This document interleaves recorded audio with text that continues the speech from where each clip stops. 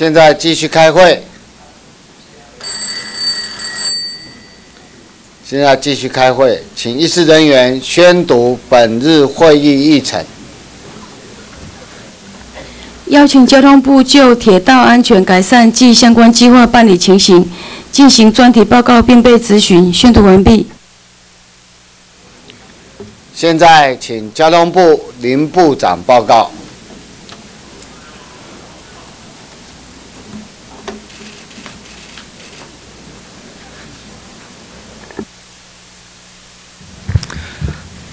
啊，主席、各位委员啊，各位女士、先生啊，大家早。那今天应邀啊报告铁道安全改善及相关计划办理情形。那么啊，仅就大院关心的交通议题啊，加以先简要的报告。那待会请我们呃铁道局胡局长啊详细的来报告。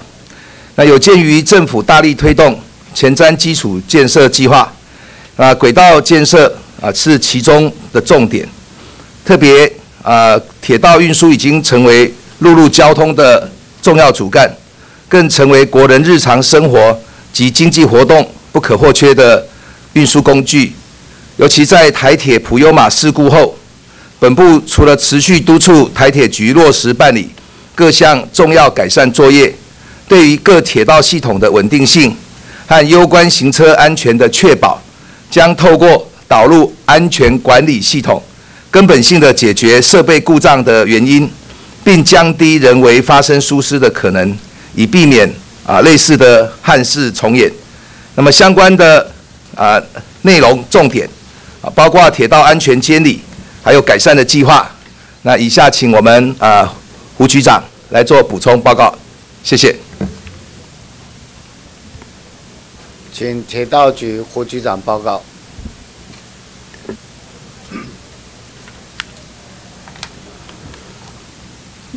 哎，主席、各位委员、各位女士、各位先生，以下仅就铁道安全改善及相关计划提出报告。报告内容分两个部分，第一个部分是铁道安全监理。第一个在营运安全的监理机制方面。本部于一百零三年完成铁路法的大幅修正之后，增订对国营铁路准用事故事件通报、列车驾驶检定给证及本部派员定期及临时检查的这个相关的规定。呃，在所以我们在一百零四年开始就执行对呃台铁的定期检查、驾驶人员给证及管理事故调查等作业。同时呢，在一百零七年的六月十一号，因应组织改造成立铁道局，就专责办理有关于铁路营运监理事项。本部在营运监理的制度上面，系以铁路法跟相关的执法为主要的法源依据，各项法律呢分别就行车设备、人员组织规章等铁路营运构成的三要素定定。有不同的规范的内容，它最终的目的就是要确保铁路行车运转的安全。那这个相关的监理机制的执行，我们是透过以下的方式来来办理。第一个是借由核准备查作业落实查核铁路机构内部实施的规章是否依法办理相关的程序。第二部分是借由铁路机构定期汇报营运。及安全状况的资料来了解或观察是否有异常的趋势。第三个部分是借由定期或不定期的检查铁路机构整体运作的状况及法有明文规定应做成的这个记录来检讨它运作是否符合相关规定。第四个对是对这个事故发生的这些事故进行进行这个调调查。那目前这个事故调查的机制。除了铁路机构内部的这个调查之外，在本部里面由铁道局来执行外部的行政调查。同时，在交通部之外，那呃行政院已经在去年的八月成立国家安全、国家运输安全调查委员会，那能够对于这个呃相关的这个铁路事故能够进行呃检讨。然后来确保行车的安全，所以目前的调查机制大概有，呃铁路机构、交通部跟这个呃运运安会的这个调查。那第二部分对于这个目前铁道行车事故事件的这个统计，在这个书面的资料第三页表一里面，我们把这个台铁、高铁、临铁跟唐铁在一百零六年到一百零八年这三年的这些相关的呃行车事故跟事件做了一个统计表，请各位参考。在表的内容里面呢，台铁大概平均每年发生的重大行车事故是六件，一般行车事故是五十一点七件，这个异常的事件是五百六十八点三件。高铁的部分是重大行车事故零，一般行车事故零点三，异常事件是二十九点七。那临铁的部分每年大概重大跟一般的行车事故是一点三，异常事件是七点七。详细的内容请各位参考表一。那另外呢，台铁的部分，因为它的在路线幅员比较长，与道路交界处比较多，呃。所以它的行车事故也相对的这个较高，但是从一百零八年来去检讨相关的这些重大行车事故，较前两年的部分已经大幅减少，一般行车事故也有减少的趋势，但是异常事件的部分啊，则呈现增加的情形，主要是因为车辆故障或相关的电力设备故障所所产生的这个结果。目前台铁局正持续办理相关的这个设备汰换更新之外，另另外也执行多项的改善计划。那临铁在一百零八年的这个异常事件略微增加，主要是因为天然灾变所致。那近期，呃，这个林务局也已经办理这个临铁的沿线的这些设施设备。安全提升计划目前也在执行之中。呃，以上是有关于铁道安全监理的部分。第二个部分是铁道安全改善的这个计划，分以下的几个部分来做说明。第一个部分是台铁普悠马事故的改善情形。在前年十月二十一号发生这个台铁六四三二列车新马站内正线出轨的这个呃。事故之后，行政院组成了这个调查小组，提出了这个调查事实原因及问题改善的报告，总共提出了五项立即性跟十八项整体性的改进事项。啊，这部分分别有这个由由这个台铁局正在进行改善。那另外呢，同时并进行了台铁总体检，总共提出了一百四十四项的改善事项，分为优先改善事项、一般改善事项及后续改善事项这个三类。目前执行的这个呃结果是这样子，这个有关于这个立这个呃普悠马事故的这个调查里面，其中立即性的。这个五项改善目前已经完成相项，哎，完成三项，整体性的十八项已经完成四项，那其他上还没有完成呃结案的部分总共十六项，目前台铁局正积极呃办理相关的改善。那对于总体检的部分，在这个呃总体检一百四十四项三大类的这个改善里面，台铁局分别按成立了三个。这个改革小组是安全管理、组织管理跟营运财务的这个相隔的相关的这个改革小组来进行。目前来讲的话，呃，全部进行大概有这个呃相关的改善里面，呃，在交通部里面列管的部分，目前已经同意结案的总共有二十七项。好，那在其他的一些相关的改善作为，台铁局在执行上面呢，分别包括了。完成 ATP 隔离远端监视系统的优化，另外也增订了相关的标准的作业程序。同时，对于普悠马列车主风办所涉及到的一些散热片跟这个中空丝膜这些呃相关零组件的这改善，目前也在持续办理之中。另外，它也强化了乘务员的训练跟勤务的考呃考核。对于呃事件所发的金马站的这个呃。这个路线的半径也在进行改善，那将来这个半径会由呃原来的三百零六公尺增加到大概五百公尺，好，呃，第二部分是整体的铁道的改善相关的经济作为，在部里面，现在推动的部分呢有两个，第一个是铁路安全管理系统，为了强化铁路行车安全及建立安全的这个制度呢，本部已经研议修订铁路法及相关的执法，希望导入航空件常见的安全管理系统，就是 SMS。来寻求系统性的管理机制，已经解以解决现行铁路机构的营运安全的问题，提升整体的这个铁道行车安全。另外，我们并持续性强化这个监理作为，除了在之前一百零三年已经大幅修订呃这个铁路法之外呢，另外呃部里头也责成铁道局持续落实各项铁路安全监理制度。并借鉴民航监理制、民航监理制度及实务的体验，来检讨相关的这个铁路监理制度。主要的重点有两项：第一个是修订铁路法及相关的执法，明确把这个铁道局在法里面定定它专门的这个监理的这个职责。另外，对于观光铁路跟铁路行车人员违反铁路法相关的对应法则及责任，呃，这部分我们。也纳入修法，预定在今年的五月底提出来。另外，呃，也责成铁道局另啊，在积极建立监理标准的作业手册。这个作业手册我们预定在今年的六月底提出。啊，第三部分是结语。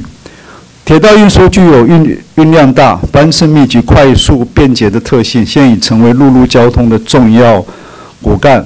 这个本部高度重视各个铁道系统的营运安全，除今除了已经检讨现行的铁路监理制度，研议精进相关安全作为之外，未来更将从制度面、设备面跟执行面，呃，来持续强化监理的作为，呃，要求各个营运机构落实人员的训练及纪律，强化自主安全管理管理及外部监督的功能，希望。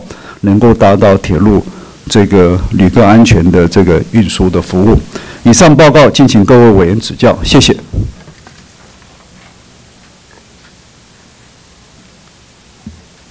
现在要进行询答，先宣告以下事项：询答时间，出席委员八加二分钟，列席委员六分钟，暂定十点三十分，休息十分钟。委员发言登记于十点三十分截止。各委员如有提案，请于十点前提出，以便议事人员会诊。中午原则上不休息。现在请登记发言第一位洪孟凯委员发言。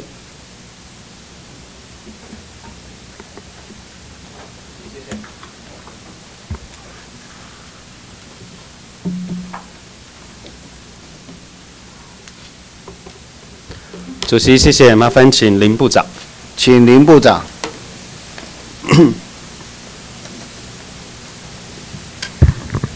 哎，部长早，委员长。本席认为说今天的这个报告非常有意义哦，这铁道安全非常重要。那本席刚刚也把整个报告给详细的看过。不过目前台湾现在面临的，除了说铁道安全以外，我们铁路上的安全也非常的重要啊。本席先请教一下，在目前，因为我们本席看到说一月底的时候，我们台铁这边有讲是说，工作人员，我们第一线的员工其实口罩都有不足的情况，请教部长，那目前就您这边掌握，我们台铁这里是不是有给每一个车站第一线同仁都已经有足够的口罩了？啊，应该是有了，应该还是确定？啊，确定了，嘿，确定，嘿。来，我们局长大家可以补充一下。我们是不是可以请局长来也跟全国民众报告一下？是说现在我们台铁针对这一次的疫情期间，我们怎么样维护第一线人员安全以及防疫的措施？好，跟委员报告，我们对这次的疫情呢，呃，我们做好了呃万全的准备。那第一线的工作人员，呃，我们都已经口罩呢都已经到位，每天都有口罩，是，每天都有。第一线工作人员啊。面对旅客服务的第一线工作人员。是。是，好。那另外，本席有注意到，之前一月底的时候有传出一个新闻，是说台铁这边会加强管制，就是如果说这个是新闻报道写的哈，如果说有疑似这个身体不是发烧的旅客，必要的时候才提供口罩并测量体温，目前还是这样子来规定吗？呃，是，目前我们还没有做全面量体温，针对旅客的部分。都还没有全面量体是，温。我们现在只有呃装了一部红外线的测温仪在南港车站，目前是在做机器的测试。是，好，来部长，您刚刚听到了台铁，我想每天的旅乘客数非常的多，也是大家非常信任的这个铁道运输工具。但到目前为止啊，我们疫情那么如此的严重的情况，却只有在南港车站有一个红外线仪，那其他的部分进出每天那么频繁的情况都没有测量体温逐步的保障。部长，您认为以现在疫情那么严峻的时刻，这样子的作为够吗？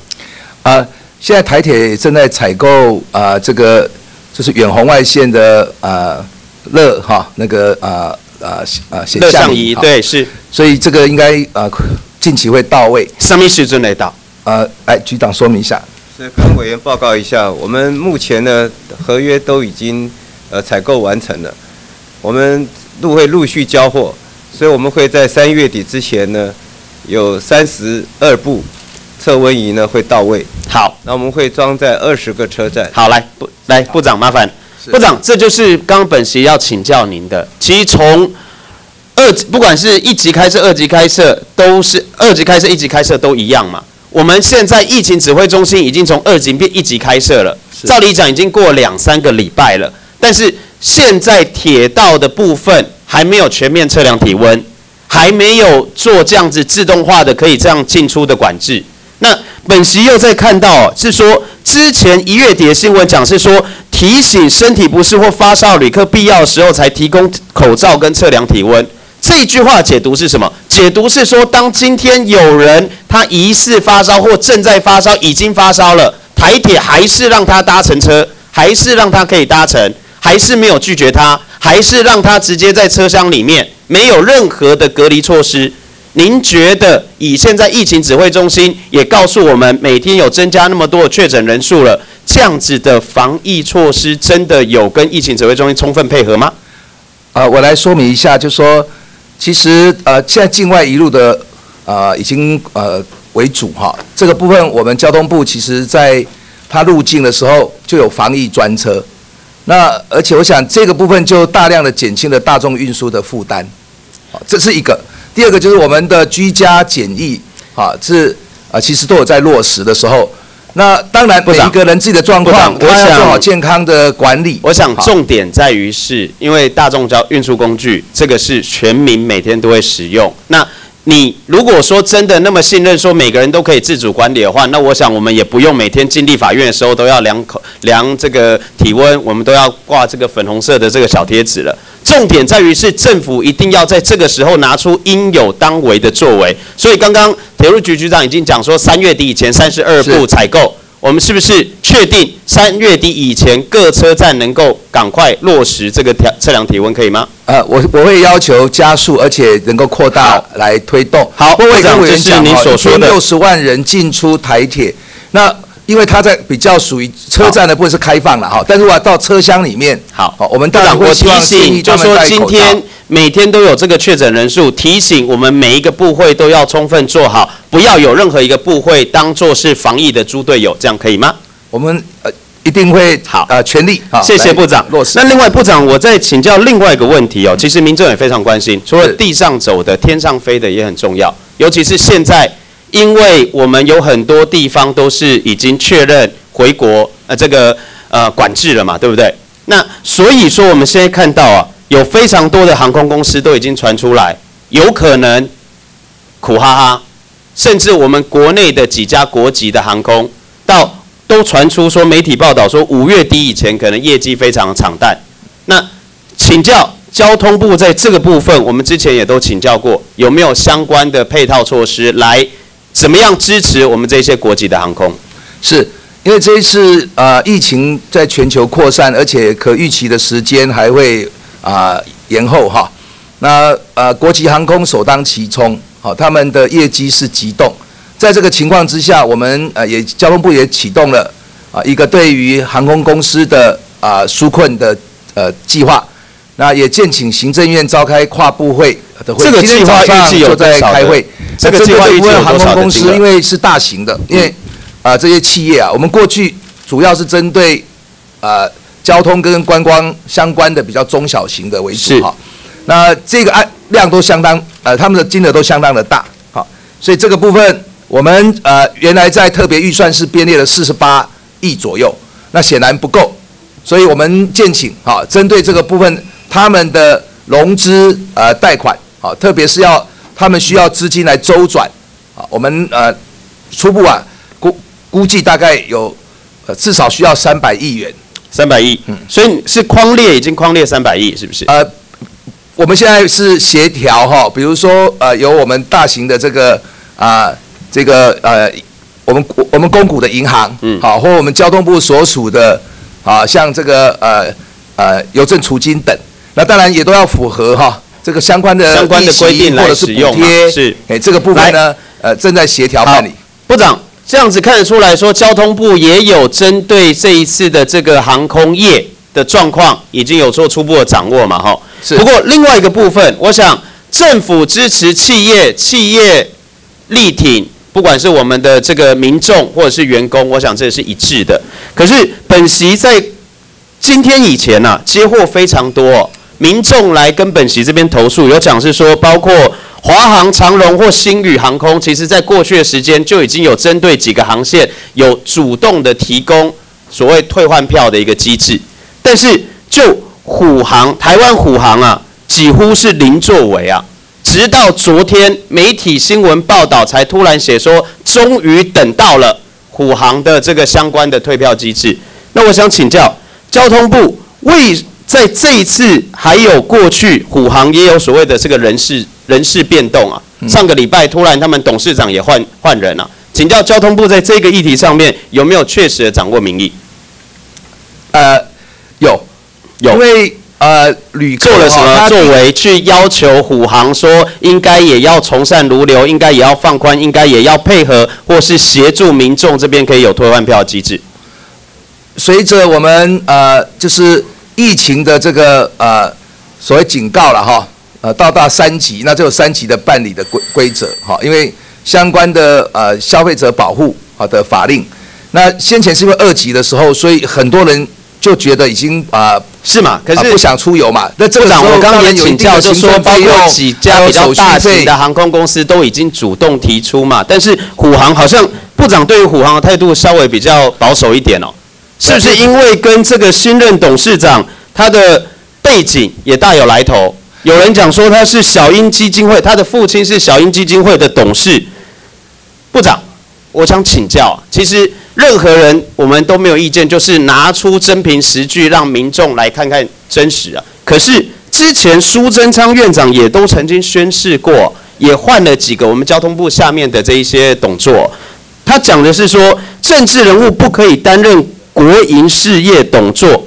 那您觉得虎航的这个人士是不是跟苏贞昌院长的这个政策有点背道而驰的概念？啊，我先回答哈、有关于呃虎航的部分，在呃旅客的退费哈、这部分还是依照定型化契约来办理。那这些相关您提到的一些争论，其实在人事调整之前都已经发生，也在处理中。什么样的争论？你说退换票就人？事的这个哈啊调整，嗯哼，这是两件事情。是哎那虎航的部分，它是廉价航空，很多的这一个啊、票哈，它的计算啊这些，当然我们已经全力在挺航空公司，也希望航空公司挺啊、乘客好、跟旅行社。是哎，所以您觉得这个董座跟苏贞昌院长，我不勉强您啦、但是说实在话，既然苏贞昌院长、行政院长都已经有说了。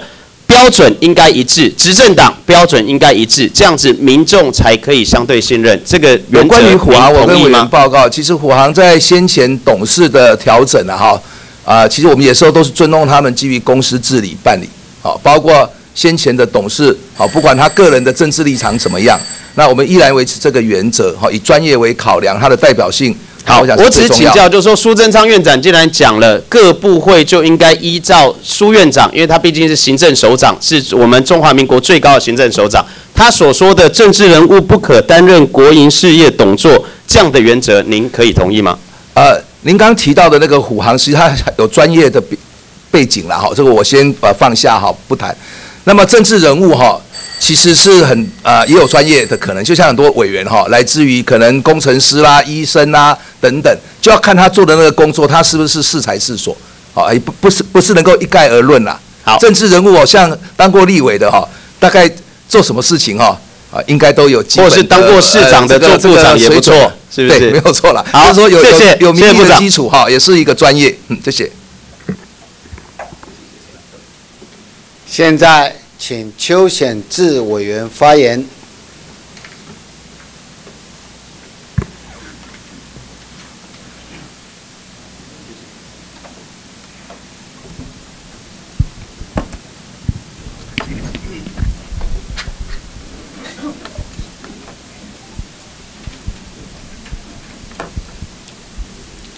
哎，主席，我请台铁局局长。好，请张局长。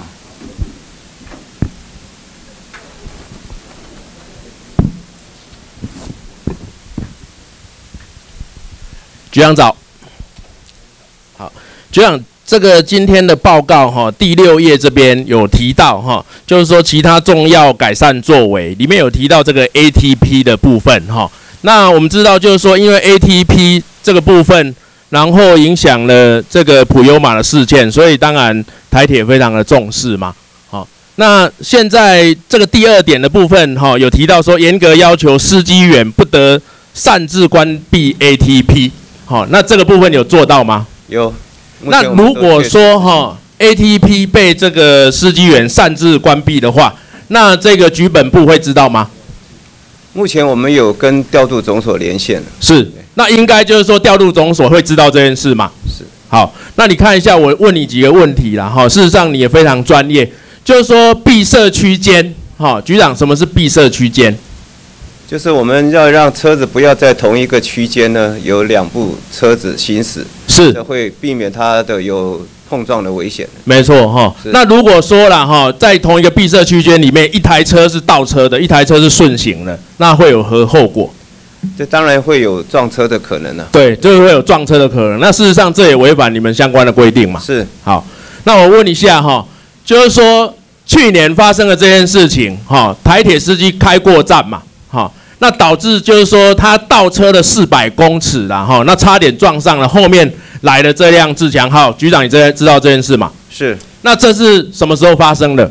这是在去年的八月六号。八月八月六号发生了嘛是？好，那我下一个问题就是说，那台铁哈这个何时接到高雄机务段的回报这件事情？八月六号发生之后，何时高雄机务段好跟台铁的局本部回报？跟委员报告这件事情呢，就是司机员发生了这种过站不停又倒车的情况，他并没有报告，是，所以他啊，所以没有报告嘛隐秘隐秘不报。隐秘不报，好，那高雄机务段何时跟你回报？呃，所以他的主管也没有报告。啊，所以高雄机务段也没有回报。是，好，那你什么时候哈？那你什么时候八月六号发生？你什么时候通报给运安会？我们运安会是在九月二十几号了，对。九月二十一啦。对，我我们你看一下在通报9月二十一对不对之前，我们已经做了，我们自己内部也组了调查小组去调查。是，我知道。是所以那运安会，你看这一张啦，哈，九月二十一的时候，运安会说他接到台铁局的事故通报，而且他认为说这一件事情叫做重大铁路事故，对吗？呃因为差点。撞上嘛。对。好，那我刚才我刚才呢，我们之所以会晚点报，是因为我们在认知上当时还没有很确定呢、啊是我告诉你哈，那这局长，刚刚你不是提到吗？这个这份报告，这份报告我都有看啊。是 ATP，你不是要求说他司机不要关闭嘛？一定要好严格的禁止他关闭，然后你也会知道，结果他关掉 ATP，倒车了四百公尺，差点那一台后面的自强号就撞上了，然后竟然他没有通报，你就不知道，你了解意思吗？是所以这个事情九月二十一号才通报运安会嘛，对不对？好，再来，十月一号的时候，为什么你们才召开第一次的调查小组？你了解我意思吗？我们之前呢是先收集资料，那确定之后，我们也自己在做内部调查。那你那这样已经八月六号就已经被贵冷勾尾啊，好，那你再看哦，哈，那你通报你何时又通报交通部？交通部什么时候知道？我现在就是要跟你检讨说你这个通报系统有问题。八月六号在高雄发生了差点撞上的事情，交通部什么时候知道？我们就是九月二十一的时候同步通报。好，那你看一下跟哈，安会对。通报交通部行车事故标准作业程序，我帮你找出来了哈。你如你什么事情要通报交通部，就是在这样的所谓的这个违反闭塞运转嘛，对不对？这叫违反闭塞运转，那是在哪一类？好，在铁路行车异常事件，它有三类啦哈，一些重大行车事故、一般行车事故，这个是被台铁分到，不是重大，也不是一般，是在铁路行车异常事件，对不对？哈，是那你你按照这个规定哦，这非常扯。发生了这个事情之后，你在次月的十五日提报给交通部就好了。你不觉得这个规定非常夸张吗？运安会认为说这是一个重大铁路事故，结果按照你这个标准，你要次月十五日前再通报这。个部分我们也会来做检讨。是，所以拜托一下，你可以看一下哈是。那你再看，当交通部发部长也可以看一下，当交通部看到这个统计资料的时候，你看，你就是事故原因统计嘛哈，那你分成三类：重大事故、一般事故、行车异常事故。刚刚那一件这么严重的事情，在这个的哪里？我跟你讲，我看了这个表，看了老半天，没有人会知道说，好，今天交通部当你台铁报到交通部的时候，他完全不会发现，在这个表里面有一个这样的事件。局长，你了解我意思吗？因为行车异常事件每每天呢、就是说每个月有三十九件、四十一件、六十七件，那其中隐藏了一件这么重要的，你报给交通部的时候，交通部不会发现，所以你应该去检讨一下这样的通报系统有没有问题。好，那我再接下来就是说，你是不是这两台差点撞上嘛？前面三二三一，后面一二九，对不对？我跟你要行车记录器，结果你的回答我真的不知道这公文怎么可以写成这样子。你的回答就是说，好，我给了给你这个电联车的这个倒车这一台，当然嘛，我是要看他倒车的后面那个状况，对不对？结果你一二九，我现在问你啊，一二九说已经不见了，你看一二九不见了，对不对？他那是怎么办我们的列车行驶的频非常频繁呐、所以一二九当时我们已经事隔一个多月，所以一二九的部分呢，它被覆盖。所以这就是湮灭证据啊。呃不是吗？不是，这不叫湮灭证据，我是说。那我问你嘛那高雄段知不知道这件事情？知道啊，为什么？因为他在八月十六号的时候不是开了一个检讨会吗？他只是没告诉你而已啊。高雄机务段，你去查，八月十六号的时候开了一个检讨会，我们针对他们的部分，我们也有惩处啊。对，所以你你八月十六号高雄机务段开了一个检讨会，没有告诉局本部嘛，对不对？我们没有，我没有收到。好，那现在问题来了，这个行车记录器不见了啊，那怎么办？是资料行车对行车记录器行不见出记录器不见了、欸，那你现在你跟我讲说哦，因为什么车辆运用缜密集录影档案硬碟容量，然后影像档案已经被覆盖，那我问你啊，那前面那一台为什么还在？因为我们已经当时我们才展开调查之后，所以内部调查我们就有把它留下。因为前面那一台，我直接跟你讲答案，因为前面那一台是不是嘉义保养的，嘉义段保养的，后面那一台是高雄段保养的，就这么简单，对不对？是啊，那现在怎么办啊？那你这样运安会要怎么调查？这个案子我们已经移到运安会，所以我们也会配合运安对。你移到运安会嘛，但是你这个这个录影带，你的行车记录器已经不见了嘛，对不对？我们除了行车那个记录器之外，我们还有通联的记录。所以你现在就是通联的记录，我们也可以调查。对，所以你现在根本没办法确定说那一台那辆台铁离那一辆自强号离那一辆通电联车有多近嘛，对不对？我们当时调查出来的是将两个将四百公尺，所以是没有碰撞的危险。对，所以八月六号到九月二十一号，你通办运安会这段期间，哈，就是我整理一下啦，就是高雄机务段十六号的时候，他有开了一个检讨会议，所以高雄机务段知道这个事啦，对不对？然后呢，他并没有通报给你，那你什么时候知道？就是九月四号，所以九月四号也不是高雄机务段跟你讲的嘛，是是有人爆料嘛，所以我在跟你讲说，为什么你要去惩处一个爆料的人的时候，大家会非常的反对，因为你根本不会知道说你在八月六号的时候，竟然发生一个火车过站不停，倒车了四百公尺，差点被自强号撞上的事情，你过了一个月，有人爆料你才知道，对不对？这个部分我们也有彻底的检讨，也就是在管理阶层呢，我们也都呃包括断处跟好那我再问你哈。九月六号为什么才停止他的乘务？等于是说这一辆倒车的司机又开了一个月，八月六号到九月六号才停止他的乘务啊。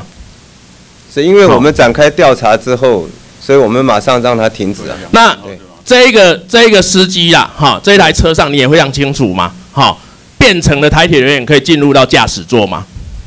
不行，要对啊，不有有，所以他的状况就是条件的有身份车班的副主任在那辆车的驾驶座嘛，对不对？车班的副主任对。对啊，啊，所以这样的事情要怎么解决？那你刚才你你在之前你们也有讲啊，闭塞区间的设计就是台湾哈双铁不包括高铁不会追撞嘛。是好，那现在闭塞区间就发生了闭关掉 ATP 的事情啊。那我现在问你，无报备的话，关无线电 ATP 可以吗？不可以，对，那调度员呐、哈、他会发现这个高雄段的这个司机关掉 ATP 吗？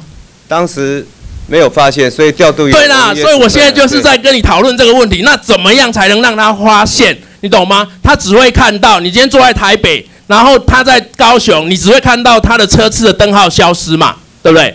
但是问题是，不要说他在睡觉，他在健身，我们都不要谈这个事情。光是这样看的话，一个人也没办法盯住那么多个车次灯号嘛，对不对？好，那你现在这一个第六页这个优化，你是不是应该要有一个警示？就是说，你全台湾的这个司机关掉 ATP 的时候，你至少在调这个中调所要有一个警示嘛？那公行控台跟中调所是不是会发出警示？现在只要关闭就会跳不然的话，我们今天来这里就没意义了。我们今天来这里就是要说这个铁道安全要怎么优化，要怎么提升嘛。那你现在任何在现在在每天都在开啊，现在疫情期间每天还在开火车，那他关掉 ATP 的时候，你要怎么办呃？你了解我意思吗？是了解，那你们一月的报告里面哈，另外一件呐哈，在这一个加东站的哈违反也是一样违反闭塞运转的，它里面就有提到调度所内哈任何耗资异常均没有这个提警示音提醒调度员。我们现在是用灯号，因为我们每天对了，啊我就跟你说灯号你是不会发现的嘛。这个部分，你懂我意思吗检讨，好跟委员，那我问你一个更严重的哦，你自己看哦，这真的很扯。倒车的时候，这个调度所十四台，这个调度员呐、竟然他的电脑刚好宕机。局长，这你可以接受吗？我觉得这根本在鬼扯啊！为什么会宕机？哪有那么刚好？十八点四十分的时候，好、所以这件事情拜托能够调查清楚，然后给社会一个交代。尤其是这个关掉 ATP 之后，你连警示音都没有，我觉得这是非常不应该的跟。委员报告，因为目前这个案子呢，我们内部调查完了，也做了相关的惩处，也做了后续的要求跟改善。现在全案呢是越南会在调查，我们会全面配合。这一件是这一件的事嘛说查出。来还有新的那市政、新的你现在还有很多的问题都还是我们会再才来追究对啊，改善，但是我现在我就问你嘛，ATP 关掉之后你都不会知道啊，ATP 关掉你都在调控所也不会知道，然后这个调度所的人还会宕机，不，这个机械你的东西啊不觉得这太离谱了吗？然后这个录影这个行车记录器哦，前面那一台在哦，后面那一台不在，因为这个是覆，我刚刚跟委员报告，是因为覆盖的关系嘛，对。对所以他八月十六号他就高雄机务段开检讨会了嘛？那是不是高雄机务段跟这个驾驶员，好、然后把这一个行车记录器覆盖掉？是跟委员报告，这个段长也失职，所以我们给他记过调职了。对好，谢谢谢谢主席哈。现在，请林俊宪委员发言。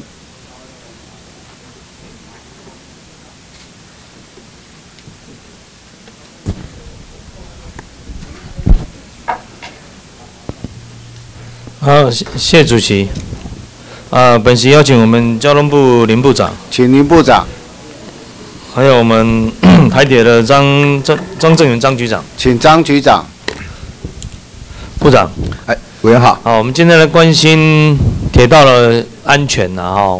就根据部长的报告里面，我们在过去三年看起来，台铁啦，啊，台铁平均每一年的重大行车事故是六件，啊，那一般的行车事故是大概五十一点七件，啊，所以大概台铁每一年都差不多五六十件的行车事故了哈。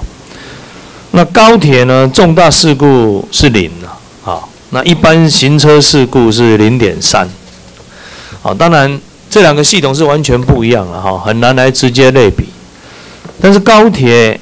啊，台湾的高铁哈，大概也建立了一定的 评比了哈，甚至是做的比日本还好了。那我们台铁啊，这些老公司啊，尤其过去啊发生了很多事情，那我们对现在要让台铁哦急起直追了，我们寄予厚望。我看到你的报告里面，台铁有自己啊完成一个全部的检查，总体改善事项有一百四十四项。是不是这样的？啊，是啊，那这个是由 行政院哎，呃，召集专家嘿体检。那预计什么时候会完成？这个部分呃，体检报告已经完成，现在就根据一百四十四项啊，分成呃三级啊啊，在改善当中。那台铁对消费者服务哈？那这几年也有也有一些明比较明显的改善了哈啊，例如本席曾经提出咨询过台铁那个 A P P 哦很难用，跟高铁根本不能比。但现在台铁这个 A P P 哈，最近哎使用起来，消费者也觉得不错了哈，改善非常多。但在台铁这个 A P P 的首页啦啊，最明显的地方哈，不是在卖车票了，是在卖便当了。那也不错了哈，台铁便当也是一个很受欢迎的一个老产品啊，局长，你知道一年卖卖几个台铁便当吗？跟委员报告，去年卖了一千零五十三万九千多个。你看这个不容易哈，一一年卖一千零五十三万个，是不是哈？赚多少钱？呃，七亿七千多万。占七亿七千多万哈。我台铁的亏损现在要靠这颗便当啊啊，人家便当还要够喝水。啊，行车事故那么多，那便当不能出错啊！我也我也常吃啊，啊，我有时候高铁一天坐两次三次，在车上刚好吃两个三个，啊。但是你们对便当那么有信心，所以台铁的首页第一项啊，卖便当。但我希望你们对行车事故安全哈，也要更有信心了。台铁其实啊，小事很多了，很杂，这是出出呈现一个老公司哦。的那个那个毛病哈，他每一年的事故大概都五六百件，是不是这样哈，局长？是，就是就所谓的我们现在重大事故呢，呃，去年是两件，前年是七件，平均它六件，明显的进步了。平均它一年六件。一般的事故我们也进步了。哦，一般事故有。现在增加的是在行车异常部分。对，行车异常哦。这这个怎么要怎么讲？你们每一年都差不多五六百件，是是是表现很稳定吗？是行车异常的都固定都固定。有几个原因增加，第一个是我们的车辆比较老旧，所以车辆故障比较多。嗯。那第二个是我们的保安的装置，包括号志啊、转测器，那这些都比较老旧，所以我们在呃行车六年计划跟电务智慧化里面，我们的感谢行政院给我们支持，所以我们已经逐年的在汰化。是。部长是这样的哈，从代代替的那个每几年拢我我老爸件哈，像去年多一点了哈，去年有七有超过七百件的所谓行车异常啊，啊，那我看台铁自己的归类有所谓有责任和无责任是。大概九成以上哈，台铁的归类都是无责任，就是说责任不归责于台铁本身呐，但是这个件数哈还是太多了，你如果一年都五六百六，甚至甚至到七百哦，你大概平均一天都有超过一件以上。但那么多的次数，就算不归责于台铁，啊，如果你这个分类是公平，有确有确实在计算的话，但是只要发生一次事故啊，有时台铁都要赔钱的。如果你造成误点的话，是不是这样？是，就算不归责于台铁哦，啊，但是旅客误点啊，第一，你你你要怎么办？诉讼吗？哦，或者是在等他去判别原因的规则，那就要归责于谁？恐怕都很长的时间，所以好很好几次都是台铁先赔钱的。局长是不是这样？是我们当然对旅客的部分，我们当然要先承受。那事后呢，我们也会去呃检讨，我们到底因为是谁造成的事故所造造成的没有错了损害哦我们会去求。你知道台铁光这种异常事故一年要赔多少钱？你知道吗？误点呐、都要赔好几百万哦。你自己算一下了哈，我请你们算给我，你们算不出来。因为这个这个我们会在事后再精准的数字提供给委员。好，就是说，虽然是无责任，你自己你自己归类为无责任的异常，但台铁通常要赔钱，那每一年都赔非常多钱，这不应该有的浪费了。好，好，那怎么办？就是因为台铁对这种异常事故啊，你们的改善啊，过去没有了啊，最近几年开始了，我们有一个六年行车安全改善计划。是哦，但这个部分一一定要加快加速了。所谓的无规则哈，那、这个也让部长参考一下了。比如说，呃，铁轨有掉落物啦，哦有人有人落轨了，甚至有人卧轨自杀等等，你一定会造成那那个那个行车一定会会会会造成的，他就不能开车了嘛哈。那行车、交通等等都受到影响。那这个虽然不归责于台铁，但也算台铁啊。在安全性上维护上啊，这个真的是要好好的把这个六年的行车安全改善计划做好了。现在做到什么程度啊？好，我跟委员报告的行车安全六年计划呢，我们是一百零四年开始，呃，两百七十五亿，目前我们已经执行完毕了有一百一十二亿，那我们还是陆续在执行。就是我们行六年的行车安全计划里面大概分几个部分呢、有的是轨道嘛哈，行车轨道，有的是在平交道平交道啊，啊有的是在月台有没有？是月台也有月台无接化，还有车辆无接化的改善等等。对，就是现在花东好像做好了哈、根据我的资料啊，花东花东大概月台的部分大概大部分完成了。对啊，那个那个轨道嘞，轨道的部分我们也是陆续在做了。好，那中南部嘞，都还没有开始做、我们这个。进度呢，都是因为我们是全省一百零一千多公里的路线，我们是逐步的在。像最近就发生一个民众他掉到，不知道是蓄意啊，还是不小心的啊，或者是自杀，他他都掉到铁呃那个那个轨道轨道间隙了，哦，我这个把大把现场哈、很多旅客真的吓死了哈，吓，是结果这位男这位男士哈、那个命大了，他后来是有救回来，不过啊，因为这样的一个事故啊，阻碍了大概两千七百位旅客的的一个行车啦。啊，像这个啊，就是因为你看我们那个月台轨道几乎完全没有没有防护哎。这未来会在六年前的安全计划里面有有做到吗？月台有没有去办我像捷运这样的现在的防护呢，呃，我们也有警戒线了，我们也有警示灯，你画一条线列车靠近也有警示灯，那也有人工来维系，包括我们的路警、我们的月台的向导同仁都会去做这个。但是如果说，呃，委员是提到月台门的部分，嗯那现阶段呢，我们还没有办法把做月台门，现在还在评估了。为什么？因为我们的车种比较多，那每一个门的位置啊，你也讲到重点是啊，这不保掉，咱代替的车几十种哦，局长是我有们有有几种车型？我们现在车型如果是客车、货车，同仁加起来几十种有了。几十种啊。是我们台铁有几十种车型，所以呢进月台哈、每一台使用使用的空间大大小小，宽度都不一样是我跟委员所以车型多到哦，我们没有办法在月台做一个像捷运那样的一个的一个栅栏门，来维护一定的安全的。因为我们也有是很麻烦的城际列车，也有通勤列车。通勤列车的车门像捷运一样，啊，它是没有错了，但是我们现在就开始改了，以前台铁很多毛病就是这样啦，很多弊端嘛。呃，因为这个都是几十，有我们有的车都几十年。你看全全世界有哪台有哪一家铁路公司像台湾这样，短短才四百公里，没一千。纵贯纵啊对了，你有环岛一千公里，买了几十种车，你光维修你就头痛啊。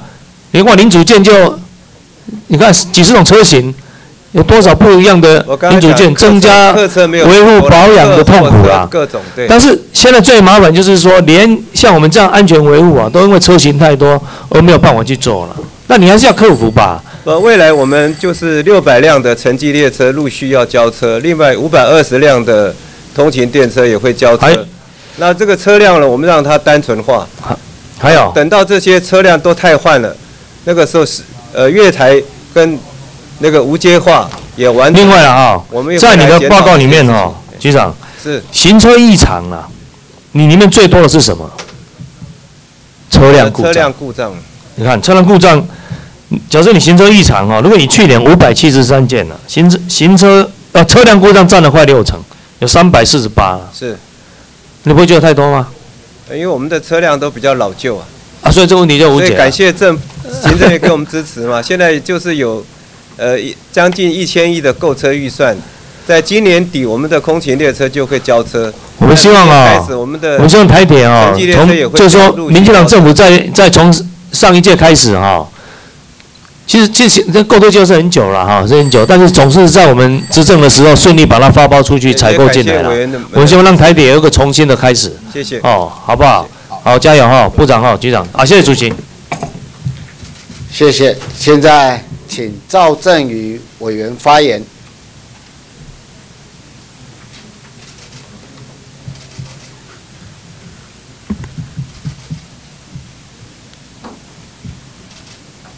啊，谢谢主席，请那个部长还有张局长哈，请林部长、张局长。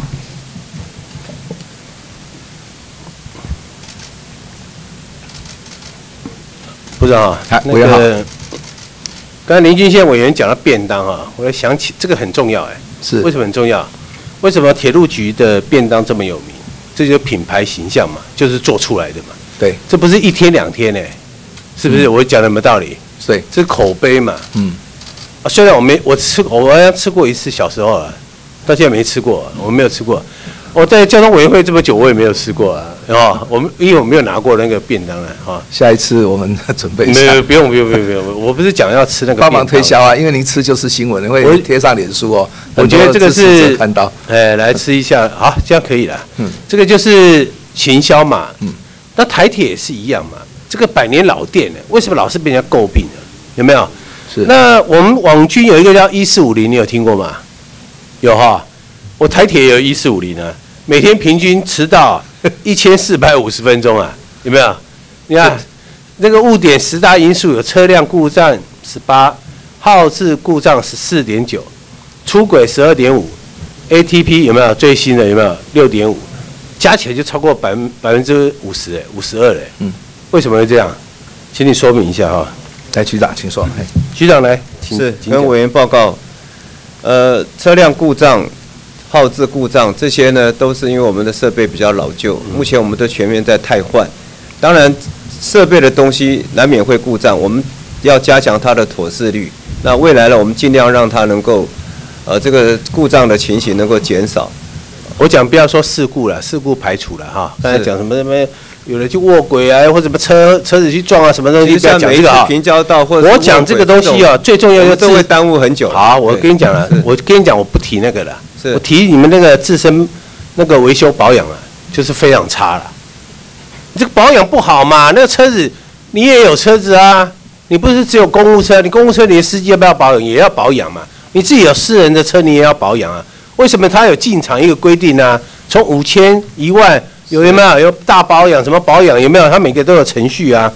我跟你讲，我当兵的时候，我代理运输官兼二级厂厂长，我很了解。我当了一年，我很了解这个东西。哦，今天没有讲你事故的问题，是讲你自身的保养是不足嘛？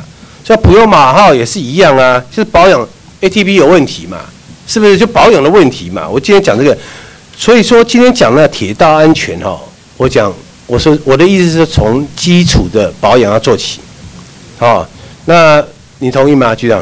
是，当然保养很重要。哎，我觉得很奇怪啊，这个百也将近百年老店，我们都知道台铁啊是一个非常久的一个公司，有没有？这个师徒制有没有？就像军中一样，哎，师傅教徒弟，是不是？哎，他们就修得很好。你看军车都是很老旧的，二次大战留下来，还越战留下来，为什么全全世界人到我们中华民国看到这些东西，哎，古董还在还能在路上跑是不容易的。为什么？就他保养做得很好，不管是二级、三级、四级，是不是？他们都做得很好，尤其二级保养，他们做的是非常好。那一级就是本身你驾驶就要把它做好，好一本一般基础的。二级啊，就是我们要定期保养一些，也算基础的，但是比一级再高一点点。你这个基础保养就是做的不好，你哪来的行车安全啊？所以说，你们最近有一个，我们看那个媒体有报道哈，那引用我们的预算中心有没有？他怎么写到铁路行车安全改善计划哈破功？为什么？局长，你有没有你知道不这个事情？如果这个如果是从这个行车异常事故来看呢？对，当然我们我刚刚也有报告，我们重大的事件跟一般的行车事件，我们是历年来最低。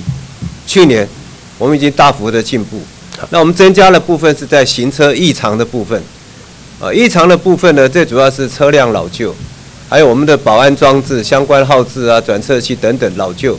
那我们这个也都透过行车六年计划，还有我们电务智慧化，我们逐逐年的在汰换。好，第一个你讲老旧，我们不要推一天到晚推老旧。我已经刚才已经讲了，两吨半能用多少年呢？四分之三 T 车用了多少年？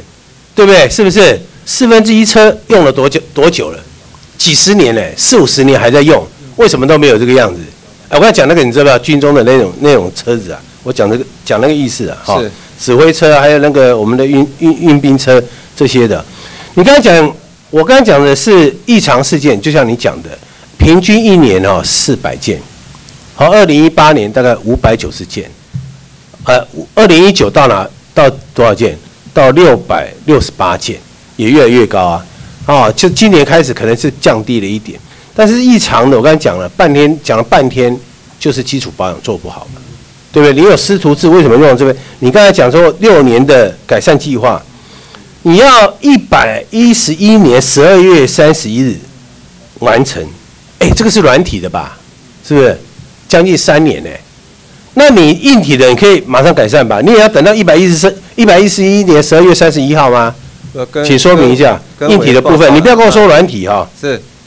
这个在硬体的改善的部分呢，就是台铁的是一方面是穿着西装改西装，我们每一天将近一千辆列车在路上跑，所以我们很多工程在营业时间没有办法施工，啊，有很多要在夜间施工，那所以我们必须呢，这个工期呢会比人家长一点，而且我们现在工项也非常的多，要改善的项目也非常的多，那这些我们都逐步的逐项的来发包，那我们会让这个工尽量让这个。掌控来工期，我们希望能够尽快完成，越快完成，对我们台铁是越好，那也保障了行车的安全。我想你刚才讲那个东西，我车辆很多，我没有时间，我只有利用夜间保养。你们有调度室吧？有有吧？有，这可以调度的吧？不，因为我们现在白天跟尾报白天的车辆真的很密了。我知道很密嘛，我刚才讲调度嘛，跟通勤。局长，所以这这个很密了。你能是？你从次长到。局长是，我没有说降调了，我也不能说这样，这是你的专业，为什么请你来当这个局长？就是有原因的，你要去改革，要去改变，是哦，你不能像以前那样，哎，我以前就是这样做。你当个职务说，哎，哎，你们怎么这样弄啊？我以前在公所当秘书，我说你是公文怎么写的？哎，科长教我这样写的。我问他谁教的他科长，我说把你科长找来。我说你公文这样写，你怎么考进来的？这以前其以前的写法，现在还在那边写那种，是不是？这个就是你要去改革嘛。是。你既然来了，你就要被改变嘛。我们台铁嘛，老是讲，老是换人，还不是都一样？是不是？我跟你讲，我以前台南，你以前台南，我台南那边炮校受训，我住桃园。哎，我我我只有坐过一次火车，哎，我几乎没有坐，为什么？太慢了啊。我回到家四五个小时，我放假才多多久？一天半嘞。以前才一天半嘞，礼拜六中午才放假，不知道你知道吧？啊，不像现在周休二日哎，我时间都花在坐车上面，某天去坐我们的那个客运，有没有？我们以前讲的野鸡车啊，是不是三个小时就到了？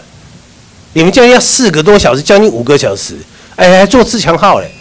我讲这个例例子，就是机运供电哦，你要配合，你要一次把它做好嘛，你要去改革嘛。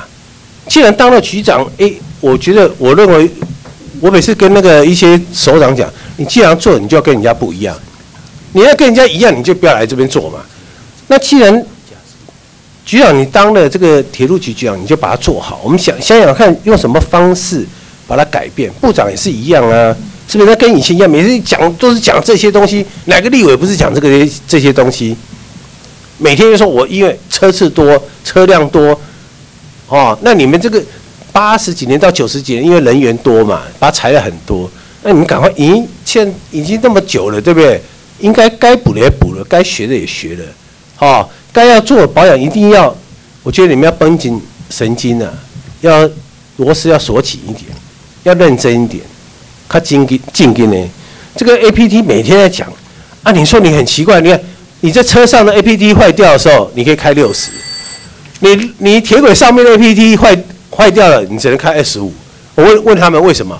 因为哦，这开车有人可以目视啊，有没有可以开六十？这个这个跟什么跟什么一样，对不对？你们那个 A P T 在铁轨上水土不服，什么太热，还可以用一个什么？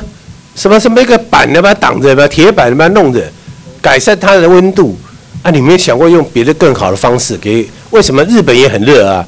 以前我们常讲日本不会热，你就去日本夏天看看，比台湾还热。气候变迁不一样了嘛，早就不一样了。所以说这个怎么改善，你要去怎么处理哦，这个很重要。不然每天就怪这个我机器坏了，我的人少啊，我的车多啊，没有办法调度是很厉害的。哎，一个单位的调度室是非常重要的，它可以拿捏，就像飞飞机一样，啊，调度很厉害的。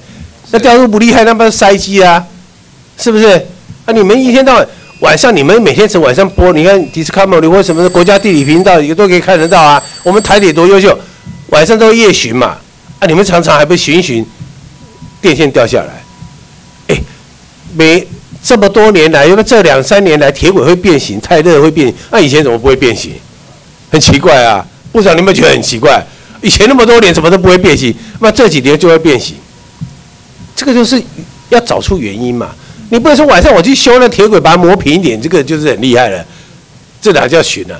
啊，你看为了高铁捷运有没有这么多问题？为什么人家没有问题？哎，你要去看人一下啊，人家是新人嘞，对不对？我们要去研究一下人家为什么，我们要学好的，我们要去学习人家。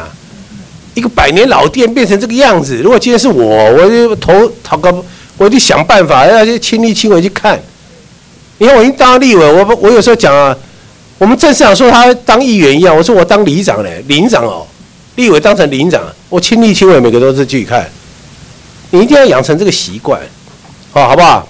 加油了哈，部长和那局长哈，谢谢。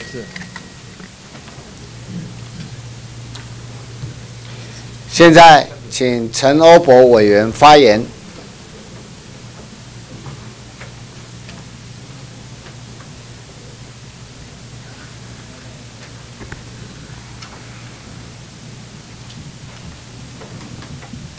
谢谢主席，请邀请林部长以及铁路局张局长。请林部长、张局长。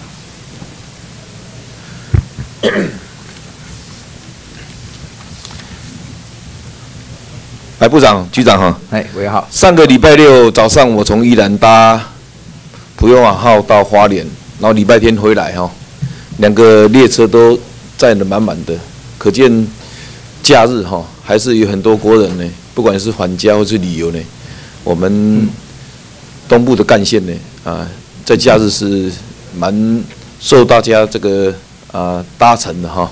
那我个人觉得说，这个东部的这个。啊，运输呢，长久以来哈，中央政府就比较偏私在照顾了哈，所以造成东部人呢啊在交通上的困难。那现在台铁哈，呃，宜兰线的哈，这个行驶的安全的部分哈，我们台铁有提出一个改善的计划，就是说很多曲线弯曲的瓶颈路段呢要改善。那交通部现在目前核定怎么样？都已经报到交通部了。是，哎，那个局长，请说一下。呃，跟委员报告，呃，目前呢，我们大概有三段了哦。那已经行政院核定的是一段，那这一段呢，我们现在就是侯洞到这个双溪这一段啊。嗯。那这部分呢，我们现在正在做设计的工作。那设计完了以后就可以发包。那另外就是新马站的部分，是我们是首要之务。因为新马站的弯道，我们要第一个要改善。那这个部分呢，已经完成了设计。那现在呢？好，新马站大家谈。我，你如果活动跟双溪，你目前在设计规划哈，在这西部设计嘛哈。那请问你龟山到外要这三处现在做的怎么样？对。龟山到外要，就期限改善有三三个地方。是。总经费十九点五亿啊。那不，刚刚议员我刚刚说错了，是龟山到外澳，行政院已经核定了。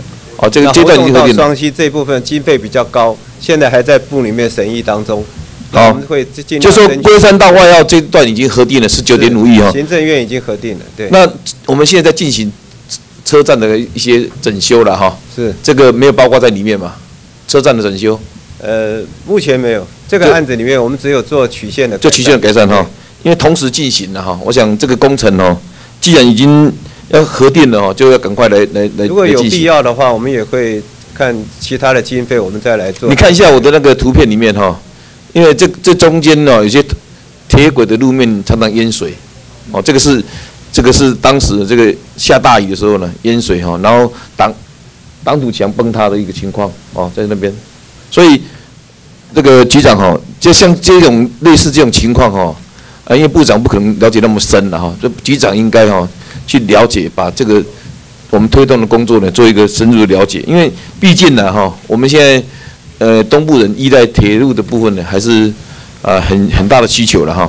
那第二点就是说，刚刚你提到那个普悠马号的这个呃发生这个翻车事故的新马车站哈，那新马的弯道哈啊，现在大家都都有共识要改善，可是新站设在什么地方呢？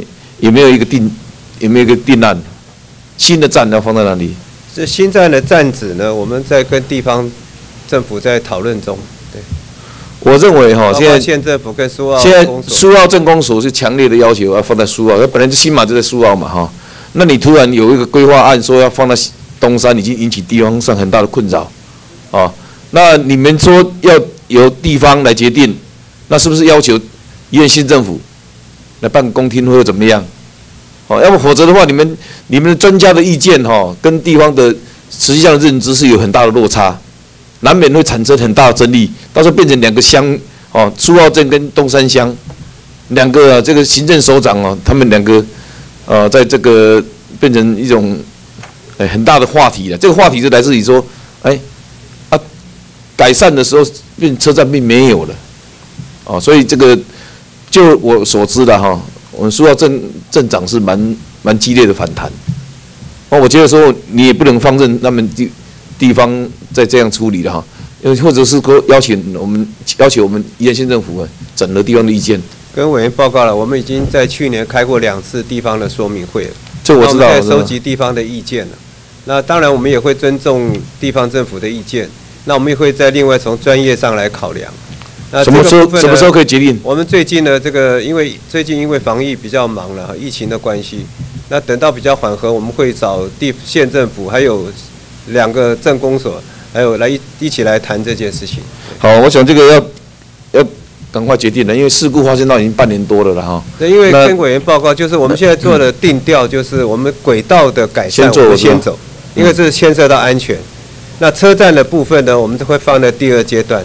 所以我们会充分的跟地方讨论之后，做出最好的决定。所以你你规划一百一十二年，包括车站都全部改善完成，是可以吗？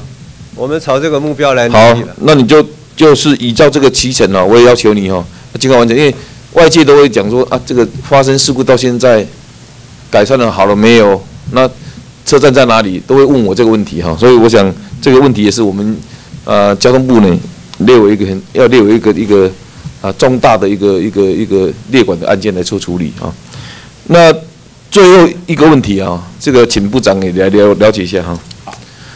我看一下哈，我们这个图哈，哎，我们的南洋大桥哈，嗯哼，是这个红线的这个是新的南洋大桥，现在在走的，对，黄线的是旧的公路桥，旧的南洋大桥，白色的这个是旧的铁道桥，对，新的铁道桥最最外最外侧的这里哈，所以部长，现在我们哦新的南洋大桥是公路桥。正在做中国规划，啊，这个桥呢，只要下大雨都会封桥，会溢溢桥了，嗯，洪水会溢桥，会封桥，已经好几次封桥了，啊，因为它这个桥面比那个桥那个我们合体呢低很多，都一点五公尺左右，所以未来我们是要计划提升呢一点五，或者是打掉重盖，要加变成高提高呢一点五公尺来来制作哈，嗯。那我现在要谈的一个是因为旧的公路桥了哈，嗯，在八十年的八月五号就废止通行，啊，当时宜兰县政府啊，这个报那个三级古迹啊，所以没有办法拆除，嗯，但是没有办法拆除，里面就希望公路总局呢来负责维护管理，但是我知道都没有在做，所以这个如果说新的南洋大桥是危险的话，旧的当然更危险了。啊，连带我们新旧的铁路桥呢，都会受到很大的影响，所以这个是一个交通安全上一个很大的一个一个余力的地方。我去把它整理出来哈，呃，我我们希望这个嗯嗯公路总局哈，这里哈去了解一下，到底现在这个桥到旧的桥，我是讲旧的桥了，新的桥已经很危险，就是要已经要要在在规划设计要要重新做了。那旧的部分呢，这个一直都没有解决，是不是交通部哈？跟文化部找那个县政府来讨论一下，因为事实上这个也没有在维修，三级古迹在什么地方？我也我说实在我我也没办法回回答民众的一个一个余力，但是我担心的是桥梁的安全，因为新的大桥就就已经就常常要封桥了，那旧的刚刚更难更危险了哈，所以部长你能不能正正视这个问题啊？把这个悬案解决一下好吗？好，呃，我想。安全第一哦。那么，如果这个桥啊，这个旧的南洋大桥了哈，有会涉及到影响整个啊这边的啊桥梁跟道路的安全哈，这个当然是应该是排在最优先来考量。那这个部分公路总局哦啊也会再跟宜兰县政府来协商，好，那这个也会邀请文化部了哈，呃来参与。那至于说如果没有共识，好，我们再进一步请公共工程啊委员委员会，好来协助解决。好，因为这个是我蛮担心的一个问题了哈。真的，如果发生问题，连整个铁路的桥梁哈，我们那个铁道铁路桥的部分都整个都会被被冲走。所以委员做一个宜兰人，对于这个旧的南洋大桥为什么会被列入呃限定古古迹，也是呃不是很能够说服人家啊。哎对，因为这个我我个人没办法说服人家，嗯，因为六古六个古迹也没有在维修啊，然后责任要求我们公路总局来维修，那很奇怪啊。公路总局也就我所知道没有编经费，也没有在执行维修，那变成一个围桥。对，哦，往往我们的我们都是没有注意到的地方就发生发生问题了，所以那个铁路局啊，赶快去做跟公路局啊，赶快都把这个当做自己的桥梁维护哈，一并来做处理。那最后一个问题哈。这个大家谈很久了哈，我们这个台北啊，这个万国的车车种啊，导致我们这个车厢跟阶梯跟月台落差。我这次去搭普悠航马号去的，就是这样子。大概我我我去搭大概落差十几公公分呢，哦，那二三十公分都经常有的事情了哈。所以这个部分哈，你们编了五十亿的经费来推动这个车厢无接化。然后预计二零二零完成，那现在这个无阶梯会完成怎么样？有没有办法克服这个问题？还是今天用完了，问题还存在？对，我们现在是逐步的在改善当中了。那我们希望在今年底那个月台的无接化部分都能够完成我认为哦，那个警示的那个标志很重要，好，因为每个月台月台跟那个轨道不是应该是有没有一样高？我不晓得。是，当然。那可能就是可可能就是车辆的问题了哈，要要去标示的，哦，这个大概有二十公分的落差或三十公分的落差，让提醒这个下车的人哈，很大部分都会出问题，是下车的人会出问题，上车比较不会出问题啊。哦，我觉得是这样子，因为下车的人挤人这样子，哦，那个这个部分呢，我想请那个那个铁路局哈，去好好去做一个了解。二二零二零就要全面完成哈。好，以上谢谢。现在请傅坤奇委员发言。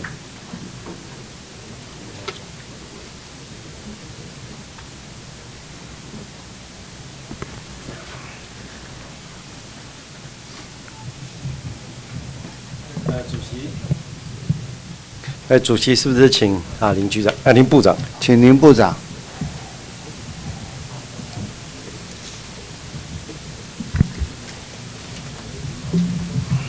呃，部长，嗨，委员好。这个谢谢你对我们国内交通的关心啊。是。从一个都会首长到国家的部会首长，这个心理路程应该转变很大哈。嗯。不过现在能做更大的事情，有更大的平台啊。嗯。有更大的挥洒空间，也希望部长啊能够表现得淋漓尽致哈。是。那今天交通委会排这个议题啊，这个铁道安全呐改善的相关计划的办理情况啊，我想今天大家对台湾的铁道运输啊，哦，这个是伴随台湾人民呐这个百年来成长的记忆呀，哦，我们都非常依附在这个铁道，尤其是宜花东的人民。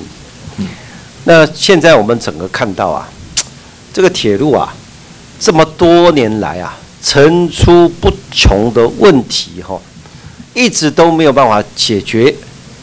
那这个时候部长呢，我我不晓得这个您会不会做一个交通部啊，真正励精图治啊，全面改革的一位部长？因为本席现在看到，呃，铁路局的张局长啊，他是真正啊。这个列车长出身呐，啊，也是我们交大运研运所的博士，哦，一生大概都是交通人哈，而且是铁路出身的，呃，就职也有大概一年半的嘛哈，担任局长。到底我们铁路局能不能一个一个很完整的一个改善？我光从东线来讲，二零零二零零六年，连在维修。中铁道的这些维修工人，只是一个车车道的中轴没有转过来，撞死了五位，啊，这个这个在修铁道的这些员工，很奇怪，隔了十二年后，啊，也是在东建铁路，啊，二零一八年这次翻车罹难的十八个人，我们有听到很多很多这个很奇怪的事情，就是说。台湾很多都是学习日本啊走过来，但日本人对整个呃不管是公务也好，民营企业发展也好，他们都非常非常谨守这个原则啊，跟着 SOP 哈。我不晓得部长能不能对台湾的铁路局啊，能不能贯彻一下这个 SOP 哈，全面来让。台铁脱胎换骨换骨啊！你有没有信心呢？啊，有。我跟委员报告哈，其实，呃，当然要改革台铁不是追在后面，啊，问题发生了，然后好像在善后，其实还是要从一个新的时代，所谓的智慧交通的角度，那真正来把这个铁道产业国产化，然后这个系统。它不能够是变成全世界唯一的。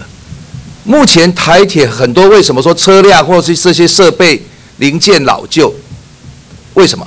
因为它当时在采购的时候就被绑住了，所以很多的备料不足。好，照你数字上看的跟实际上可以运用的不一，这些都是环环相扣的问题。所以当然我们现在有一个环岛铁路网的规划，好，这个是一个愿景。好，那也陆续在。啊，落实西部高铁、东部快铁，好，六小时一日生活圈。好，那在这个情况之下，我们五 G 时代来临。你看，为什么最近我们的这个台铁的第四代票务系统，或 APP，大家比较满意一点。因为我当时花了三个月时间，因为是中华电信在承办，我要求这个做到，因为它很复杂，比高铁还要难，但是要让客以客为尊，使用者要友善。台铁的文化都变成说自己要做什么，没有改变成好这个乘客需要什么。未来的时速游购型整合，未来的这一个所谓的一卡在手，能够掌握所有的资讯。交通的改善不能只是靠政府，或者是我们这个台铁，其实所有的人都构成了改善交通的一部分，因为人流、车流，好，这些都是啊联动的。所以很多人在看这个台铁的改革，也许我不是所谓传统的这种啊工程哈技术的背景的，但是我有哦就是很逻辑性的、系统性的思考。好，那这个我们在去年也拟定了，包括。啊，我们的就是呃，二零二零好，就是运输政策白皮书，那也针对交通科技产业汇报里面轨道这个部分，未来成立了铁铁研中心，好，然后这些新车的采购，再加上政府支持整个路网的构造，我认为花东地区呀，它的定位很清楚，所以我们才有所谓的东部快铁，啊，要把高铁跟传统的台铁能够连接，好，这个这样的一个系统性的。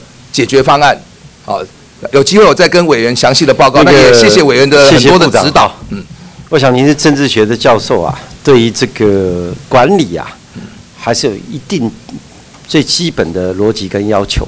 嗯，呃，如果台铁的整体的服务效能再没有提升的话，可能就不是国营化了，国家化了，可能以后可能要民营化了。好，不带入民间的精神，大概台铁啊。这个实在是啊，撼山易啊，撼台铁难呐。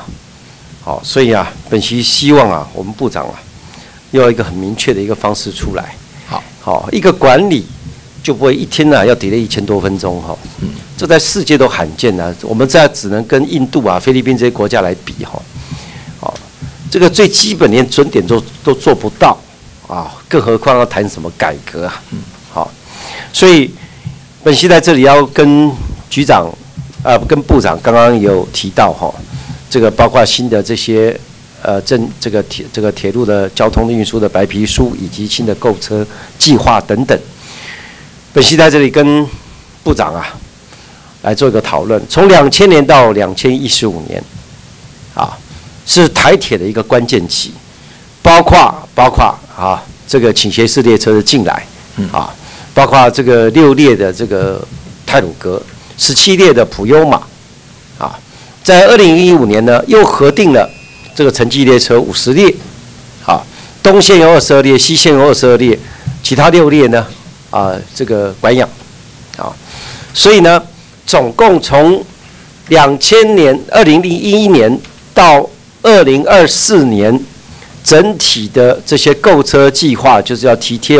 提升我们台铁整体的服务运能跟形象，但是但是，同时从两千年到现在要去检讨历任的这些部这些局长，好，为什么在这么多的购车计划里面，没有同事把司机员把它培养起来，而且造成呢人员的补啊，都大概这这五年内在补，所以造成呢老一辈跟新一辈的他的断层。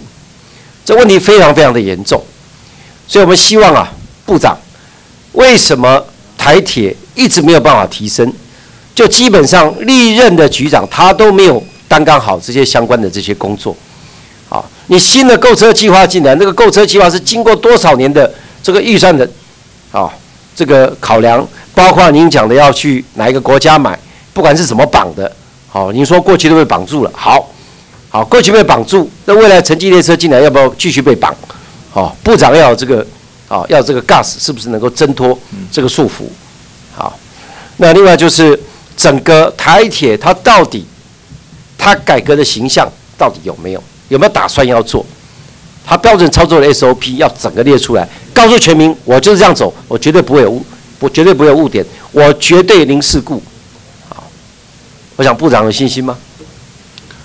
呃，超支在即的，我们一定要把它做好。那其实现在整个系统的设计哈，到底未来的铁道运输要长成什么样？好，这是政策面的规划，好，这个要有。当然，在在执行上，好，人车部长路这些政策跟执行，当然我了解，本席非常清楚。但是如果部长定得紧的话，执行面就会比较彻底啊。好，我想我们在跟行政委员报告，其实在去年一年来的哈，因为普悠马事故的一个啊检讨哈，让我们也切实哈啊发现很多的问题。好，那一步一步的哈，包括一百四十项，所以部长啊我们都有在列管。部长，嗯，过去由铁路局自行调查的结果送到监察院，草草在上个礼拜马上就进行弹劾。运安会的事实调查报告，那个四月份才出来，那听起来事实调查报告都还没有出来，完整调查报告八九月才出来。好，我想部长那个是可以给您做很重要的一个台铁改革的参考。好，那现在也请教哈这个部长哈，请您协助帮忙哈。我们看一下啊，包括这个去年跟今年，花花莲站到吉安站中间就发生了两次人命的这个铁道事故哈，铁铁道事故。所以呢，我们看一下哈，最近啊，这个核定的这个我们这个铁路高架化哈，核定的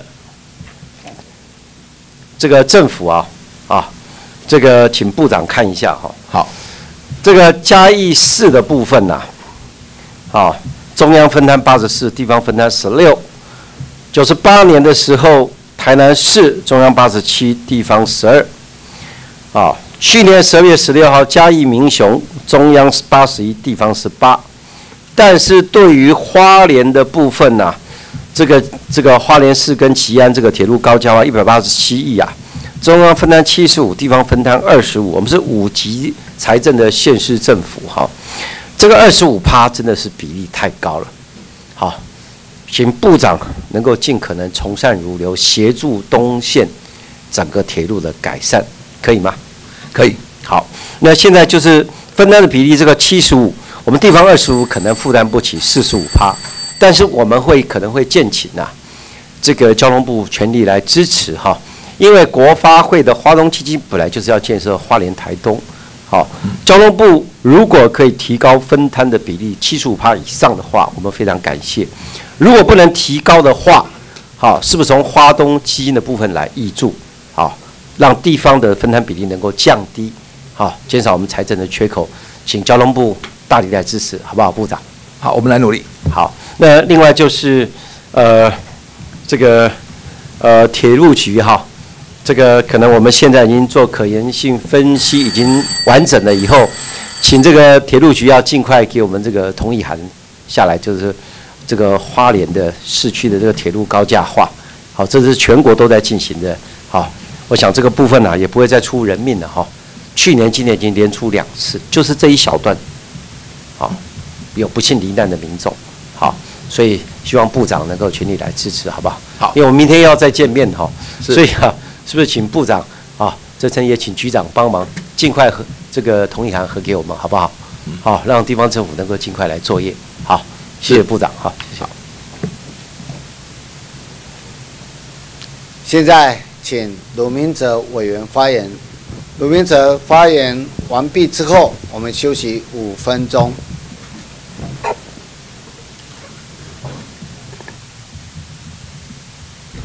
呃，谢谢主席，请主席邀请林部长跟我们请部长胡局长。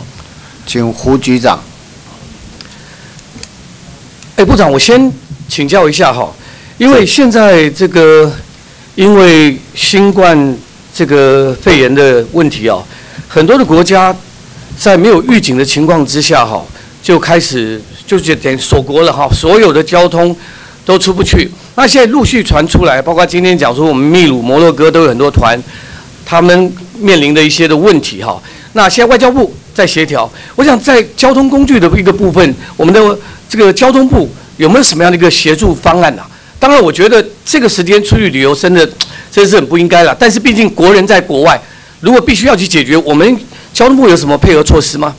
是啊、就像说先前我们配合啊、这个指挥中心哈的决定啦，啊、呃，在不管横滨哈或武汉，好，我们派机啊以华航为主，啊，这个国际航空，同样的哈，我想在呃这个部分，那我们呃也已经建立了联系窗口，啊，那掌握他们的资讯，啊，目前我们也了解外交部，啊啊，除了已经协调他们呃住宿旅馆，啊，那安顿以外，啊，也在啊这个呃就是呃这个办理是不是专机哈，呃接送。那因为他们现在整个以以以摩洛哥跟秘鲁这个情况，啊，他们是整个是封锁嘛，哈，对，进进出都都都限制，好，那如果外交的交涉可以，啊，我们当然呃在执行上啊，我们一定全力配合。好的，部长要密切这个掌握这个情况哈。是。那今天我问一些地方性的一个议题哈。好。机场捷运捷运有一个延伸线啊，但是很多的市民都说，到底是延伸线还是延期线啊？那为什么这样说呢？嗯，它是整个机场捷运当时是能够，如果这个捷运做好的话，从中立市的火车站，中立火车站就能够铁路串接到高铁，再串接到机场。当时这样这样的一个运输的一个考量哈，那最后一里路两站两公里哈，那当时怎么说的呢？当时啊，这边日期啊是民国九九年三月十五号。那好巧不巧，那时候我三月一号上任中立市市长，那时候跟可能我们之前铁铁道局的局长之前也不知道你叫高铁局还是什么局，我忘了哈，包括副局长都有来拜访，大家一起怎么样促成这件事情。当时核定的跟地方的说法，我帮你们在地方宣传了整整四年的时间，各位乡亲长辈，大家忍耐一下，因为啊，政府说一百零八年。这个机场的最后一里路哈，就可以延伸到我们中立火车站。那我们中立的乡亲啊，忍耐一下，未来就大发展哈。那当时定的是一百零八年六月完工啊。哎，这到底现在现在这个部长，现在这个延伸线，第一个你知不知道？第二个，它一百零八年因为是去年嘛，没完工，那到底什么时候会完工？啊？好那个因为几次流标还有相关的那个进度，我请请局长报告一下。啊，局长，你说一下目前这个延伸线总体完工的时间大概是预计什么时间？好，这个延伸线这个跟委员报告，目前来讲，刚刚讲的两公里后面是有二十二二二十三两个车站，没错。那二十二这个车站，我们现在排定的期程是民国一百一十一年的七月能够通车。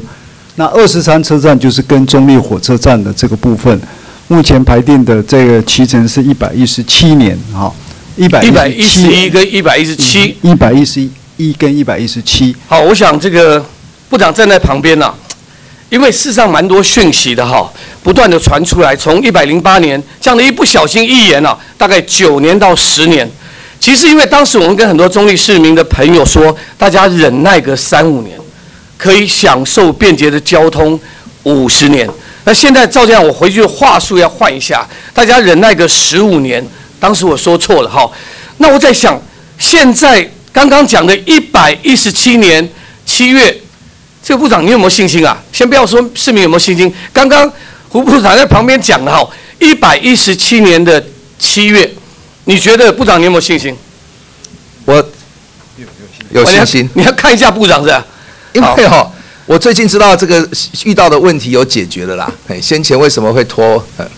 那个这个部长，其实啊，你不用你不用看局长啊，局长那时候可能退休了，所以他也没办法给你保证哈。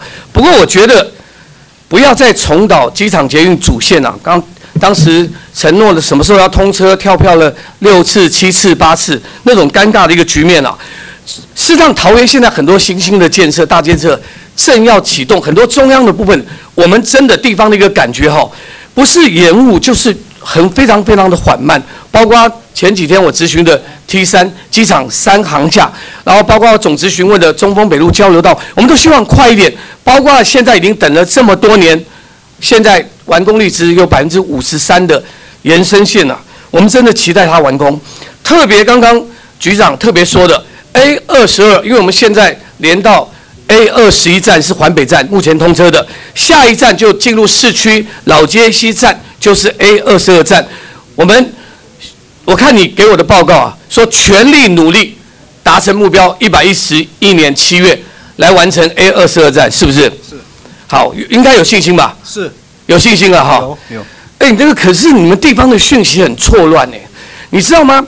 因为有时候工程呢会跳票，第一个当然是实质工程造成了很多的延误，第二个呢是太轻浮、太草率的承诺，承诺完之后就一定跳票嘛，你时间做不到就跳票嘛，那就请问一下哦，到底部长跟这个市长，我们郑市长，你们到底谁说的算呢？我今天啊，我们不要挑拨你们了哈，只不过说这个事情到什么时间？人民算你们跳票，你们今天要讲清楚哈。这个报章杂志写的非常清楚，郑市长也在议会跟很多的媒体前面都说了，好，重点他说的跟交通部跟铁道局多次的协调，经过铁道局的同意，哦，跟你诶，这个胡局长你在这里哈，你同意不？你刚刚讲说很努力，就是你左边讲的一百一十一年七月嘛，那可是现在在地方都说两年之后一百一十年就可以。完工通车到 A 二十二，到底哪个说法是对的？我们现在还是以一百一十一年的七月哈，跟委员报告，这个中间当然有很多执行上的问题哈。那这个问题实际上在过去我们在执行的时候，就像我们的这个可能委员也听说，我们耗资系统延伸段的耗资系统发包等等受到一些干扰。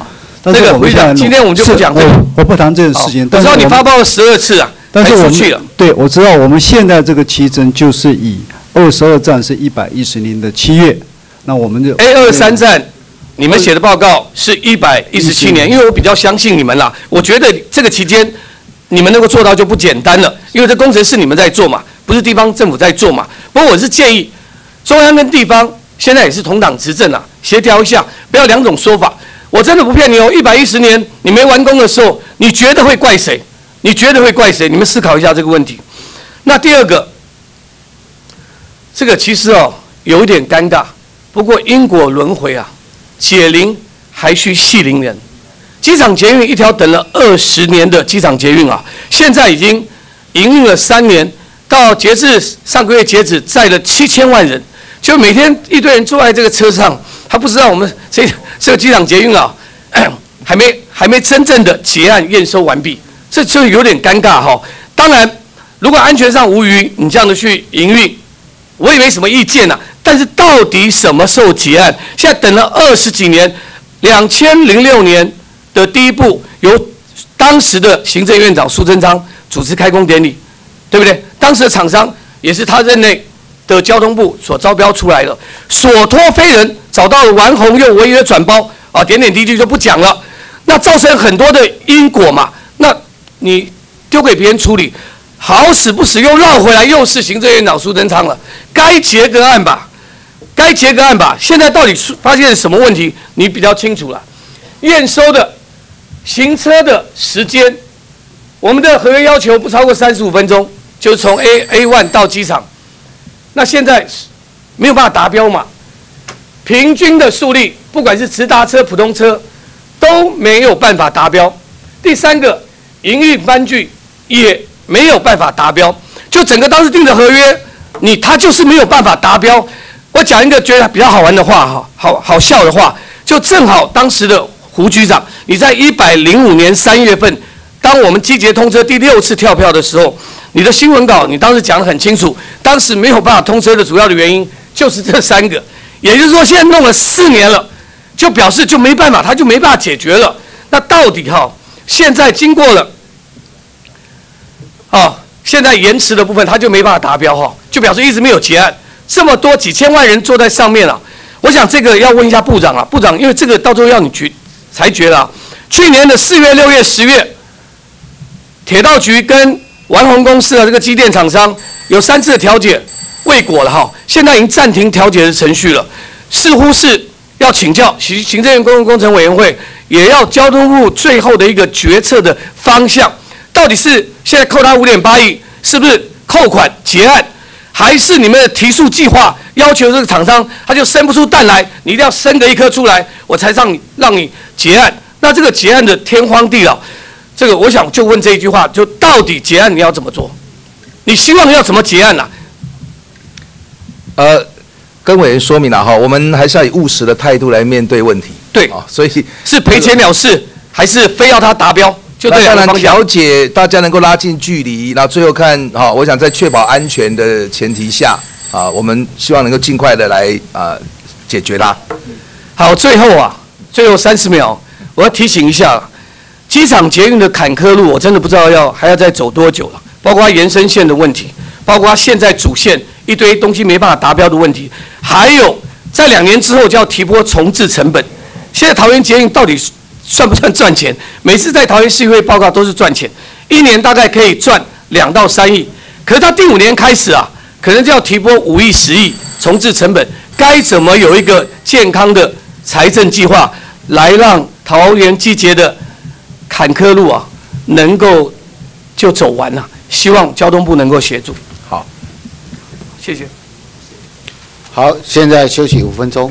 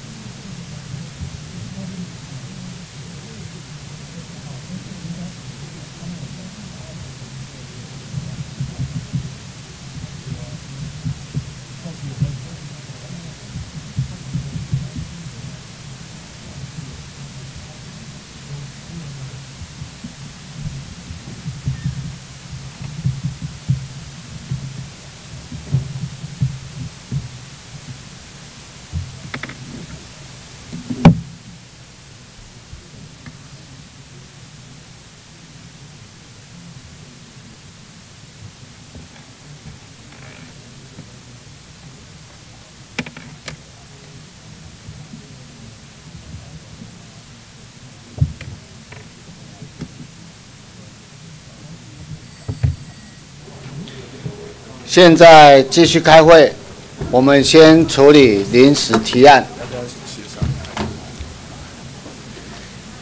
好，我们让时间能够尽快的处理，让其他的委员啊都能够有完整的发言的时间。那我们现在进行，现在进行临时提案的处理，并进行协商，同时请议事人员宣读提案。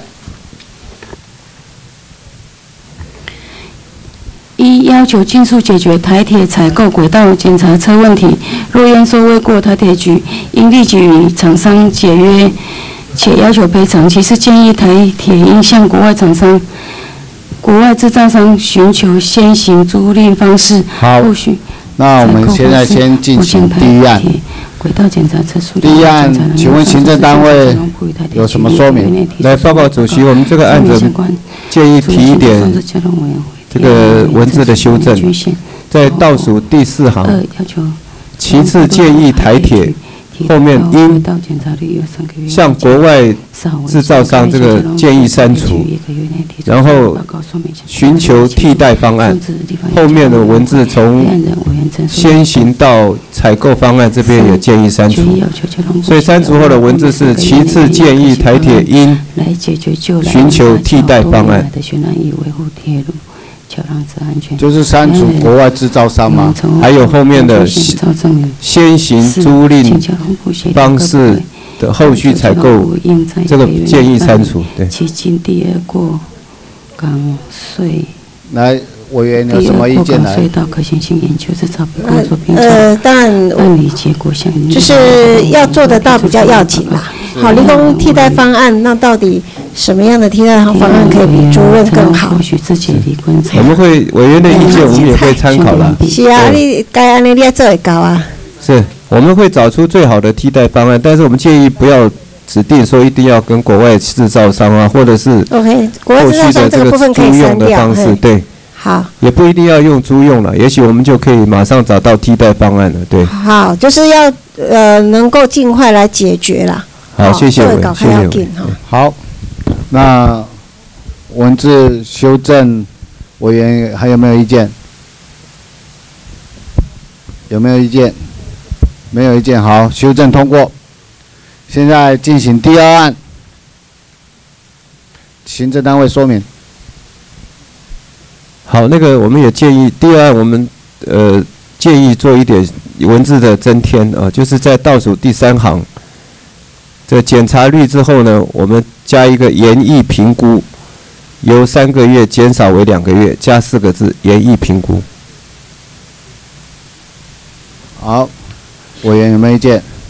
好啊，对不起，对不起，这个这个第二案刚刚这这个文字上的说明里面，就是在第二段的部分哦，这边做一点建议，就是倒数第二行，高铁部分每十五天做一次检查。我刚刚跟高铁公司确认，它实际上是每三十天。对对，好，没有意见的话，修正通过。现在处理第三案。行政单位说明一下，有没有意见？呃，是，呃，跟呃主席跟各位委员报告哈。那我们有跟这个从呃提案的从部委员办公室有有有这个协调获得呃这一个同意哈。就是我们在倒数第二行这边就是稍微做点修正哈。就是呃原建议原决议要求交通部公路总局协调宜兰县政府及文化部，就是大概就是交呃加了这几个文字。好，有没有意见？修正通过。现在处理第四案。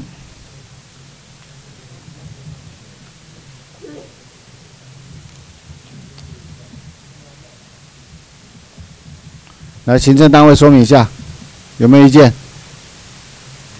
行政单位，麦克风，有没有意见？好好是什么？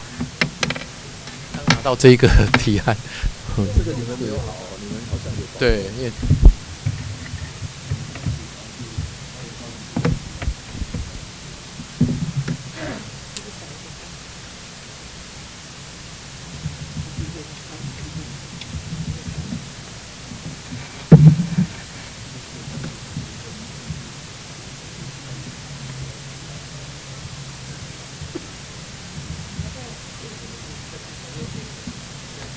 好，这个提案也是刚拿出来的。好，那你们现在要进行怎样的程序？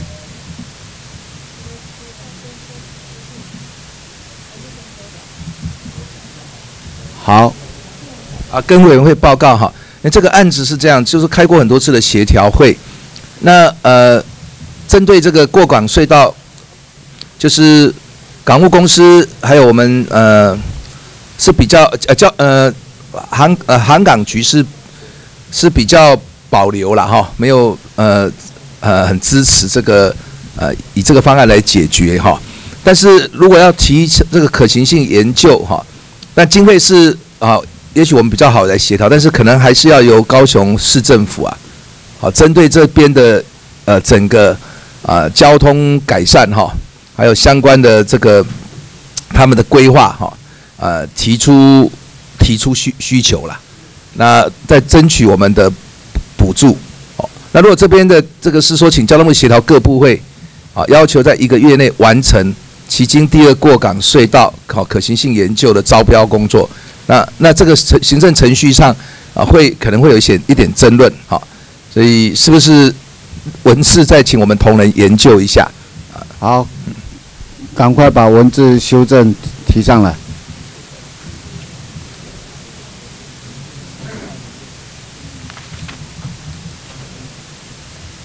来，交通部的幕僚呢，赶快提出相关的修正啊！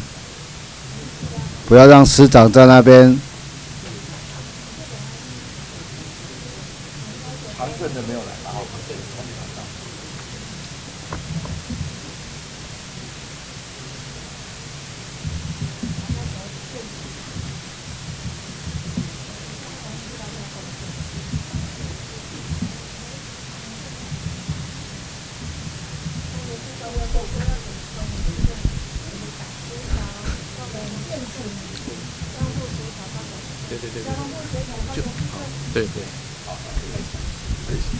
啊，是是是，对，是是不是？我们就在倒数这个第三开始，就是我们就是呃原建请交通部协调高雄市政府，对，好，然后在呃因为用音的话，是不是就是说原建请交通部协调高雄市政府，哈，在一个月内完成这个这个呃这个可行性研究，哎，那这招标工作呢？呃，就就，呃，就是呃，完成这个可行性研究之之分析，可不可以？就是因为分析，呃，因为分析报告，因为因为它这个招标的话，可能需要就是说再再把招标的相关的须知还有经费也都还要再去确认，才可能完成。哎，对，就是好，就是呃。就是我们协调高雄市政府在一个月内完成这个旗津第二过港隧呃过港隧道可行性研究评估，哎，是不是？好，就这样。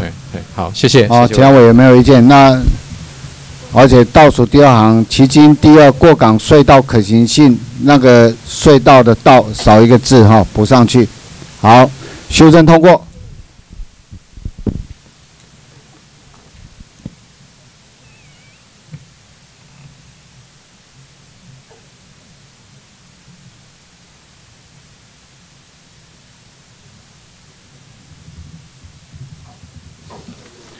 今日协商结论免于宣读，授权议事人员整理作为决议，列入记录。如有委员对提案补签，列入记录并刊登公报。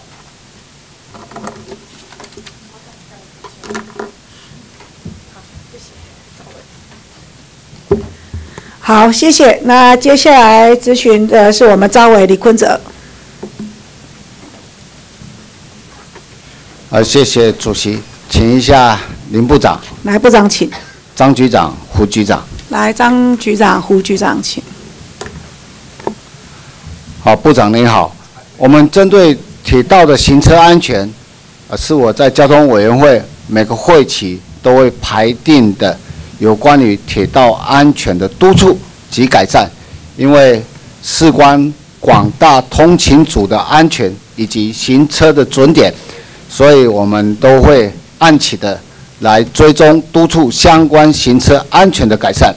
但是在今天，我对于相关的铁道行车安全改善的相关计划，我们看到交通部所提出的报告里面，对于过去我们一再督促的六年行车安全改善计划、电务智慧化提升计划以及东部铁路啊小半径的曲线改善计划。在这一次里面啊的报告里面，竟然都只只有题目啊列在相关的行车事故的统计的这个项目里面，反而在行车安全改善计划里面，并没有提到这三个重要的计划，没有具体的内容，也没有相关的进度，这将近千亿的计划，而且是。对于行车安全改善这么重要的三大计划，为什么在这次的行车的这样的一个专题报告里面只字未提呢？来，请张局长说明一下，到底怎么一回事？跟委员报告，这部分是我们提供资料给交通部会诊。那以后我们像这个疏失呢，以后我们会改善的。对，报告部长，这三大计划。经费将近千亿呢。六零行车安全改善计划从一零四年到现在，那台铁电务智慧化的提升计划也关系到耗资电力、电讯等等。东部铁路的小半径曲线改善，这些相关的计划这么重大，这个部长要好好督促一下，为什么没有列在我今天所安排的这种铁道行车安全的这样一个重要的？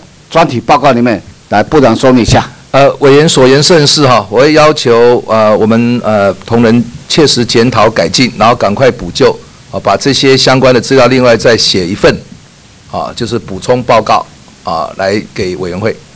好，另外啊，这个交通部以及台铁局啊一再的宣示，我们希望啊重大的行车事故啊要做到。零重大行车事故的这样一个重要的目标，但是在一百零八年啊，还是发生了两件这样一个重大行车事故。我要提醒部长，就是说，我们的一般行车事故跟行车异常事故啊，仍然是居高不下。这个在过去我们都提到相关的这样一个重要的情形了，就是对于这样的一个。一般行车事故，还有行车异常事件，如果它还是居高不下的话，恐怕接下来就是重大行车事故了。这个请张局长说明一下。当然，我们对于行车异常事件居高不下，台铁局的理由一直是说老旧车厢以及零件老化相关的这样的一个状况，而且新的车厢还没有完全进来，再加上我们要求相关的台铁局单位对于行车的异常事件必须要据实的报告。那我们在运安会也要求。铁道的相关自愿报告系统也要在八月一号正式的启用。那相关的行车异常事件，还有一般行车事故，还是居高不下，请张局长简单说明一下。好，跟委员报告。呃，其实我们去年呢，我们也很努力了。那在重大行车事故上，呃，我们比前年呢是减少五件，那也是历年的新低。在一般行车事故上，我们也大幅的减少，哦，前年是五十五件，那去年是四十三件，但是我们也不可否认的，在行车异常的部分，我们是增加，但有原的原因有三个主要的原因，第一个是我们车辆比较老旧，这个是事实，所以也感谢行政院给我们支持，呃，编列了九百多亿的购车预算，那今年底之前之内，今年底会陆续的交车，啊，包括通勤车跟电联车。那新车到了之后呢，我们的妥善率就会提高。那第二个就是我们的行车这个保安的运转的保安装置，的确，呃，也是老旧。那我们一方面要兼顾行车，一方面要要改善。那我们也在行车安全六年计划跟电务智慧化，我们都编列了相关费用来改善。那第三个呢是很重要，就是在前年朋友马发生事故之后，我们把 ATP 的故障列为异常。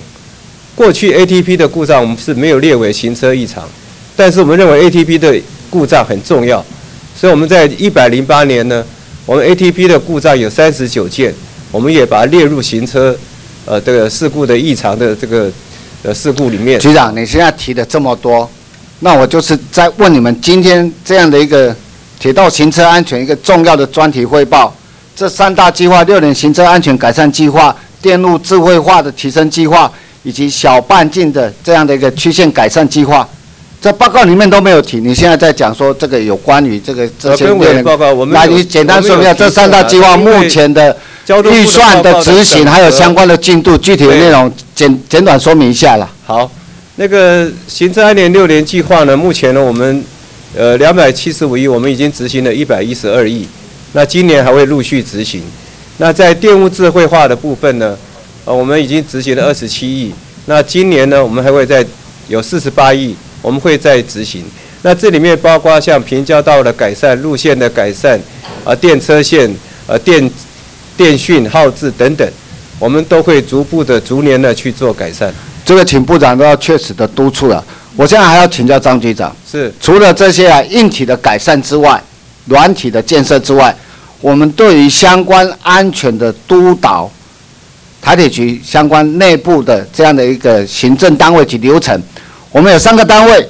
第一个员工训练所，员工训练所在现在叫做员工训练中心，是它未来会北中南东啊会成立四个员工训练所。是相关的预算编制人事现在进度怎么样？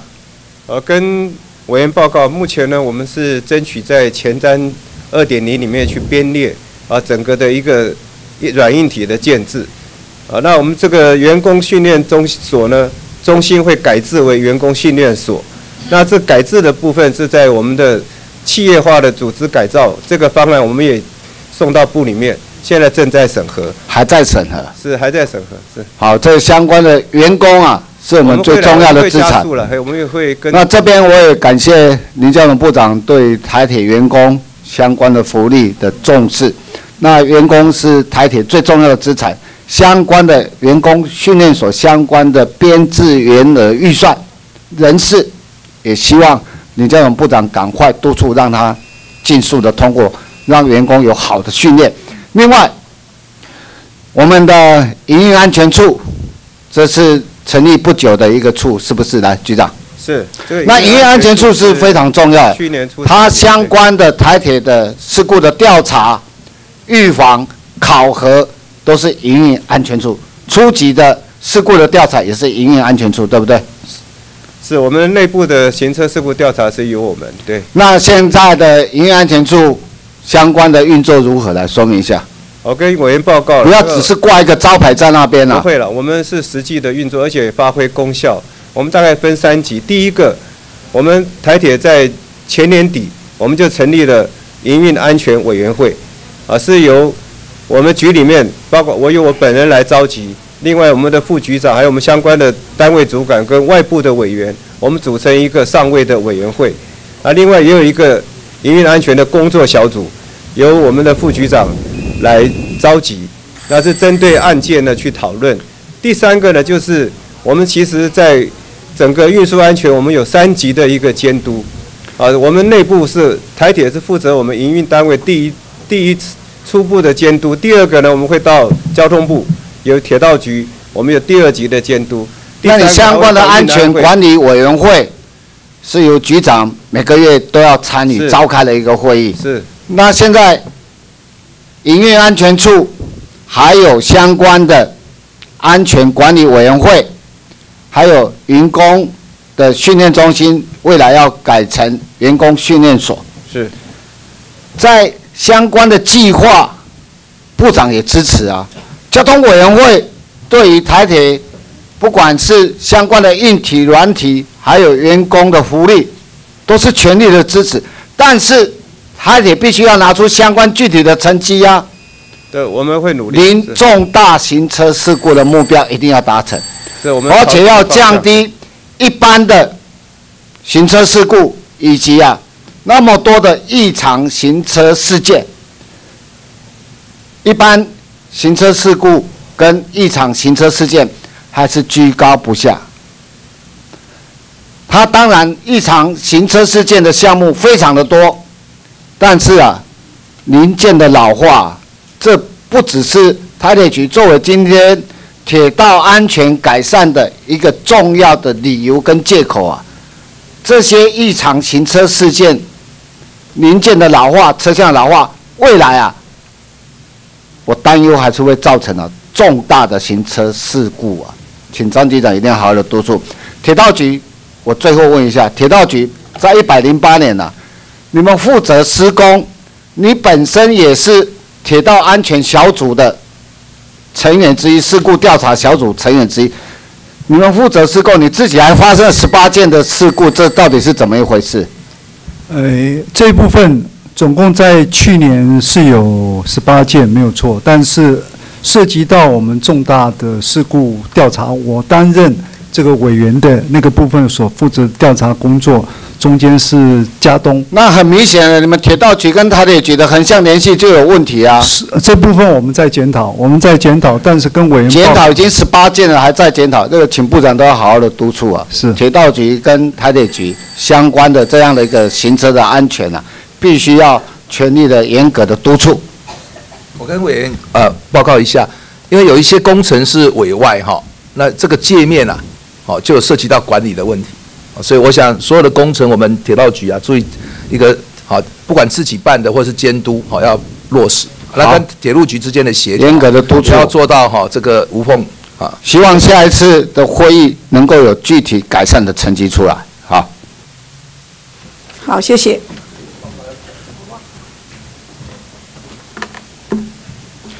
谢谢何新存委员，现在请何新存委员发言。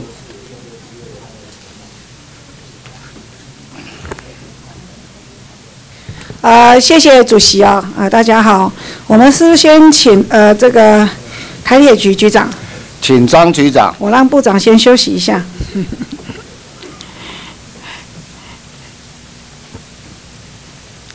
局长，因为我想大部分多数的委员都在关心铁道安全，所以我们的招委才会安排这一次的专案报告。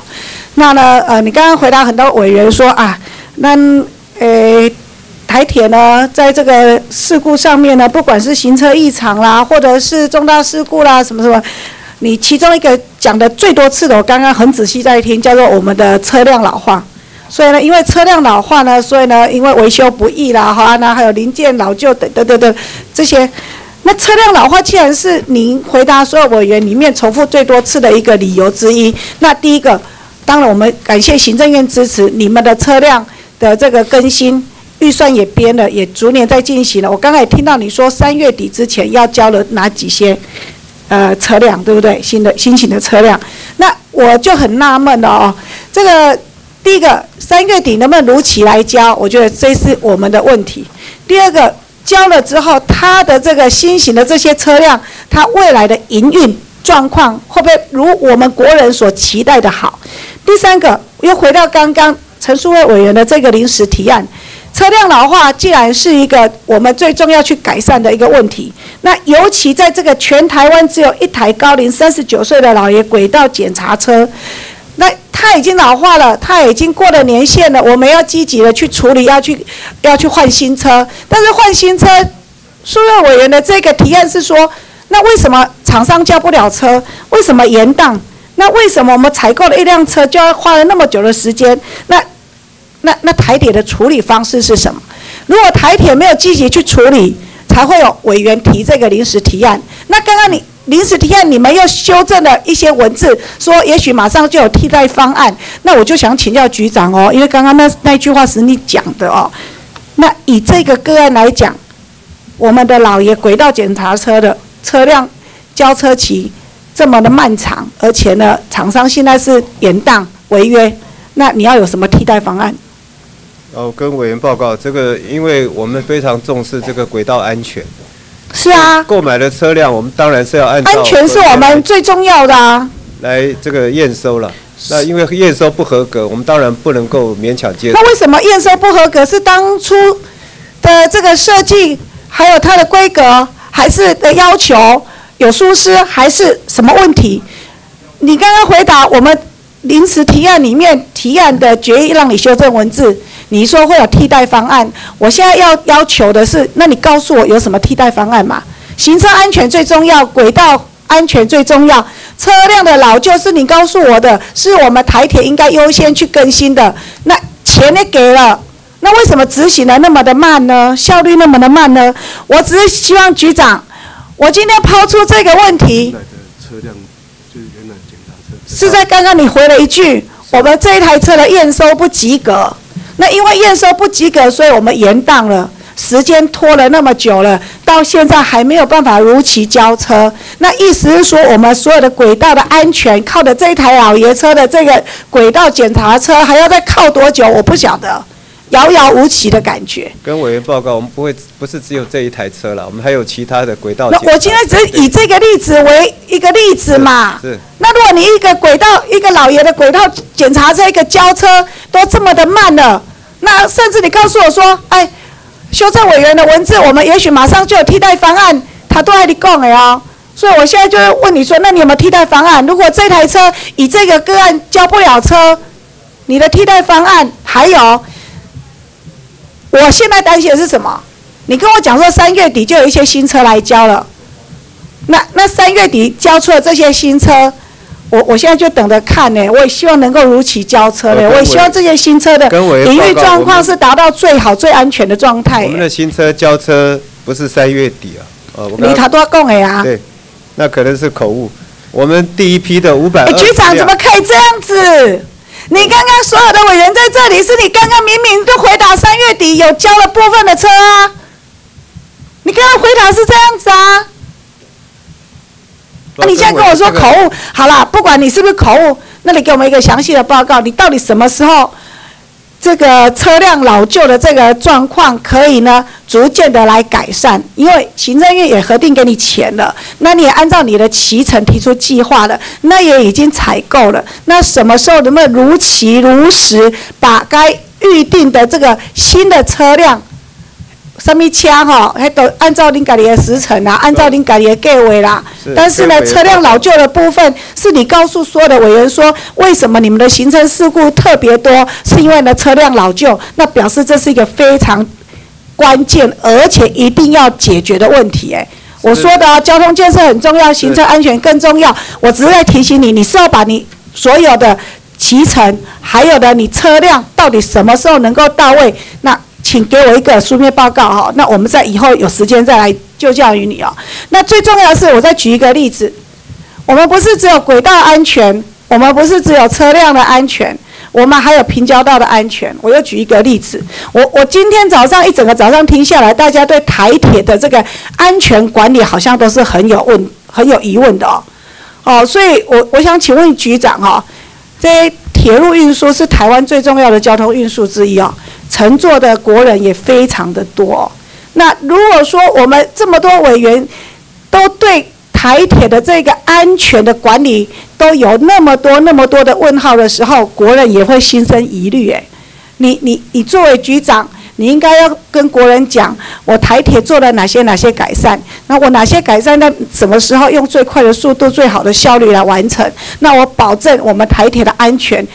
我我觉得这是一个态度的表示，但是刚刚有很多的问题，你在回答上，包括我们的效率的问题，我都觉得很慢、很慢、很慢，大家很有疑虑。包括刚刚李坤哲委员在讲，原来我们对于这个台铁的这个铁路的安全有那么多的单位，也谢谢坤泽委员啊，有那么多单位是在帮我们把关，帮我们的安全把关，但是呢，为什么到现在国人还有很多的委员对台铁的这个安全管理是这么的有？那么多的疑问哦，包括很多的资料跟数据也显示啊，局长可不可以让我说明一下？哦，好啊，那你说明一下，你你的我想首先态度表示跟挂波讲。其实我的态度很明确，行车安全是首要之务。我们铁路局一万多个员工，我们都是把行车安全视为最重要。啊，所以当然在行车的事故上，我们未来希望能够朝到零重大事故这个目标啊来努力。啊，那也感谢呃行政院给我们的支持，交通部给我们的支持，我们在车辆的太旧换新上给我们大力的支持，所以我们有四大购车案，啊，包括呃通勤车五百二十辆，呃城际列车六百辆，啊，还有我们的这个机车，啊这部分三个都已经绝标了。好，那我是问一下，你刚刚讲三月底之前可以交车是什么车？我我刚刚我印象中我没有讲到三月交车，那我们可以马上把那个调出来，确实我讲那个口误，所以我道歉。但是我印象中我没有讲到我三月交车，哦，刚刚有一个三月底交车啦。我我刚刚印象中我是没讲，不过没关系没关系，那那我说那你事后告诉我你们用，对我讲的是那个红外线测温仪三月底。会交货？no no no no no no no，那个是在前面很前面的委员的那一趴哦。我现在刚刚讲是刚刚听到的哦，没关系，那个我们可以调录影录音资料再来看哦。那我要求的是你给我一个书面资料，你给我一个书面资料好不好？你给我一个书面资料。交车的时辰补给委员。好，那我只是希望效率要提高，要尽速。我们会努力。按照时辰来逐步的汰旧换新我们这些老旧的车辆。那同样的效率的问题嘛，那我们刚才讲的是车辆的安全嘛，那平交道的安全，我举了几个日本啊、英国还有其他国家有关平交道的一个事故，我们的比例是远远高过其他国家。那我们这个来，局长，我们怎么来改善？我想平交道的部分呢，其实也是我们呃一个很重要的，也是一个伤痛的。在去年呢，我们有二十九位啊，有十四件平交道的一个事故，那也发生很多的死伤，所以我们在平交道的部分呢，我们当然希望透过第一个，如果是正本的方式，我们是希望能透过立体化的来改善。那如果不能改善呢，我们就会加装一些行平交道的一些保安装置，包括监控设备、包括警告设备等等。我想这部分我们会努力。那你们的监控设备跟那个侦测系统，你们有答应要增设？那现在呢？什么时候开始安装？还是已经安装了？还是安装了几趴？全台湾？我们现在已经完成了一百二十七处了。那全台湾有几处平交道要安装？我们有四百多处。四百二十处左右嘛，对不对？是。那你们只完成了一百多处。那今年会，今年会会再努力完成两百九十三。我从你们那里拿到了数字哦，你们耗资九亿要采购全新的平交道障碍物的侦测系统，那要采用雷达跟热感应侦测。但是呢，四百二十处里面，你们目前采购是两百九十三套的新的系统。是今年对。今年嘛，对不对？安照安装于主线嘛，支线不会安装嘛？那支线要怎么处理？你再给我一个书面报告。那你们给我的资料是说，二零一九十月，哦，从去年十月开始陆续安装，那今年要全数安装完完成哦。那有如期完成吗？确定会如期完成吗？呃，我们朝这个目标来努力。目前朝这个目标来努力，意思隐含之意是没有办法在今年完成哦。啊，可以在今年完成吗？这个我们今年底希望今年底可以完成。今年底全数两百九十三套完成，那其他没有安装这一套感应监视系统的呢？怎么解决？怎么维持平交道的安全？我们现在是主要的平交道，我们都会安装。那像支线有一些平交道，不是平交道的安全不会管你是支线或或主线啊。平交道的安全，你可以告诉我它可以分级分类，我可以接受。但是我意思是说，你跟我告诉我支线你要用这样子新的一个感测系统，我们采购了两百九十三套，你今年年底要完安装完完成，好，我很高兴，给你鼓掌。那剩下的来四百二十减掉两百九十三，意思是说还有一百多处的。你所谓的不是支线，呃，不是主线的平交道，那他们安全就不用顾了吗？六十八处的支线，它因为没有连锁的电路，所以它没有办法安装我们现在这一套平交道障碍物自动侦测。那有什么替代方式？我们现在平交道都有一些警告标志啊，也当车这个火车接近的时候，也都会有警告标志，也会也就会有声响啊，也会有灯号啊，对。那我们比较大的平交道，我们也会派人去看守。好，所以你这些替代方式就是用我们现有的这样的机制来加强，对不对？平交道的安全。那我只是希望以刚刚我抛出来的数字，各国平交道的安全绩效的比较，我们台湾跟日本、跟英国、跟其他国家比较起来，我们多了数倍的一个事故发生率。所以这些就数字告诉我们什么？平交道的安全很重要，那警示系统、侦测系统很重要。如果可以，我也希望说做到每处的平交道都可以有侦测系统、有感应系统、有警示系统。我觉得通通该做到的就是要做到，因为安全最重要。那最后的最后哦，呃，你刚刚提到我们还有一个安全的措施，叫做平呃那个铁路高架化哦。台中的铁路高高架化也已经接近了呃。差不多完成了啊，那我现在比较关心的是哦，这个台中的铁路高架化之后，下面的这些呃，应该算是合作开发营运，那呃是张局长这边还是胡局长这边？最后一个问题，简单回答我就好了。这个台铁道局如果交给台铁，那就是台铁要维护。它的工程差不多完工了，那下面高架化的下面的空间，现在台中市政府在林部长。过去当市长的时代，有一个绿园那个绿园道，绿园道工程也几乎差不多完工了嘛，哦，那我想要为什么要绿园道，就是希望增加高架化之后下面的一个空间的一个活化利用。那未来我甚至看到你们还有一些空间是可以营运的哦。那这个部分我只是希望说，第一个给我一个书面报告，什么时候可以开始？第二个，那未来的营运方向如何去扩展行销？因为这个呃台中的铁路高架化之后是一个典范，它做得很好，做得很安全，那也很美观。再加上下面的绿园道，再加上下面有一些空间是可以合作开发跟营运的哦。委员报告，我们都有招商的规划，而且都在进行中。我们会补一份书面资料给委员。好，谢谢。啊，部长，这部长的政绩。啊，感谢主席哈，还有委员的啊垂询。呃，这个丰原到大庆的二十一点七公里哈的铁路高架化，呃，其实我当时在呃担任立委就有咨询交通部，交通部说因为地方政府都没有方案，好，所以事实上也没有规划，好，包括所谓的铁道绿廊、自行车道等等。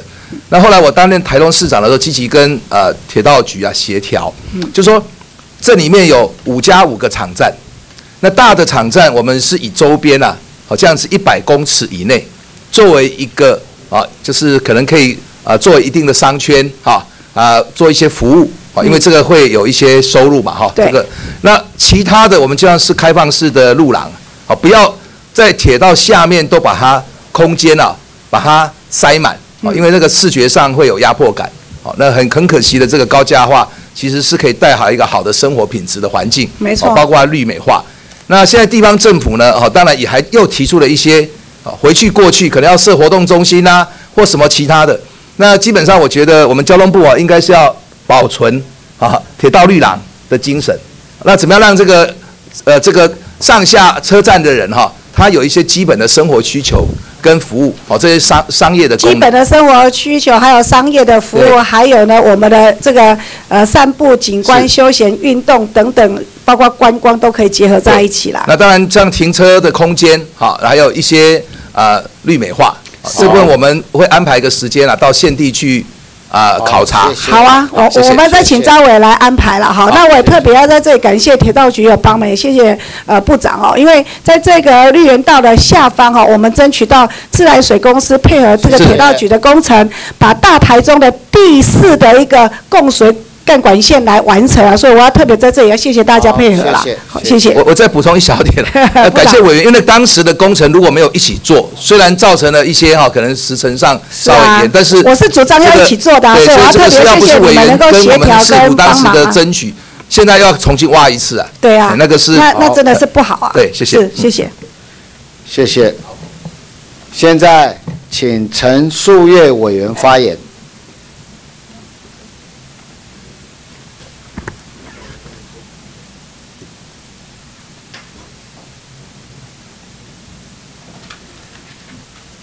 谢谢主席，请主席邀请呃林部长还有张局长。请林部长、张局长。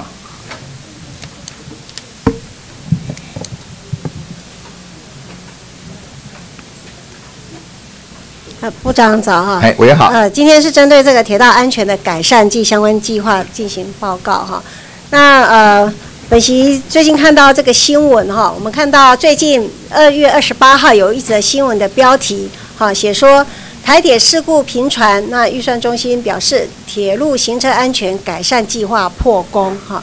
那隔了一天哈，又有一个媒体的新闻标题是呃台铁行车事故一百零八年历年最低。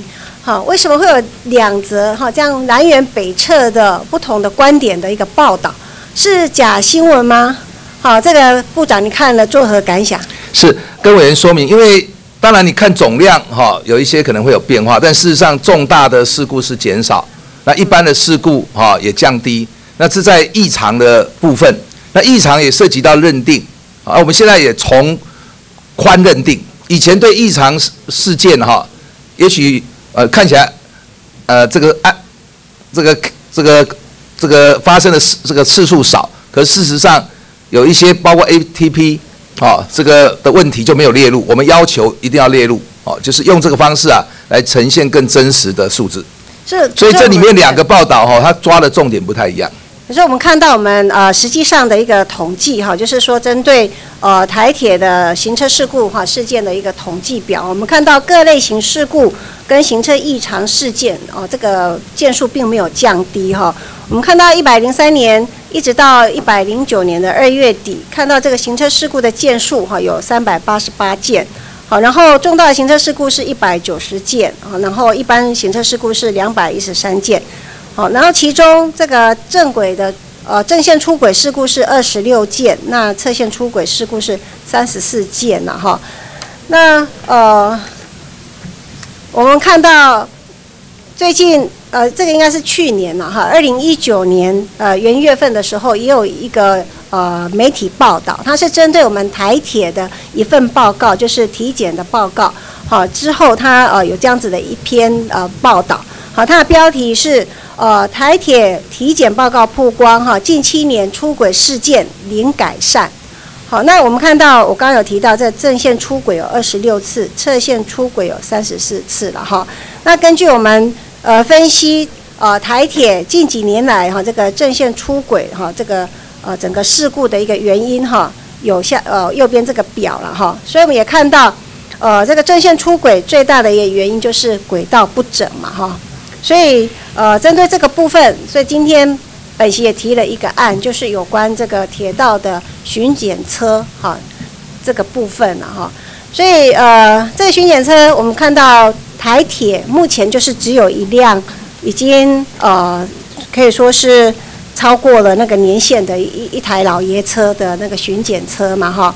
那我们全台呃轨道总长有一千七百多公里，那目前就只有这一台高龄的呃一个老爷车哈，这个轨道的检查车在进行这个巡检哦，所以它现在目前应该巡检的时速速哈也降低到四十公里嘛哈，它没有办法开太快，然后呃也只能在夜间没有呃这个行车的时段再进行哈这样子的一个呃。巡检了哈，所以呃，在这边请教一下部长哈，就是说我们新购的这个巡检车一直没有办法通过验收，那我们目前要怎么去处置？应该超过两年了吗？是我是不是请我们局长来回答？巡检的整个设设备了哈，包括车辆或未来的其他的呃应用啊，呃，我也请我们同仁要去检讨。那高铁在这方面，包括有一部分是甚至啊。这里面的呃设备零件是国产化，是可以可以可以协助台铁哈，在这方面赶快能够做一些改善。嗯，好，请。好，跟委员报告，就是我们很重视轨道的安全呐，啊，所以我们采采购了这个自动轨道的检测车，当然我们希望它要完全符合我们的规格。是。那很遗憾，就是厂商交车的这个产品呢，经过验验收。没有办法符合我们的需求，没有符合需求。如果说验收不过，是不是就直接跟他求偿啊，或者是？我们会按照合约来进行的，该要解约就解约，那该要求偿我们就求偿，这样。是啊，那你一直等在这边的话，然后呃没有办法有新的这个巡检车，这样子对整个整轨道的安全是一个很大的一个疑虑耶。那当然，我们还有其他的方式来检查轨道，我们是不能完全依靠这部车子。啊，我们大概全省我们有一千多公里，有一百三十八个道班。那道班呢，它也有人工，那也有一些呃设备来检测。那我想这部分我们都会加强。那我们也会加强来寻求替代方案。啊，希望我们能够赶快能够买到符合我们安全需求的车辆。对，呃，局长提到说有这个倒班嘛，哈，巡检那就是靠人工。事实上，这个靠这个人工的巡检是一个很大的一个危险嘛，造成这个我们台铁员工一个安全上也是很大的顾虑嘛，哈。那我们也知道台铁人力短缺嘛，这也是我们最大的一个问题啊。所以你说要靠这个呃这个倒班来巡检，我觉得也是很大的一个问号哎。是我们的。轨道的检查大概就是有人工的，呃，也有机械，是啊。那另外呢，就是我们的是驾驶员在路线上行驶的时候，他也会兼具帮我们来看轨道。他如果发现哪边轨道有问题，他也会通知我们。啊，所以我想我们是多多方面来进行。是是，那我我看到说我们。呃，我看到资料是说，我们目前台铁哈轨道检查的频率是每每三个月做一次嘛哈。那呃高铁的呃这个频率是每三十天做一次，那北捷是每两个月做一次。那我们看到日本的新干线是每十五天做一次啊。那这样子呃这个频率的话，是指呃这个机械的巡检吗？还是说包括人工的一个巡检？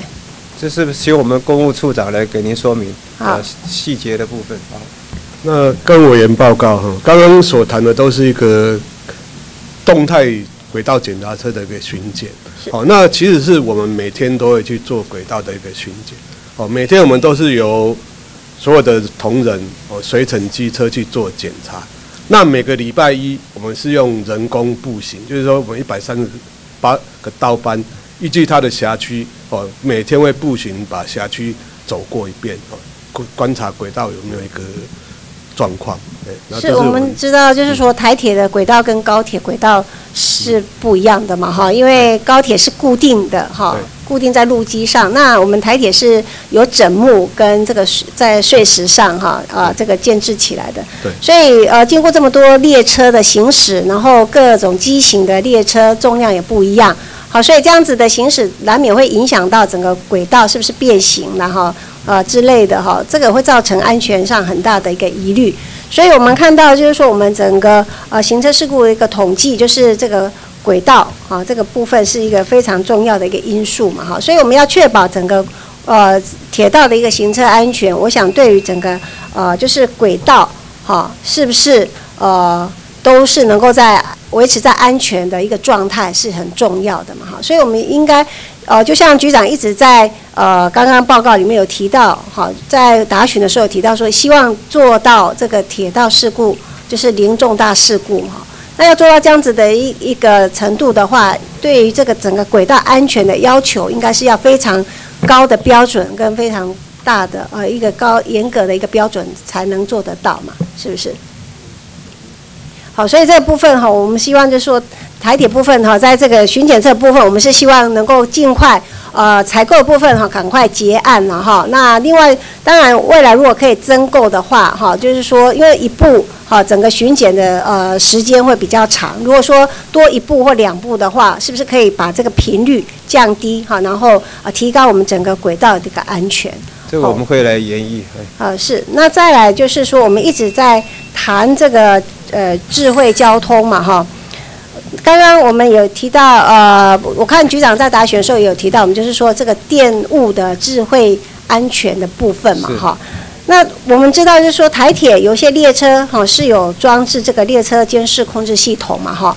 可是并不是所有的列车都有装嘛，是是不是？那这个这个部分我们未来会怎么做？对这一部分呢，我们是目前呢，我们就是在检讨。那过去我们台铁呢做这个列车的这个监视系统呢，啊，我们会全面来检讨，是不是要来加装了？对，因为如果说，呃，因为就我所了解，捷运跟高铁都有这个行控中心，都有装置呃列车的自动控制系统嘛，是不是？那我们台铁能不能做到这个程度？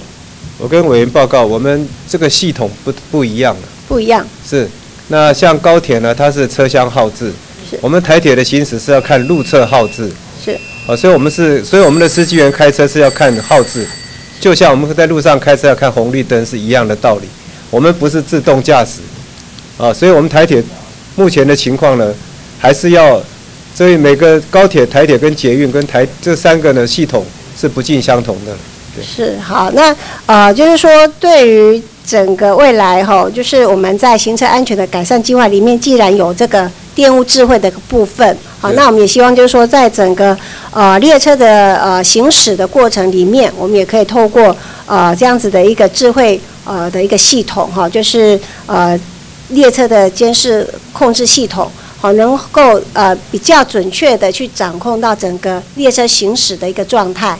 好，因为我们也知道，就是说，我们都靠这个列车员，有时候是用目视的，好去判断啊这个铁轨上的一个状态的话，哈，或者是说，呃，这个列车员，这个就是驾驶员，哦，如果说万一上呃身体上有什么呃不适的话，啊，造成的这个列车行驶有失速的状况的时候，我们怎么去呃处置？我想这个应该我们都要去考虑到的，啊，好，是好，谢谢。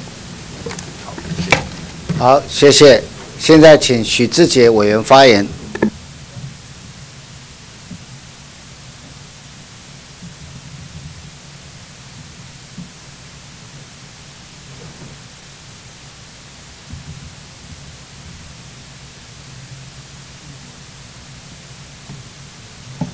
好，主席，我们先请那个台铁局长。请张局长。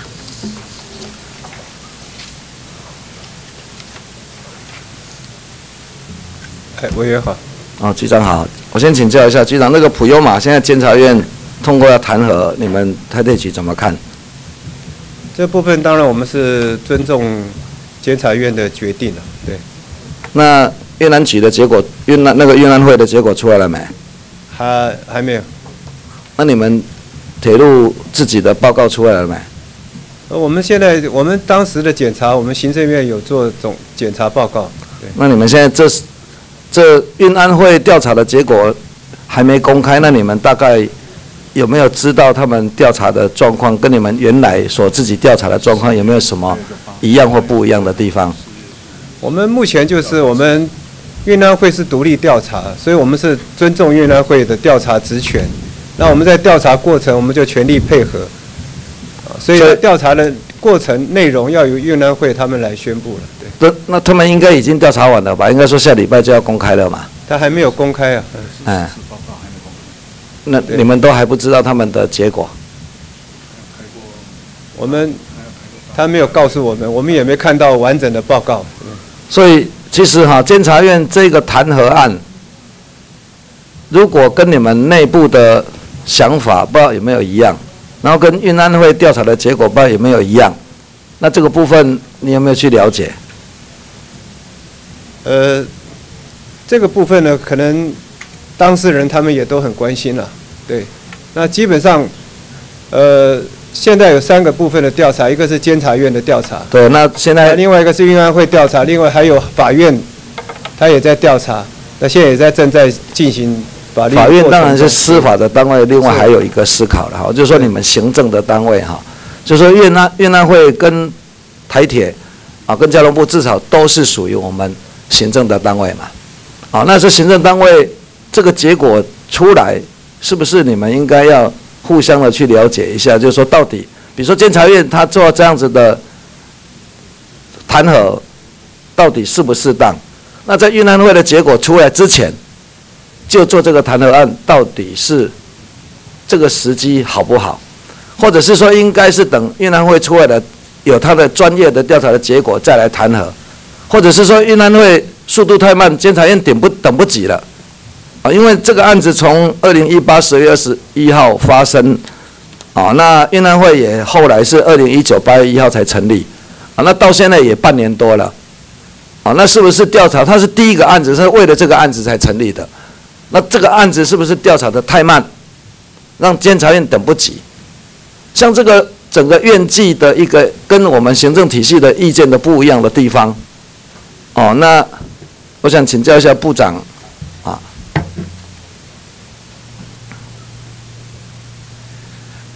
跟委员报告，呃，其实我在担任部长之后，有启动行政责任调查。嗯，先前有事故调查，好，跟这个所谓总体检的这个报告，但是缺乏对于普悠玛事故的这个责任的厘清。那在交通部的方面，我们已经惩处了，啊，虽然当事人也有不服，啊，也提提起这个啊申诉，所以包括啊前三位局长，好，分别是。记啊，这个大过啊啊，然后再哈这个的处一个一个那个处分了哈。那至于说呃司法调查，因为涉及到他起诉的对象，啊，监察院有委员哈呃认为应该要另另另另外啊进行这个啊所谓的弹劾，这个是各有执掌。那至少说，交通部这个部分已经就相关的责任的厘清，好，跟惩处已经有做了，好，这个是跟委员做个报告哈。那我的意思是说，事实上部长是不是我们这个案子处理就发现两端的意见不同嘛？那运安会结果也还没出来嘛？那监察院现在这个时间弹劾，到底以后这个院纪之间是不是要拿那个原则？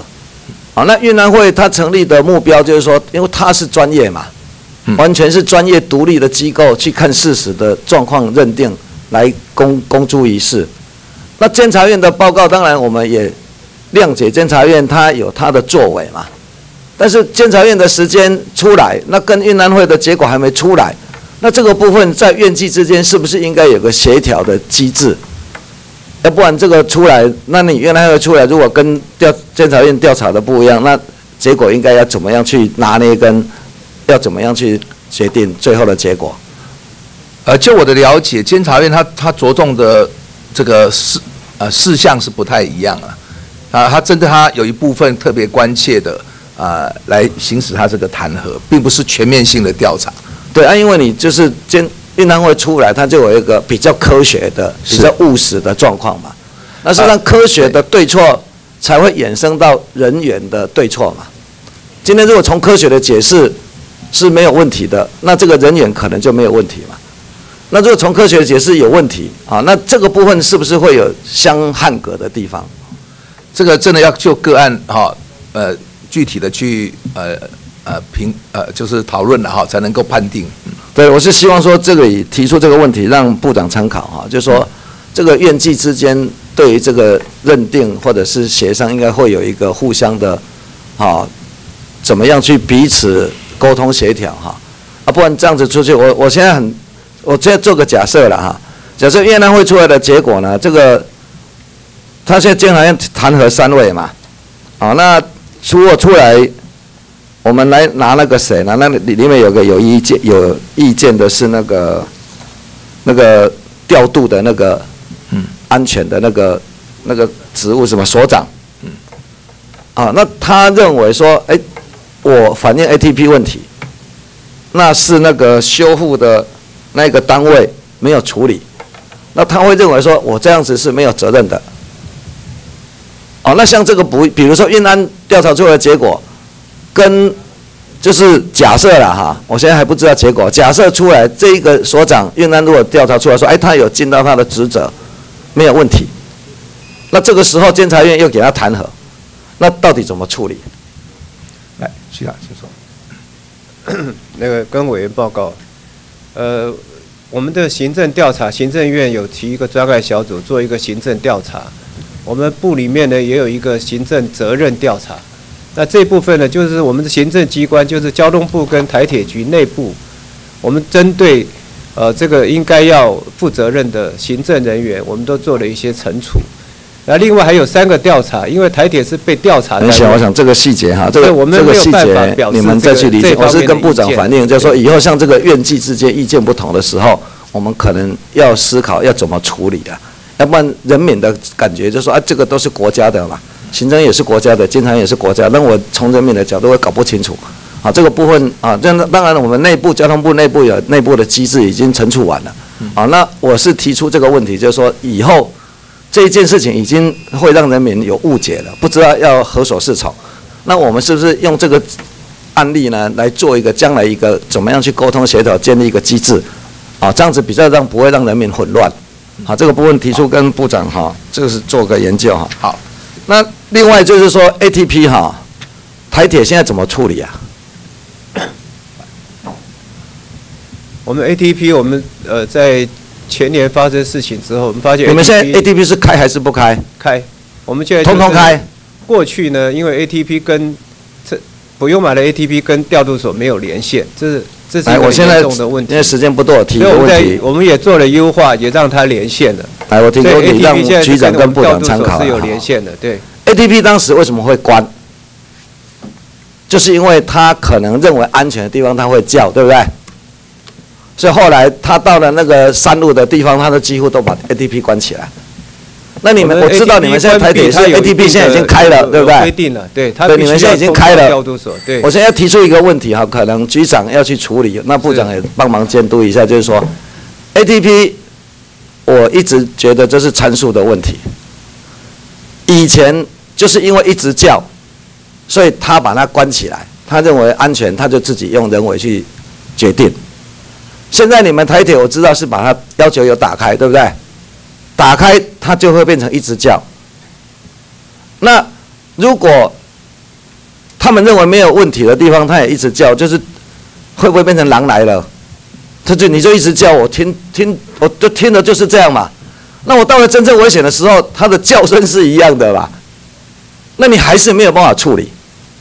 所以我觉得你们要去了解这个 ATP 的系统，就是说它里面设定的参数是已经死了，还是活的？活的是可以改参数的，死了要去公司里面要一个可以改比较正确的参数回来，那个才是你们要继续使用 ATP 的根本。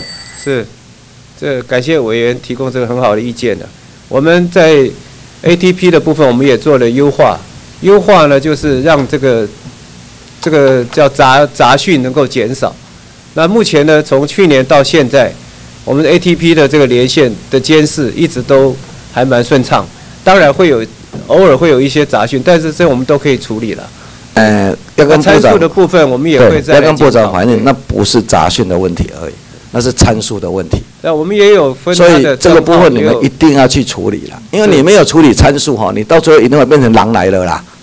他我都无危险的嘛叫，啊一直叫一直叫，到我真正危险的时候，嘛是叫港声，你可以注意啊。好，所以这个部分我是希望说，就是台铁局一定要着手去处理这个问题，也在这个地方让部长知道一下，就是这个部分会要求台铁局，这个部分一定要挑战，但耳科下来嘛，那是参数的问题嘛，所以你这个部分一定要处理，不要只是处理杂讯，你那个根本的问题没有处理，你将来一定会变成不是都不开，要不然就是开太多变成狼来了，又不会引起特别的注意，对于效果来讲，这个系统等于没效。无采咱遐钱，啊嘛无采咱要维护我们一个铁道安全的一个决心呐。好，所以这个部分希望台铁局能够助力啊，拜托交通部也能够定一下。好，我觉得这才是事情的根本解决之道。好，好，谢谢。现在请许淑华委员发言。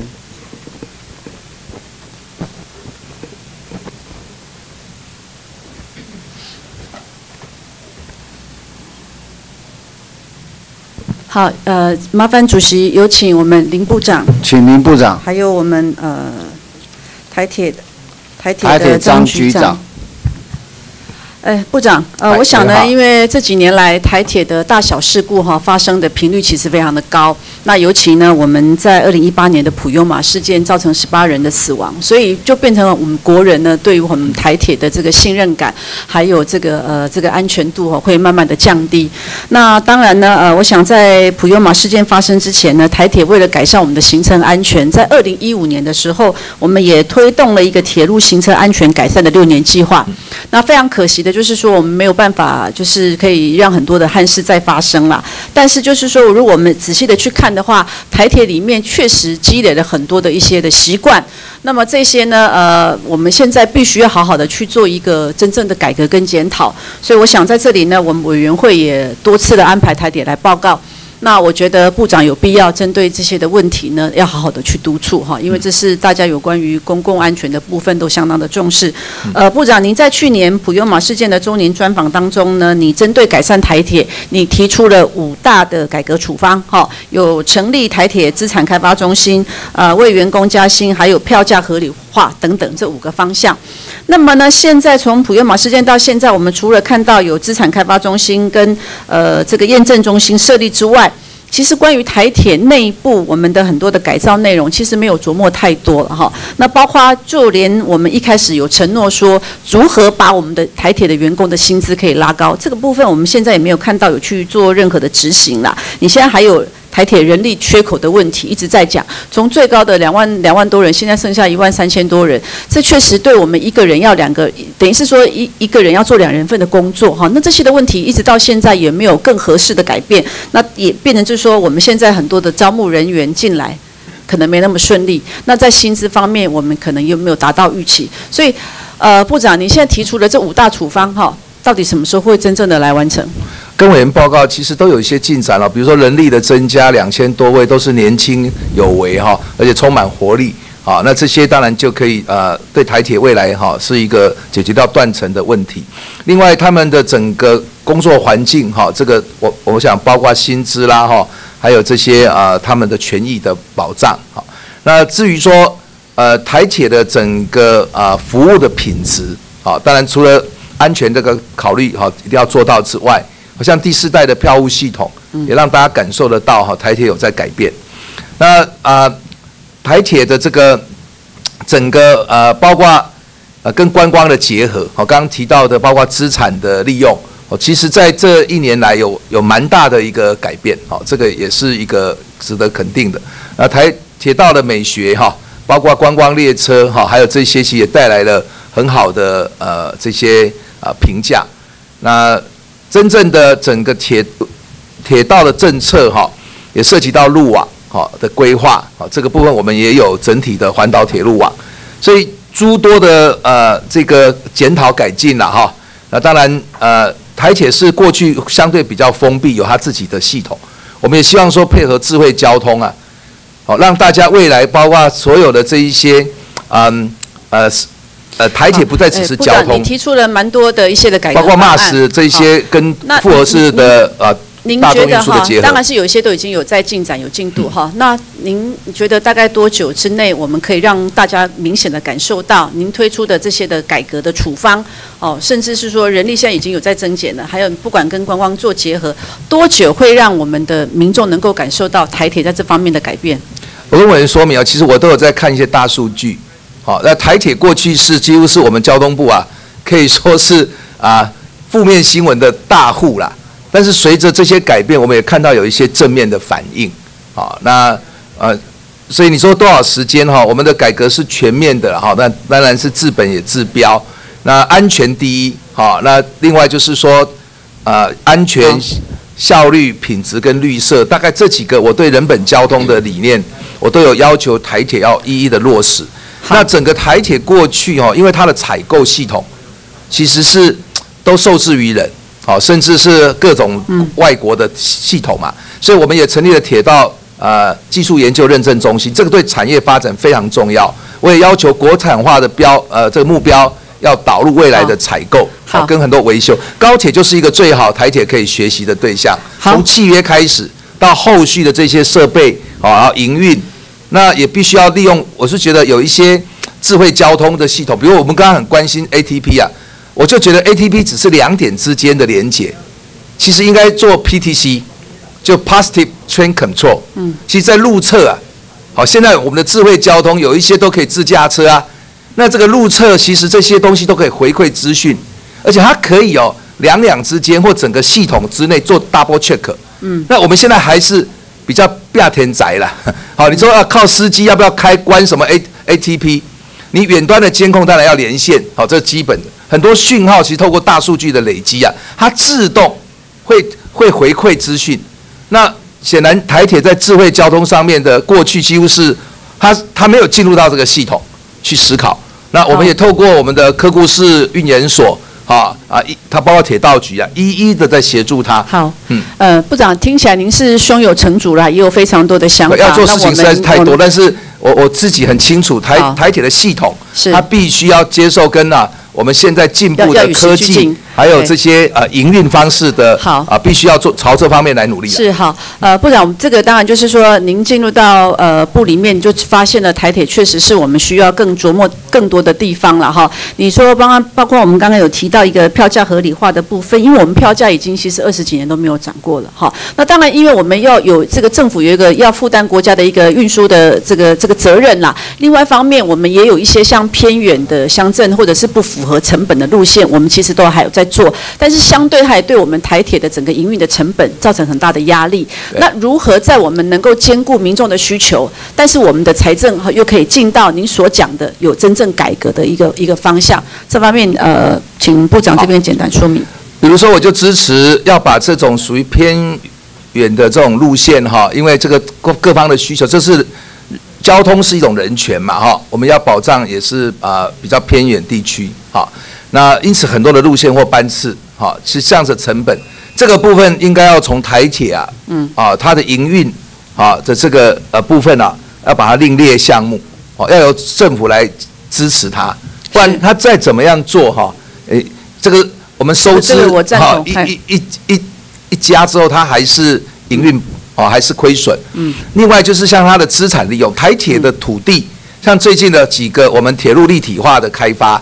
好，包括跟彰化、跟跟这个呃桃园、跟新竹啊、宜兰，我们都导入到哈很多的这个就是比较前期就协助跟地方发展结合，结果发现说，其实以台中的例子啊，过去我担任过市长，铁铁我们火车站的前面的土地的利用，其实对台铁来讲，那个资产啊，反而可以带来活化。是。最近的新竹的大车站大平台也是一个例子，里面百分之九十都是台铁的土地，可过去台铁没有主张，嗯，好，然后大大部分都是地方政府，那这个是这个其实是可以共同开发，嗯，好，也可以做复合式大众运输，在那边做转乘，好，这个都是我觉得系统整合，其实是我们现在整个交通建设，包括台铁，好最大的一个需要去啊提升的地方。好，我们拭目以待哈。那我想先请教一下我们的局长哈。呃，我最近有看到这个媒体有投书，就说我们台铁这边有片面改变了我们的打卡方式，也就是说在劳资双方还没有共识的这个阶段呢，我们三月一号我们就改变了打卡方式。那这个它会影响到两日班的管制时间跟它的外站的过夜时间哈。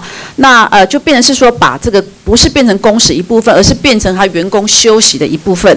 那所以呢，它就变成是说会影响到我们员工的加班费跟过夜的津贴。所以我现在要要请教，就是说他看如果看这个报道写写的，就是我们打卡的规定，它只限于车长。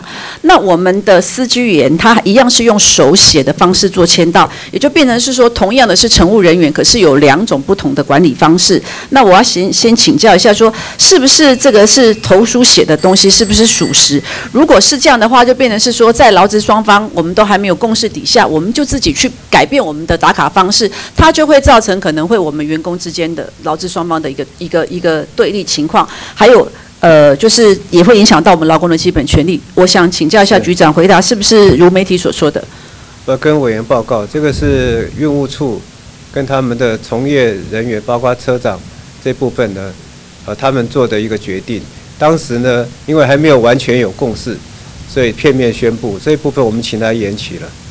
已经已经延期了，是啊，那我觉得这样子的这这种，既然我们有这个劳资的协议，我们必须要尊重结果嘛，哈，所以不要等到见报了，我们才来做调整。这本来就应该要，如果我们如果回到刚刚部长讲的，我们希望帮员工加薪，可是相对的，我们这个没有公示底下，如果这样的内容也影响到我们员工他的这个呃加班的津贴，透过劳资双方的协商，你看起来这个就不是嘛，看起来就不是嘛，是现在见报了才调整嘛。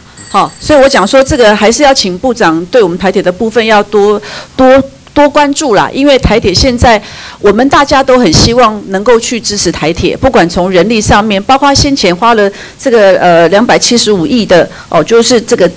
改善六年计划，大家都给钱给人，尽量都能够支持你们。可是我们也希望你们能够做出一番的成绩啦。那不然的话，我觉得不是说啊，在这边虚应故事前编了，然后弄一些书面资料。那实际上的体质没有改善的话，那我觉得我们在这边咨询，我们看到台铁这样没有没有再往上提升，我们也会很难过啊。我们也不希望政府的钱是这样被花的，好不好？那最后呢，我就提醒一下，我们昨天有看到，就是这个全国火车驾驶工会在应应防疫的呃，昨天有做出一个决议啊。就是台铁目前有一千五百名的司机，好，那会继续的留守，那么不会做请假。我觉得当然这是要感谢我们第一线的同仁在防疫期间愿意这么牺牲奉献。可是我必须提醒，就是说其实这样他并没有办法呃协助我们补齐我们防疫的窗口，因为呃我们看到你包括像这个捷运或者是客运，它其实都有体温过高的乘客，它是拒载的。那我们台铁现在没有跟进，那怎么样可以让我们在上个礼拜有说能够尽快的去拟定？我们的规范好，让这个防疫的这个部分可以做到控制好。这方面我们希望说，我们我们部长跟局长这边能够加紧脚步哈。我们对你们的期待很高，我们也会尽量支持你们。但是我们希望能够看到你们真正有愿意、有心要改变，好吗？好，好，谢谢部长，谢谢主席。谢谢。来，好，谢谢。接下来要请刘兆豪委员在这边向委员会做个说明。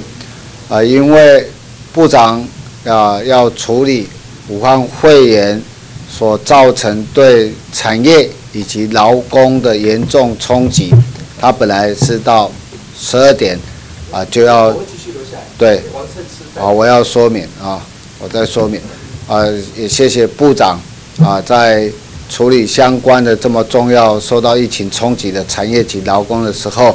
啊，能够兼顾尊重交通委员会委员咨询的权利，啊，所以部长啊会牺牲他午餐的时间。那我们继续，请刘兆豪委员发言。好，谢谢主席。主席，我们可以请林部长，还有我们铁部长、铁道局胡局长，谢谢。呃，部长好哈，啊，局长好。部长在去年啊，你曾经到。啊，台东哈，我们在资本火车站的时候做一个重大的政策宣示哈，在南回铁路的相关的火车站要进行啊整体性的规划跟设计哈，要进行你啊是你上任一直来讲的铁道美学了哈。啊，铁道美学包括有车厢，也包括和车站的站体。哈，那啊在这里面，你我们也先框列了七亿元的这样的经费做相关的呃办理。哈，那我在这里，因为这也是一个地方非常啊重要而且非常重视的这相关的建设哈，因为我们在啊东线铁路跟北回铁路这一这一端哈，事实上做了呃车站的呃整体的提升，也获得很大的成效啊。那那南回铁路啊即将迎接要呃电气化的完工哦通车啊，所以我们也希望这个站体本身也应该要来啊加以提升了哈。那我们也想说啊部长或者局长哦在这里能够来啊说明一下这整体的呃进行的呃骑程好不好？来，好，来局长先。这个原来大概有九个车站七亿元的这个计划，我们现在在研拟这个计划，要专案报到，从循行政程序报到报到院里面去核准。这部分我们现在把这个计划大概在程序上，我们希望在呃最近就把它报到报到部里面去。局长，应该最近是多久哈？因因为部长其实上从去年到原原本计划的。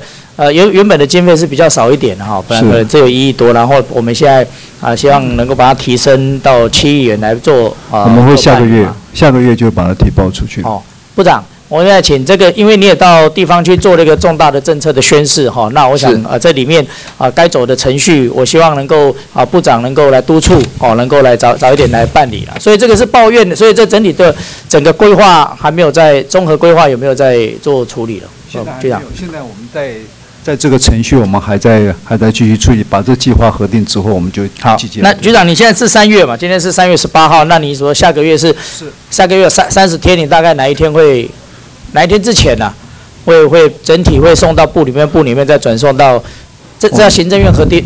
对对对，行政院核定，我们就在一个月之内会把它报出。四月二十号之前。是。好，谢谢。那我们部长这一部分要请你来啊，相加的督促的办理。好，另外，那部长，我想再请教就，您在呃去年也核定了哈一个也对外一个政策重大的政策，就是全国高速铁路网发展整体规划。哦，实际上就包括结合呃高铁结合呃这个台铁。好的高速化等等，哈，希望能够形成一天啊环岛的一日生活圈，好，那照好在这里面，其中啊也包括啊您提到的丹回铁路的电气化、双轨化、东铁路的双轨化，能够啊提高速度，成为一个快速铁路了。好，快速快速铁路，但是这里面其实你提到一一个非常重要一点，就是因为我们现在华东铁路双轨化是在进行当中嘛，但南回铁路的电气化是预计是今年年底能够来通车哈，但是这个因为南回铁路本身它还是一个呃单轨化的现状，但但这里面要符合你这样的计划的骑程是有点有点呃，部长这边有没有什么想法？有没有这样的想法没有？哎，呃，是，那么南回铁路的。双轨化哈，我们现在要来推动，那当然要去评估哈，找到路廊，啊，因为基本上要能够双线对开啊，在原先的路廊上有一些是会有困难。原原先因为南回铁路本身跟东线这个比较不一样，它隧道比较多啦。是。哦，本康看这啊，本康我在想，因为当初啊构想，当初在民国八十几年的时候，没有想到说会啊要来双轨化，所以那隧道本身的。呃，净高或者是直径啊，应该是啊，看起来是不太够了哦，所以其实应该，我想部里面要在这里面要做一个整体的呃这样的一个规划了哦，包括保保保有原来的路线嘛，另外看可可不可以再新辟一条，这这其实也是双轨化了，对。啊，这其实也是用双轨化，双轨只是说它没有在同一个路廊里面嘛，是，好吧？啊部部里面这既然提出这样的一个相关的呃想法，那我们。有没有在具体推动的内容啊？部部长是，就是我们全国哈的铁道做到那个电气化，这个应该交通部哈我们来负责嘛哈。再就是双线化，好，那这个花东双线村能站的，村能站，这样村能站的，然后啊都是以台东为起点啊，台东往北跟台东往南，哪都村镇能站，台东到玉里，台东到。应该到潮呃潮州呃潮州哈也是都都是单线化，所以现在这个也加速在进行了，先前有拖了一点，我希望骑乘还是可以再再再加速。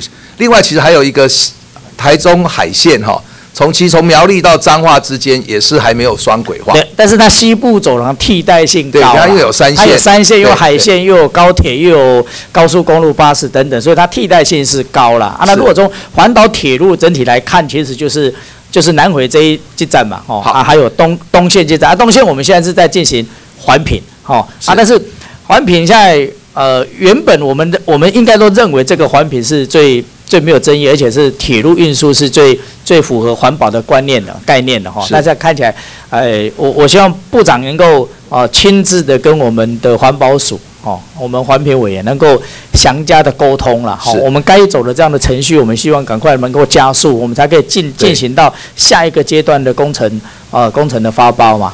确实，这个一定要先做好沟通了，不然到委员会有一两个项目，实际上我知道只有三个，其实都是可以解决的问题嘛。结果又又不然，我真的是真的是在这里哈，也要要求，也要请你，真的是部里面重视这件事情啊啊！铁路，而而且东线铁路的双轨化，大部分几乎。不改线嘛？对，几乎不改线了嘛。啊，所以它是原来的路廊。其实不是不能解决的问题。对，那我觉得事先的沟通是沟通重要的啦。沟通的沟通是重要。啊，安博肯那跟我说，可以环评，他可能在环评会议里面，可能其中针对他提出的报告其实是很多，但是他可能针对其中一两项，对，又要重来，又就再开一次会。我觉得那个七成上当然会受到很大的影响。哦，那部长跟呃。局长哈，那大家应该针对这件事情，好好的在我们希望环品的该走的程序，能尽量能够把那时间能够缩短，然后赶快进入，因为行政都已经核定，而且也编列这样的预算，赶快进入下一个阶段真正的工程啊动工了。我们加强会前的沟通，哎，希望能够加速。好，那那个胡局长可以先请回了哈，胡局长先请回。部长，我在哎，我们请那个铁路局张局长哈，谢谢。张局长，好。部长，我们现在我们 铁路局采购了新的城际列车嘛，哈，总共五十组了，哈，然后一组是。十二十二节的车厢，那六百节车厢，哈，那预计在今年年底开始陆续的，我们整个履约的期限是两年左右嘛，哈，所以我们陆续要来开始进行交，呃，来进行交车，哈，然后呃，部长，我们在这里要请局长，哈，就回应一件，就是说我们现在新的城际列车，哦，有计划以。啊，机务段铁路局的机务段的台东分段哦，花莲段的台东分段作为一个养护修护的中心，哈，那这本席在这里，因为它现在承载台东啊，目机务段目前在台东它是属于花莲的分段，哦，分段，那将来它其实要承接一个比较大的业务，哈，包括啊修我们修护我们呃新采新的采购的城际列车，另外也培训新的一些人才，哈，所以在。啊，局长还有部长，我们在这里啊要求哈，就是说我们针对这样一个新的任务，我们希望能够把台东的机务分段能够升格为独立的一个台东段了，好吧？我先请局长来回应一下好了。好，好，感谢委员的关心呢。我们现在全台湾呢有七个机务段，三个分段啊，包括刚刚谈到的台东分段。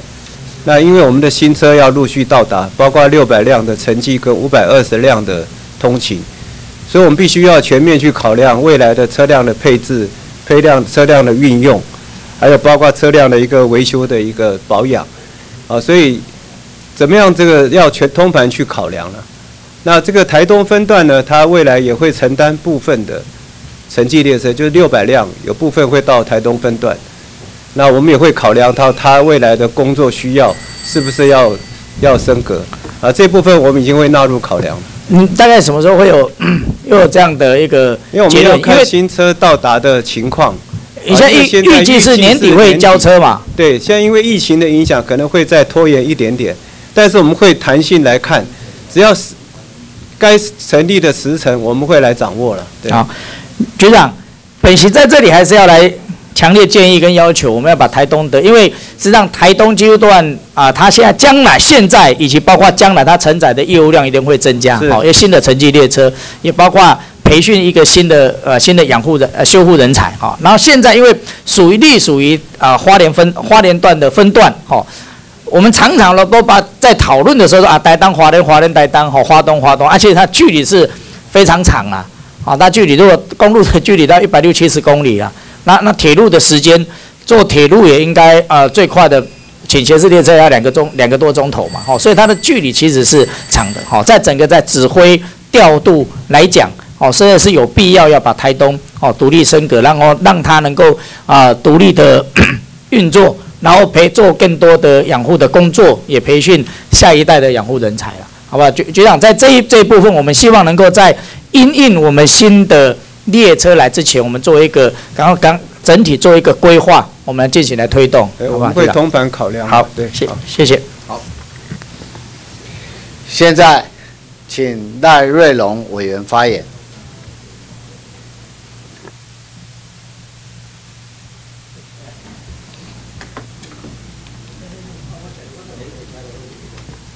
好，谢谢赵伟哈，请林部长，请林部长。部长辛苦了哈，部长。好好，部长。首先那个先请教哈，台铁的高雄机场了，这个啊介于前镇跟凤凰山跟林雅的交界，三十公顷的一个地方了哈。那现在台铁因为已经迁移到这个机场迁移到潮州，这个未来现在在做整体的开发了哈。那我刚刚也听到，其实部长一路以来都在关心这个。好，那我也希望，我不知道部长有没有去那边看过。还没有，还没有机会啦。其实部长有机会可以，如果去高雄可以去看一下，里面很特别的，有非常多的轨道以外，还有工厂哦，货车的工厂。它最特别还有一个澡堂在那边哦，像台北一样有澡堂。所以我希望未来这个整体的开发能够带动地方的发展，除了它有历史文化的东西保存哈，也商业的机制进来带动周边的。以外，那公园绿地等等，哈，那它在明年中的时候会呃完成初步的规划了哈，这个是台铁局在进行，我也希望部长也关心一下哈，让它有更好的一个规划。我看过最早期的报告了哈，最早期报告很像是台铁贩卖部的那个概念而已哦，很很差很多哈。啊，我希望这么好的一个在金华地，它在高雄市中心的金华地，能够有一个好的开发，给当地带来更繁荣的一个发展。好，我。找个时间啊，来好 啊，这里请部长再持续来关心一下，来考察一下。好，在第二个，我我想哈，刚刚也有提到，其实我我觉得给人民一条安全的道路是政府很重要的责任呐，哈。那所以这个迄今哈，呃，第一条的这个过港隧道其实已经使用三十五年了哈。那当然，它当时有一些港务上的需求等等，但是现在这个嗯也老旧了啦哈，所以现在有做了一些延寿工程，但不论怎么延寿，它终究时间点是会到。哦，所以我们希望政府能够尽快来启动第二条的可行性评估，因为它还有很长远的要做哈，包括未来的等等。但是你至少先有一个计划出来之后，人民至少心里有底，知道哎政府在在乎这件事情了哈。所以我刚才有看一下报告部分有提到跟高雄市政府要去沟通了哈，但我希望部长哈，既然是交通部的这个最高的主管机关，能不能把这个责任就扛起来，在今年度来无论如何跟高雄市政府沟通，或者是自己来做，今年度来完成。可行性评估，哈，给市民未来当第一条结束之后，第二条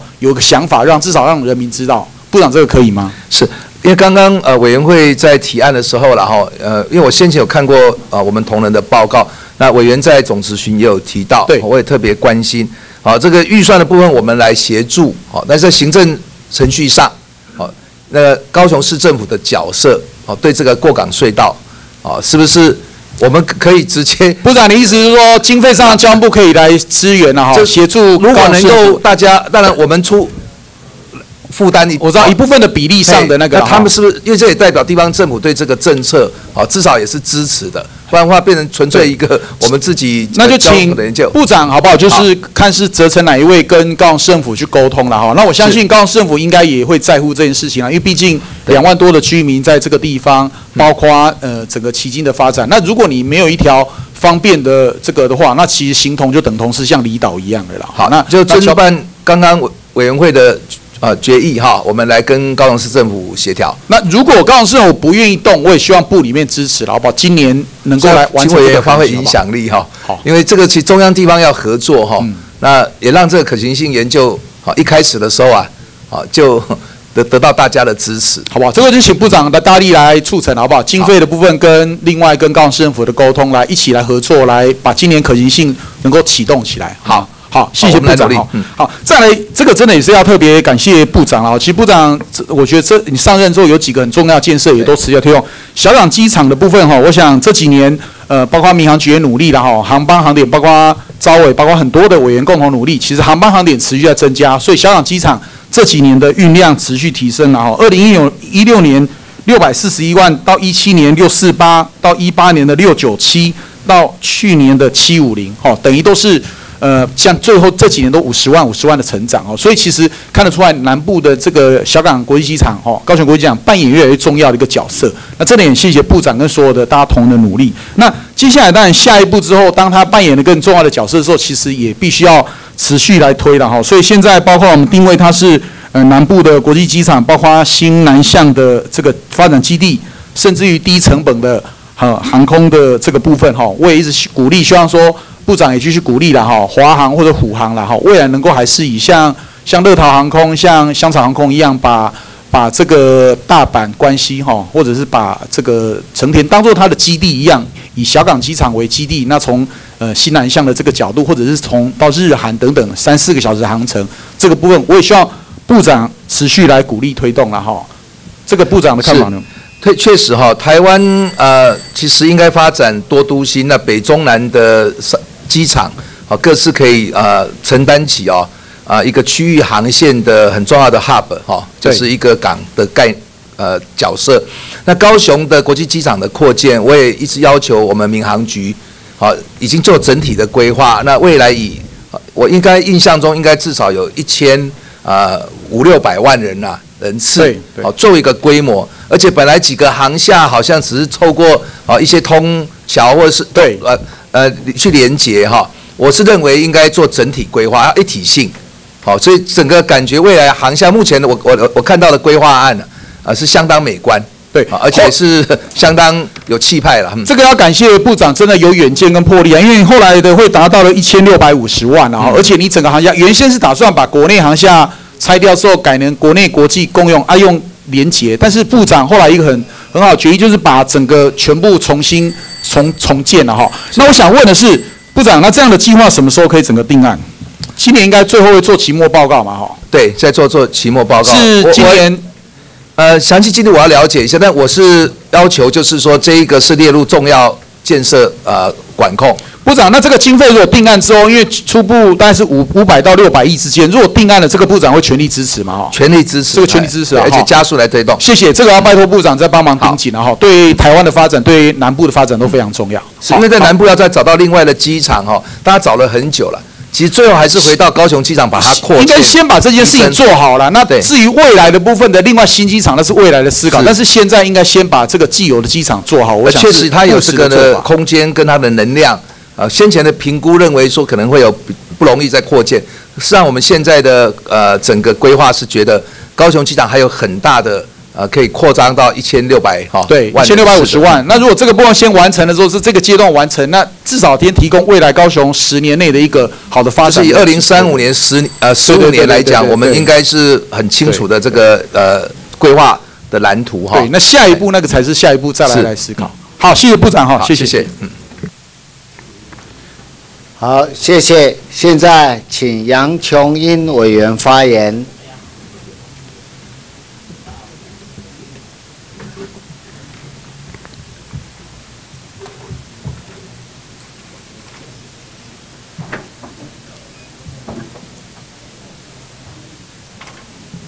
好，谢谢主席。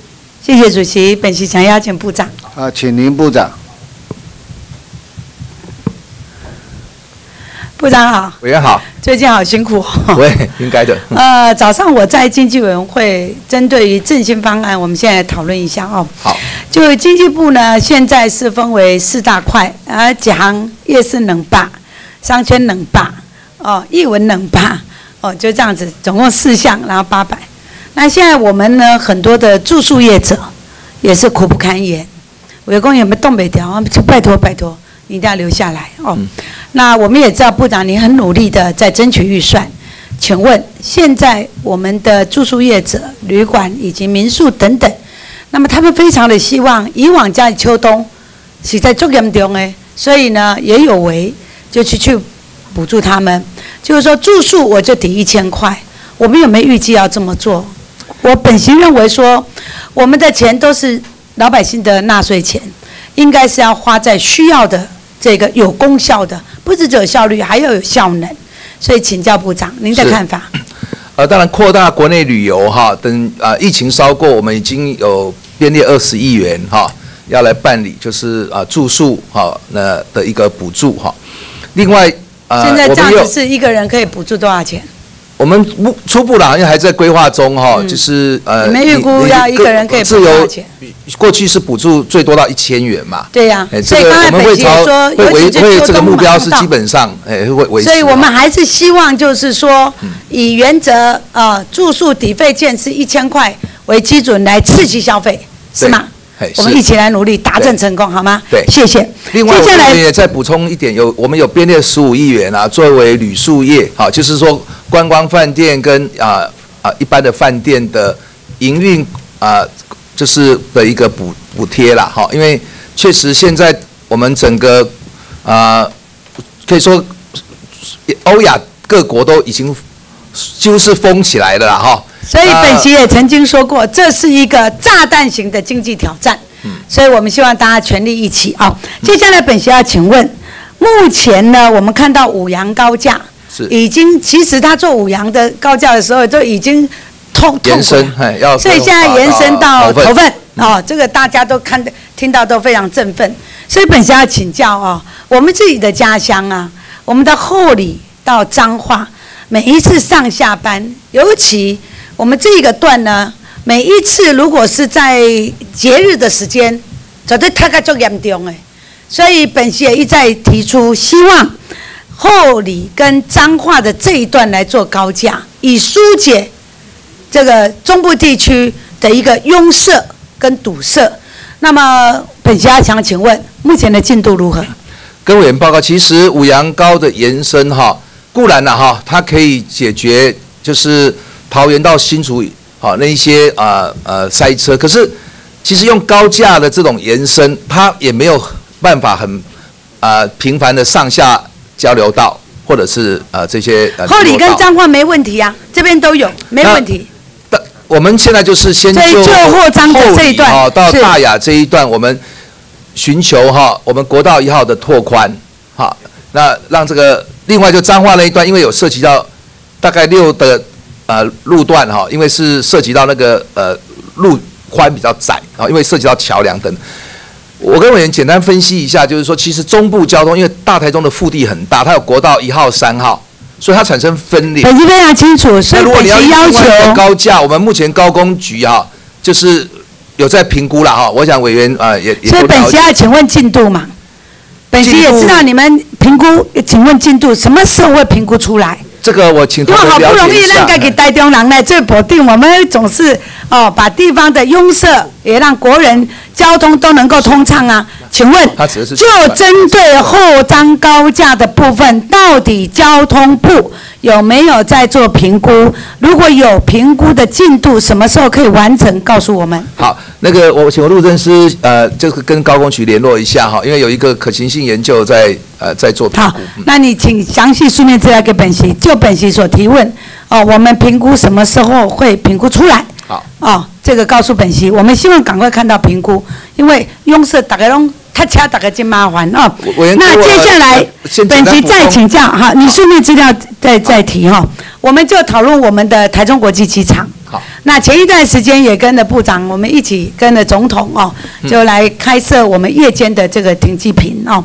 那请教，目前到底我们的台中国际机场，嗯。我们希望再怎么样去投资它，让它能够成为真正的是一个国际机场？因为现在我们两条跑道都是国防部的，我们塔台也都不是我们民航局，同时我们现在唯一全世界，哦，几乎然后。我走过的几乎只有一个，我们台中国际机场是上跟下都是同一个出入口，这个让我们匪夷所思。所以就针对台中国际机场，我们要怎么样去建设，而且让它落实真正成为一个国际机场？请教部长。呃，台中国际机场哈，呃，就是我们现在有一个呃扩大的一个计划，就是要到呃从二零二三本来的预算两两百多亿哈，我们要增加到七百五十多亿，然后啊、呃把这个未来的几个几项建设项目啊都纳入，包括哈，当然呃新的国际航厦，好，另外就是它的连外道路，还有周边整个我们的呃产业园区，好，包括门户计划，那。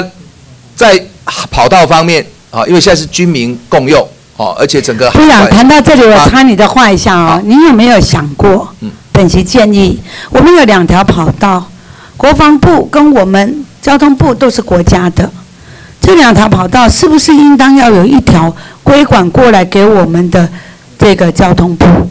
就是我我现在要说明的就是说，我们要努力这个啊。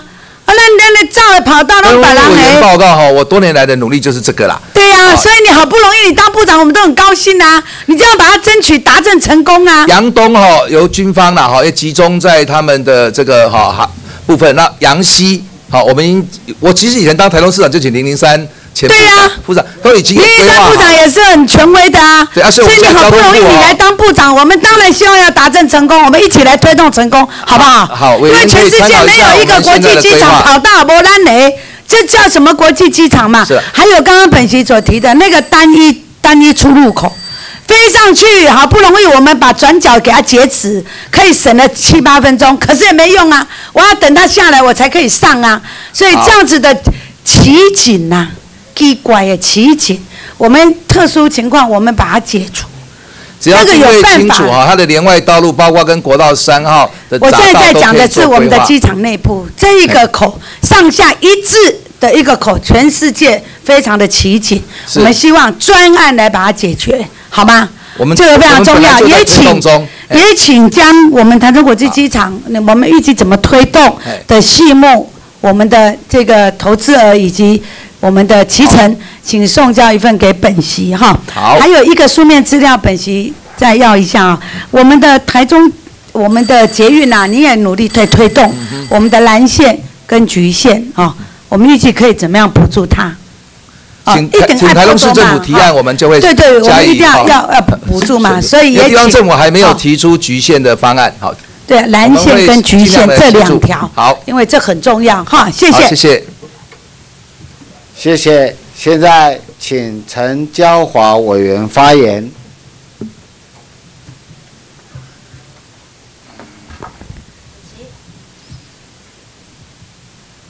我们请部长。请林部长。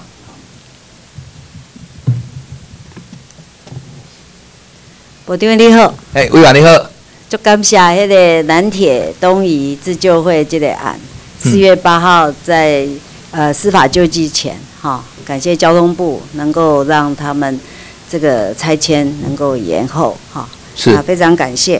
那第二个就是针对呃部长在台中市长任内推的自治条例，哈，这个是地方政府可以做呃这个生煤、石油焦的这个减量部分，哈，本席是表达支持的，哈。嗯。那针对行政院这个呃目前这个去。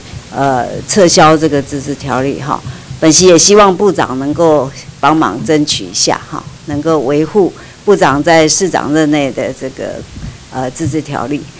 那我想这个也是很多环团的期待了哈，顺便跟部长提一下。嗯。那另外有关这个防疫的部分哈，嗯，我们知道现在欧美因为疫情非常的严峻哈，还有呃一些有侨民的国家哈，或者是一些在外。呃，就学，那他们现在很多人急着回来，但是呢，就是机票或呃机位都呃这个相关的问题。那请教部长，呃，交通部可以考虑，就是说有呃这种防护做的比较足备啊，足够或者是比较好的这样的专机，能够去让他们预约登记，能够让他们这样子专机回来的可能吗？是，呃，交通部就是配合外交部嘛，哈，因为这涉及到呃跟当地国的协调，好，那有些地方如果呃允许我们专机去接，好，我们呃也会协调我们国际航空公司啊啊来执行，那每一个当地国的情况都不太一样，哦，所以这个是一个可以说突发的，哦，就全球性的这种封城甚至封国，哦，那我们也要遵守当地的规定。哦那这外交的，呃，这个协调也非常的重要。那如果外交他们呃，就是说允许这些我们的学生或者是侨民回来，因为现在呃，这个卫福部陈部长已经说，除非本国人哈，是不能再再再进出我们的进出台进进入台湾。那现在就是像我举一个例子，比如说英国，英国的首相也说他们也不用检测，大家如果就就待在家里或者，那就说也不知道自己有没有呃这个传被传染或者是有有这个带源，那所以说才会造成很多人想回来。好，所以这个专辑部分也拜托部长哈，再再跟这个所谓外交部啊、卫福部这边来做讨论。嗯，好，那接着我要针对那个铁铁轨的部分哈，那其中尤其是在铁桥，好，因为在呃前几天的咨询，就是针对目前台湾有呃两千七三千七百座哈这种。呃，超过五十年的桥，这是在公路部分，然后有六千座左右，啊，也是是算是需要做防护了。但是我们现在看到铁路这个部分，铁桥这个部分，哈，现在是有一千五百九十九座，哈。那虽然每年都有做固定一次的定期检查，但是这个检查方法，哈，是用呃做目测、目视检查了，哈。然后只做六公尺，那这里要请教部长，就是说，呃，去年台铁是是有委外针对三百七十五座做重点桥梁检查，但是，呃，就是这些是一些比较难以目视检查的哈。那我们看就是说，呃，这个普悠马号的事故之后，是不是台铁应该请更多的专家学者做？比较完整的这种复检，好，请部长来。我先请局长说明一下。好，跟委员报告，台铁呃有一千五百九十九座的桥梁，那我们经过全面的检视，那其中并没有危险桥梁。这首先。但是你是用目视检测。对，不是我们的，其实我们不是只有目视了，那因为我们也有目视，也有也有委托。检查，因为我们台铁很多桥梁，有的是跨跨山谷、跨河域，有的很深呐，那完全靠目视当然是没有办法。如果我们的初步的我们的同仁目视发现如果有问题，我们就会进一步，我也会请我们委外来做更进一步的检查。我想这个是要做一个说明。那另外，我们大概全省有十五座的老旧桥梁，我们也在编列预算来改建。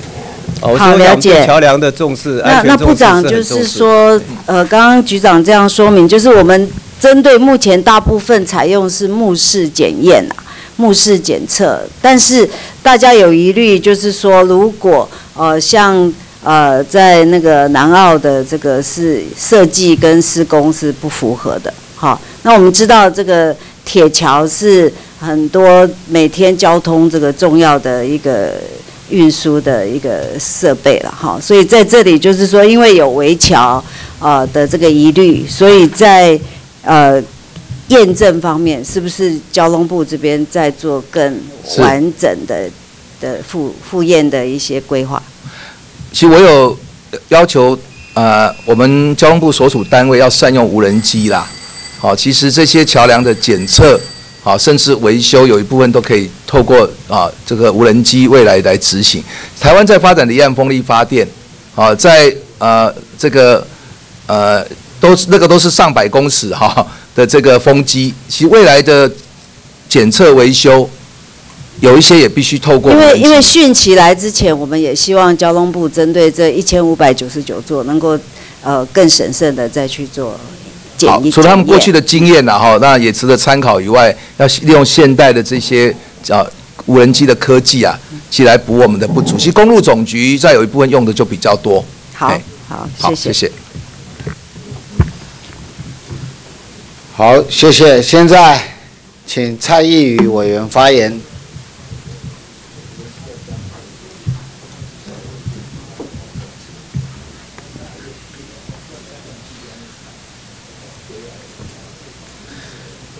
谢谢主席，那我们是不是有请林部长以及我们铁道局胡局长？请胡局长。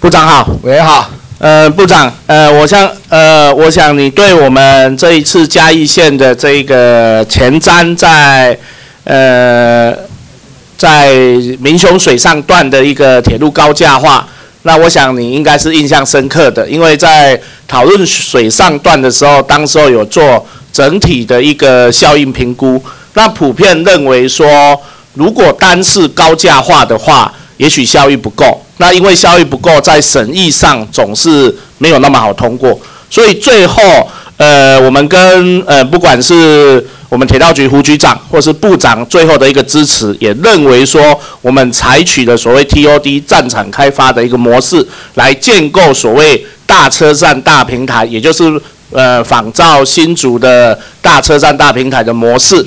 那部长，你至今对于这样的一个计划的改变，你？有还有继续支持吗？支持，还是支持的。是。那部长对于这样的一个大车站大平台的整体的这样一个计划，呃，你未来还是说我们铁道局交通部这边有怎样的方式，阿贝拉他们嘉义县政府来合作，然后来推动这一个不管是解决交通问题，或者是增加所谓站体的一个商业的一个基地的一个开发？诶，保定你讲有下面款呢？诶，步骤啊是计划吗？呃，可以参考我们其实新竹的大车站大平台的计划哈。那当然在水上这个部分，哈，它周边的整个交通的改善啊，也必须要透过一定的立体化。所以立体化不是只有高架化或地下化，透过一个大平台的啊一种呃这个呃设计啊，也是可以达到这个效果。那现在当然，因为周边的，比如跟台一线平行，啊，那中间的这些道路怎么样去做整个啊，就是结合这个车站哈，可以把这个就是呃分来我们看一下下一页规划的大概它的。部长，你有来过这边嘛？哈，有很多次，跨过来很多次了嘛？对，所以你对这里的交通状况，你大概是了解的。那目前大概就是说，它呈现的就是说，台一线跟既有的轨道，就是如同多阿保定讲，哎，距离太短。那距离太短的话，造成台一线的车流要经过轨道的时候，如果遇到哦灰车被通轨，说现在掏钱就是他掐。好，所以这一段的交通问题是我们急迫要解决的。所以未未来的呃这个。大平台的一个计划呢，就是所谓呃把呃车站做一个立体化，然后盖上去的一个概念。好，所以要高架化的不是灰车可以钉管罩，是人跟车，好跟跟一些汽车可以在在上面走。哈，那这样的一个计划，呃，我们相信交通部委打完集齐啦，哈啊，但是呢，以目前呃实际上的一个状况，来我们来看下一页。那目前执行的状况。就是我们交通部这边是在今年的一月十三号，那也有函复给我们县政府，那也同意补助我们这个计划的可行性研究，那契约绝包金额的九十 percent，也就是补助六百万，那其余的部分是县府自筹。那这部分呃，我相信下一县政府现在也在紧急的在一个规划当中，但是我我要跟部长呃另外做请求，就是说，因为县政府在规划这样一个。呃，这么有前瞻性，而且一个看起来是一个很大的计划的时候，能量还是可能会有所不足。那在能量不足的部分，呃，交通部这边可以给我们县政府怎样的协助？在规划方面。好，我请我们局长。好，谢谢。这部分将来如果在县政府跟他的顾问在作业过程之中，如果需要的话，铁道局这边会会会帮忙来来跟这个相关的。政府部门跟顾问来去做讨论，这个这部分，但我们可以去做的。所以现阶段你们的态度是怎样？先等县政府对等这个县政府的他的顾问的招标作业完成，开始开始启动之后，我们积极来跟他们来。好，那如果招标作业完成后，我希望交通部可以大力的协助了哈，因为这个真的是一个，我相信可以改变我们整个水上未来的一个整体的地理环境，而且它的效益是会远远的超过。原本大家在讲的高价化，哦，那当然说，呃，因为水上的一个高价化会有这么大的转变，我相信部长你也知道，它主要也是来自于嘉义市的高价化。嘉义区当时候在推动高价化的时候，有比较遗憾的就是说，一打车辆基地放在水上。好，因为嘉义市也认为说，哦，这个车辆基地也许是林壁啦，哈，那也许是改旗干妈湾的生活空间不够了，所以蛮不爱打这个车辆基地坑底嘉义期。所以嘉义市的高价化计划，把车辆基地放在水上的这样一个既成事实，才会联动的让我们把后续水上的高架化，我们用大车站大平台来做取代。所以现在。嘉义市呃，在于车辆基地的执行状况，目前是目前呢，可以说明一下吗？车辆基地的部分，车辆基地的部分，呃，我们跟这个乡长其实沟通了好几次哈。对。乡长那边还是比较保留了哈，因为我们在处理这个相关，可能需要我们乡公所开具的一些。局长，我跟你说，为什么乡长会保留？是因为。包括最近我们在做水上乡的都市计划审议，那我们在当时一个很重要的重点就是说，我们希望以车辆基地为中心，然后整体扩大区段征收。那这样的一个都市计划案呢，在最近内政部所召开的一些都市计划的审议案中，呃，我们交通部的呃交通部所派去的人员并没有很支持，不加打湾机器，所以这件事让我们的乡长态度会他会担心。好，所以这个这件事，我想让部长了解一下。好，就是说，因为它这个整体的计划它是联动在一起的。如果我们没办法把车辆基地周边去做一个扩大的一个区段征收的话，会影响到水上乡，他要提出他的土地，然后让嘉义市的高价化放在车辆基地放在水上乡的整体诱因会不高，会不起，好不好？所以这部分，我现在只是跟。呃，部长以及局长又做出这样的提示，那我希望你们协助来处理，然后让整个不管是嘉义市的高价化加速进行，那我们水上的大平台计划也可以如期完成，去保魂看打完到沙冈，安利好不好？啊，跟委员报告，我们会积极来了解。好，好啊，拜托了，好，好，谢谢，感谢啊。好，谢谢。好，现在请刘建国委员发言。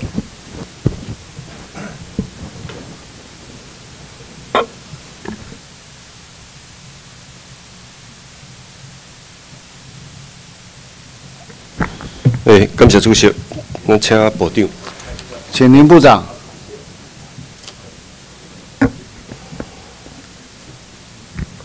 诶，部长先讲吼。委员好。嘿，对我的委员，但迄个疫情指挥中心的指挥官吼，嘛是有部但部长有特别讲，这两礼拜不哩遐关键啦吼。是。我可能看伊可能还阁无甲清明吼，返乡祭祖的迄个高峰吼，搁甲算咧在内底，所以应该是这三礼拜啦。哦，这是我个人的见解，所以伫交通方面上，真正是爱特别拜托部长，甲所属单位吼，即个主管爱特别重视啦吼。尤其部长咧二月，应该二月二五吼，有去迄个时查即个南港的高铁站，啊有特别采示，就是讲二四月份以前，可能高铁十二个站了对吧？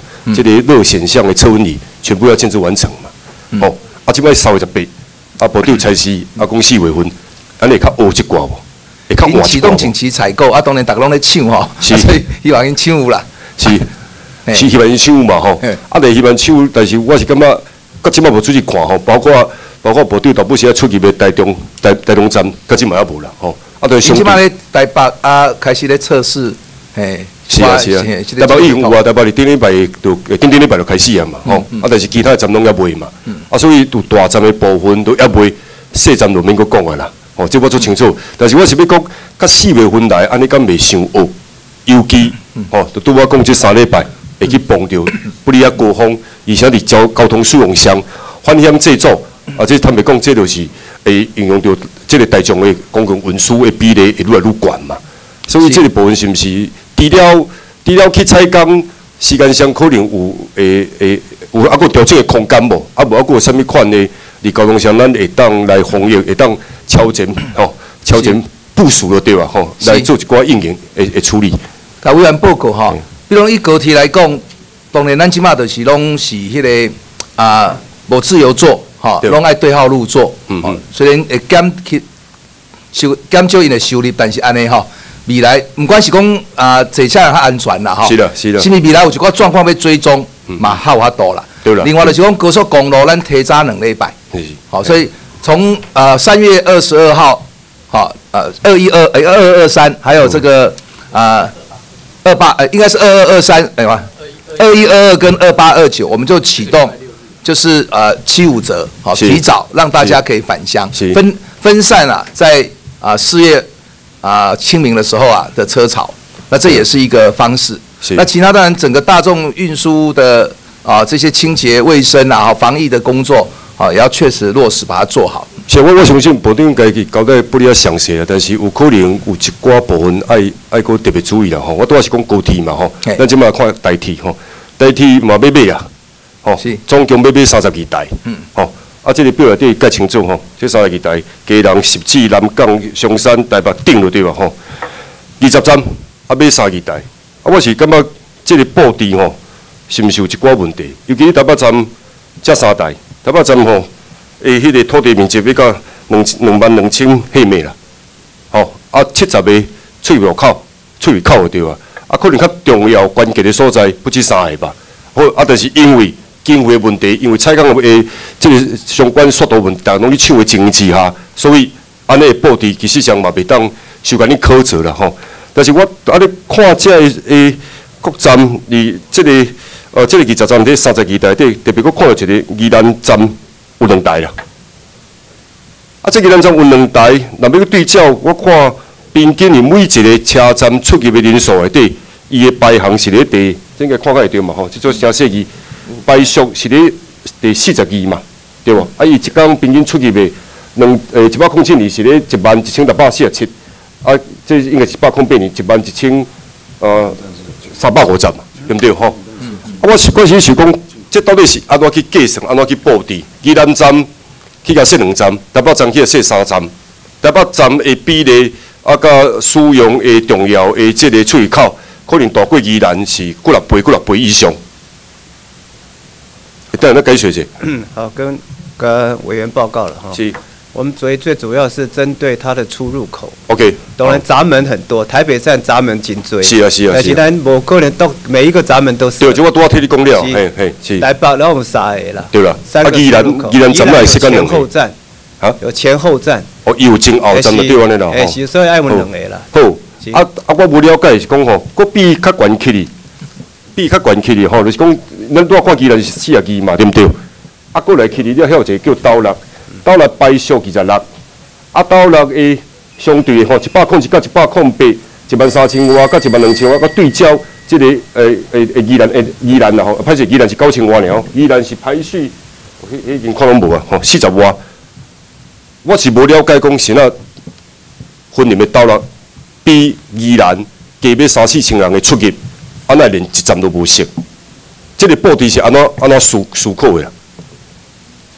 好，这个跟委员报告了。当初我们运务处呢是根据各站的这个出入量去需求，那这里面可能我们也会第一阶段呢，那起针对二十个车站，但因为在实在红红外线这个机器很难买了。是，我我在请配备了那等于第二阶段我们也会增加，逐步来增加了，对吧？我保定保定要绝对听我讲了哈，按在按按照那个出入的人数嘛，对不对？哈，也不是按照县市嘛，那我就我就没有意见哦。但是如果按照出人数，我们就要讨论。同样的宜兰的罗东、罗东、万华，对照宜兰的九千瓦，嘛阁加两千瓦。是那你毋是坑咧罗东，你来坑咧宜兰。好，啊你啊，你若你若要依照排序，这四十瓦会当排到两台。婚姻关有到六站、到南站，啊无半台。啊，婚姻关出去的人口阁比较济。那你讲要用管市的公平性？啊，我都我都感觉无公平。啊，你若要按照人数的公平性，我嘛佫感觉无公平。啊，你若要佫按照伊伊家己关内底大站甲小站按照人数，啊，你来创罗东比宜兰嘛佫较济。即个布置到底是安怎？会当会当简单甲阮解说者无？无安尼回灰啦。吼，因为来讲有那些盲点是尊重，啊，若要讲较粗鲁，讲真正是眼盲呀。跟委员报告了哈，这个的确啦。单纯看人数呢，斗六是比宜兰较侪了哦。对不。所以这这部分我们会来检讨。是。那后续。我唔想宜兰卖是宜兰卖少，但是我是按照各位答复的方式嘛，对不？是。啊，你这比例，啊，你咱对罗东嘛无无无意思啊。是。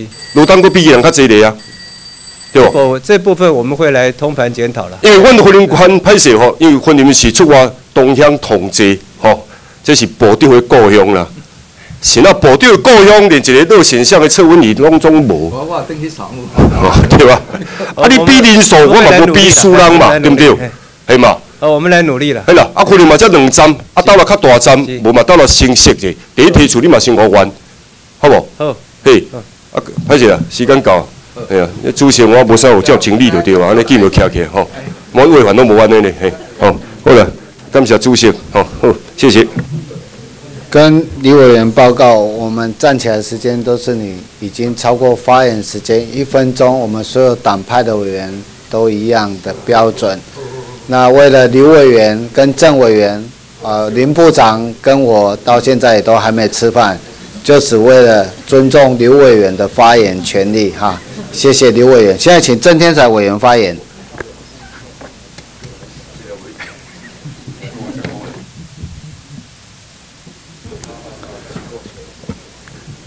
好，主席、各位委员啊，有请部长，请林部长、铁道局局长，请胡局长。呃，部长辛苦了哈。哎，不会，委员好。这个花东铁路哦双轨电气化的计划哈，嗯，从这个 一百零六年五月二号奉行政院核定之后。好，你们也进行了相关的这些作业，然后这个环境影响评估啊也送了啊，呃，但很遗憾的就是呃没有通过哈，这个还要补，好还要补。这个今年的二月十三号，这个环保署的这个专案小组啊初审的会议啊要再补正。请问一下，这个铁道局这边什么时候可以补正？我们已经把相关要补正资料昨天已经送出去了。哦，昨天已经送出去了哈。好，这个也希望交通部这边哈也可以也跟这个环保署那边呃协调一下，尽快来审查哈。啊，当然我们很期待啊，能够很快的能够审查哈，因为这个整个花东铁路。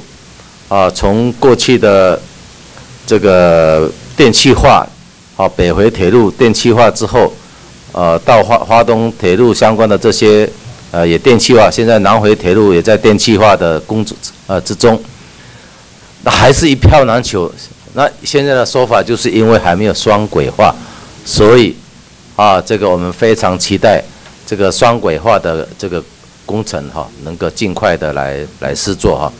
但必要的时候，哈，啊，这个部长啊，因为这个环评呢，它并不是每一个都有意见，它只是就某个部分、某个路段是啊有意见，必要的时候，如果那个要要花一点时间的话，啊，那就应该啊，是不是可以分阶段啊？没有问没有问题的啊，譬如说花花莲火车站到。啊，到朔风或是到哪一个段没有问题的，啊，能不能先做这个部分？当然，我未来是不是可以做往这方面去协调？当然，我们期待这次能够完成了，啊，好不好？好，我跟委员说明一下，我我也请铁道局积极去沟通了哈，因为务务必要在五月这一次能够审查通过哈。那我也对于说说后续还要待到一百一十七年哈。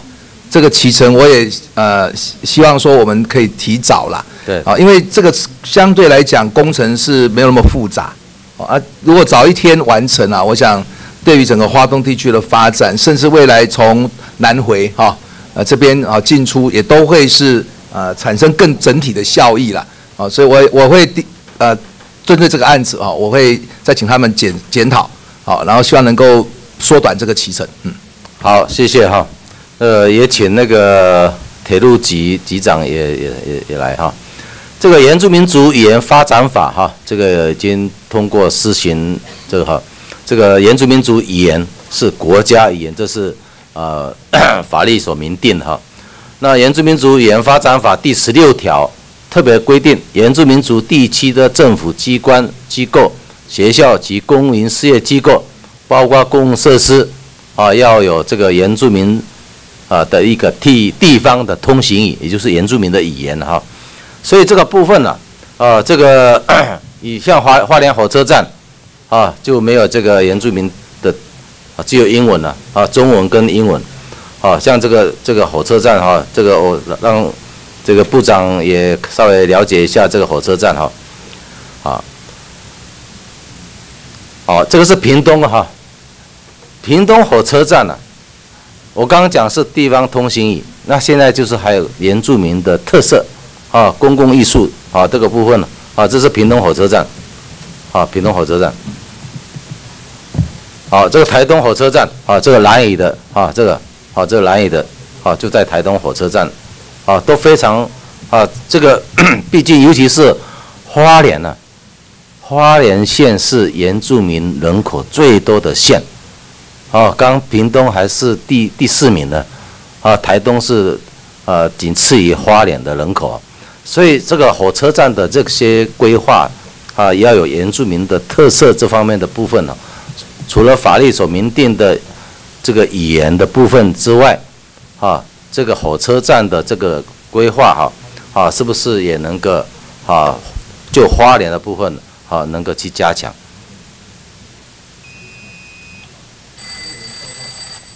就是我们这个花莲跟台东还有一些呃跟原住民比较密切相关的车站呢，其实我们都有在设计上，我们都有一些图腾呐。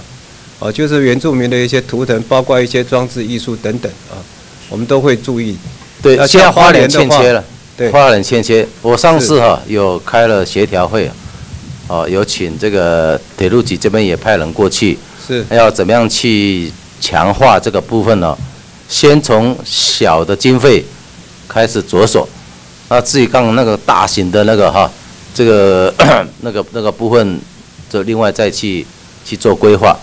事实上，也除了刚刚讲的，把这些，因为原住那个花脸哈，这个人口地人口多，族群也多，怎么样去这个相关的特色啊，这个能够呈现出来啊，这个部分，呃，我我我有机会看去协调过啊，是不是请局长在啊在督促相关的部门啊，尽快的来。呃，这个会我们会全力来配合。另外，花莲我们到站，我们也其实有用原住民来播音了。对对，这个没有问题，嗯，是，呃，这个都有，嗯，好。上次会刊的这个结论呢，我们会呃来尽快来执行。对，我是希望说两个阶段，第一阶段这个小经费的赶快先做，另外这个大型的公共艺术的部分，那个那个可那要花一点时间，是，哦，也要花一点经费，哦，你们再积极规划，可以吗？好，好好好，谢谢。谢谢好，谢谢。现在请廖国栋委员发言。廖国栋委员，廖国栋委员不在。现在请庄敬成委员发言。庄敬成委员，庄敬成委员不在。现在请陈雪生委员发言。陈雪生委员，陈雪生委员不在。现在请孔文吉委员发言。孔文吉委员，孔文吉委员不在。现在。邱志伟委员跟钟嘉宾委员也都在现场，看来是不让部长跟赵伟吃饭。好，现在请邱志伟委员发言。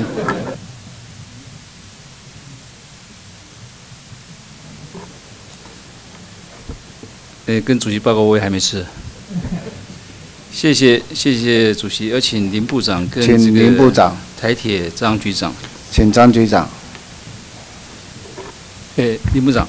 那个委员好，疫情啊异常的严峻哈，是。那大概数倍于这个 SARS 哈，所以不止影响到生产端，更严重是影响到消费端。了，是，所以百工百业直接的冲击非常严重哈，是，所以川普说要八千五百亿来救经济，八千五百亿不是台币，八千五百亿的美金哈，所以当然我第一个烦恼就是说。啊，六百亿的预算规模，啊，那时候是针对以 SARS 为基础哈。那面对空前严峻的这个啊疫情，直接冲击就是观观光旅游。观光旅游第一个就是旅馆业，旅馆业当它没有现金流，它没有 income，直接就影响到它的员工的生计，所以它只要关门。所以我担心，那疫情如果再延续个几个月，这个旅馆可能会发生倒闭潮，倒闭潮这个一去就不回来了。好，倒闭潮马上从你就是员工的生计，所以我们现在针对这个旅宿业哈，针对旅馆提出了相关的纾困的方案，当然还没有办法谈到振兴，振兴在后端哈。输入方案里面，你包括这个呃教育训练哈，那个都是其次的哈，啊或者利息补贴或者第一贷款，你看你看很多的手续还要审核，花费旷日费时啊。最好我们是不是能不能学习其他国家的做法，直接在薪资上进行补助，现金补助，薪资上面，你薪资补助，员工他可以领到薪水，他就不会直接受到这个，他就没有办法，他就可以继续保留工作，保留工作，旅馆继续存在，好度过这个这个啊这个疫情最严峻的时候的的可能会发生倒闭潮，所以很多业者也大概跟部长您这个大概有反映跟建议。直接进行这个薪资的补助，现金补助，您觉得可行性怎么样？呃，这是可以研议的方向了哈。其实我们交通部的纾困计划跟呃劳动部哦或经济部不不太一样，也就是有预留哈，我们有关于所谓的呃这个人才培训的计划，这个部分也是可以给，也不是那么及时呃，但是就是说对于啊以就是。像旅行业了哈，比方像导游或是领队，他马上就可以拿到哈，就是一万八千九百六十元一个月好。那不管自雇或是受雇于呃这个业主啊，另外运输业也有，我们大概是五亿加三亿。旅馆呢？那旅馆的部分哈，呃，我们是用它营运亏损，那我们参考了过去它可能缴税的资料，那目前有十五亿元。对。那以这个情况来讲，我们也我们正在针对三千五。三千多家的旅馆，对，啊，来进行啊一定的补贴。他们的反应就是说，你现在的对旅馆的这些纾困，都是没有办法马上显现出效果。当这个效果出要要要产生的时候，搞不好他们都倒了。所以这个是非常急迫，迫在眉睫哈。这是救急，所以救急方式当时用现金直接薪资对员工的薪资补贴，这是最重要的。对，让他们有一个现金收入，而保住工作，这这个度过这个难关。我我我希望这个是部长可以立即去研究，这个可行性。呃，这个确实最直接了哈。那呃，先前为什么？因为因为劳动部它是以就是说失业或是无薪假，但是我们这个部分是希望他不要裁员。是。那当然劳资也许协商会，啊，就是。供体时间嘛，因为有一些是基本的薪资啦，哈，有一些可能另外的奖金，是那也也可能这是技术面的问题。我我是觉得这个部分是不是立即可以请交通部跟劳动部再去协商，找出找出一个呃用薪资补助的一个办法啊，最起码让员工可以保住这个这个工作，让这个啊饭店可以继续撑过这个这个危机啊，好。啊，呃，员工数应该可以作为一个我们对他啊营运亏损的补贴哈，很重要的一个一个标一个一个一个指一个指指标。那至于说是不是直接对人哈，还是用什么样的考虑的？我觉得我们来研究这个部分是应该及时的帮助，对他们才才有帮助。那你后面的教育训练这不是及时哈。那另外这个今天呃铁道安全的部分，重大行车事故哇按六件，两个两个月发生一次哈。重大行车事件，什么叫重大行车事件？就是有有伤亡。重大行车事件的定义是什么？来，请那局长。那重大行车不是一定有伤亡的，嗯像像我们像正线的出轨啊，或冲撞，嗯，这些都是重大行车事故。对，这个频率哈，两个月一次，一年六次，两个月一次哈。那如果一加上一般行车事故是五十二件，五十二件打了一百零五，打了一百零五件的行车事故，啊，你好，这个。这种安全的比例，这种事故的比例，比较起这个邻近的日本、韩国，是不是偏高？呃，这部分当然比起日本呢，我们可能偏高一点了啊。那跟韩国呢？事实上，我们去年呢，我们一百零八年，其实我们是比以前年度都进步。我知道，但是以这两年的数据来看，跟一般呢，我们都创下新低。但是这我们还是要有努力的方向跟。对，你们努力的方向就包括你要建制 SMS 哈。SMS 当然是非常好，但你如果还要修法，修法你这我我也没看到你们这个修法计划啊，是不是一定要修法才能要入法才能做 SMS？这个 SMS 现在我们已经在推动了，在推动。对，那什么时候可以正式建制完成？牵涉到法律的问题，我们当然也要同步来做了。对，所以铁路安全这个也是非常重要哈。我我希望说，把这修法计划部里面尽快能够送到院里面，院里面支持，然后啊，再送立法院来审议。这部分是不是在时程上面，请这个局长跟部长能够啊，尽快的把 FCMS 相关的修法计划哈，把把它提供出来哈。那另外呃，最后三十秒哈，就冈山火车站未来会呃两铁共构。好，台铁跟这个捷运，捷运的车站就是在火车站前面广场。好，那现在正在施工哈，所以未来这个施工期之后就通车，通车之后，当然这个未来整体冈山火车站的整体环境的规划，整体环境的这个要怎么样去跟啊这个捷运做结合哈？这部分啊，包括停车的问题，包括动线的问题，包括你的空中廊道的问题哈。是不是这个部分啊？这个台铁已经有相关的这个复案跟计划？是跟委员报告，就是因为冈山延伸计划呢，未来的双铁共构，这对大家都是一种多赢呐。那我们也会做好这个呃运输接驳跟服务的工作。那包括周边的整个动线各方面呢，我们会全力来规划这样。好，谢谢。好，谢谢。现在请钟嘉宾委员发言。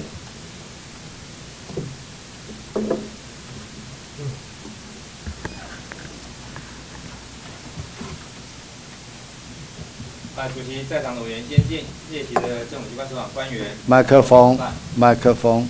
媒体记者女士先生，大家午安，大家辛苦了。那有请林部长，请林部长，还有铁道局的胡局长，跟台铁局的张局长。张局长。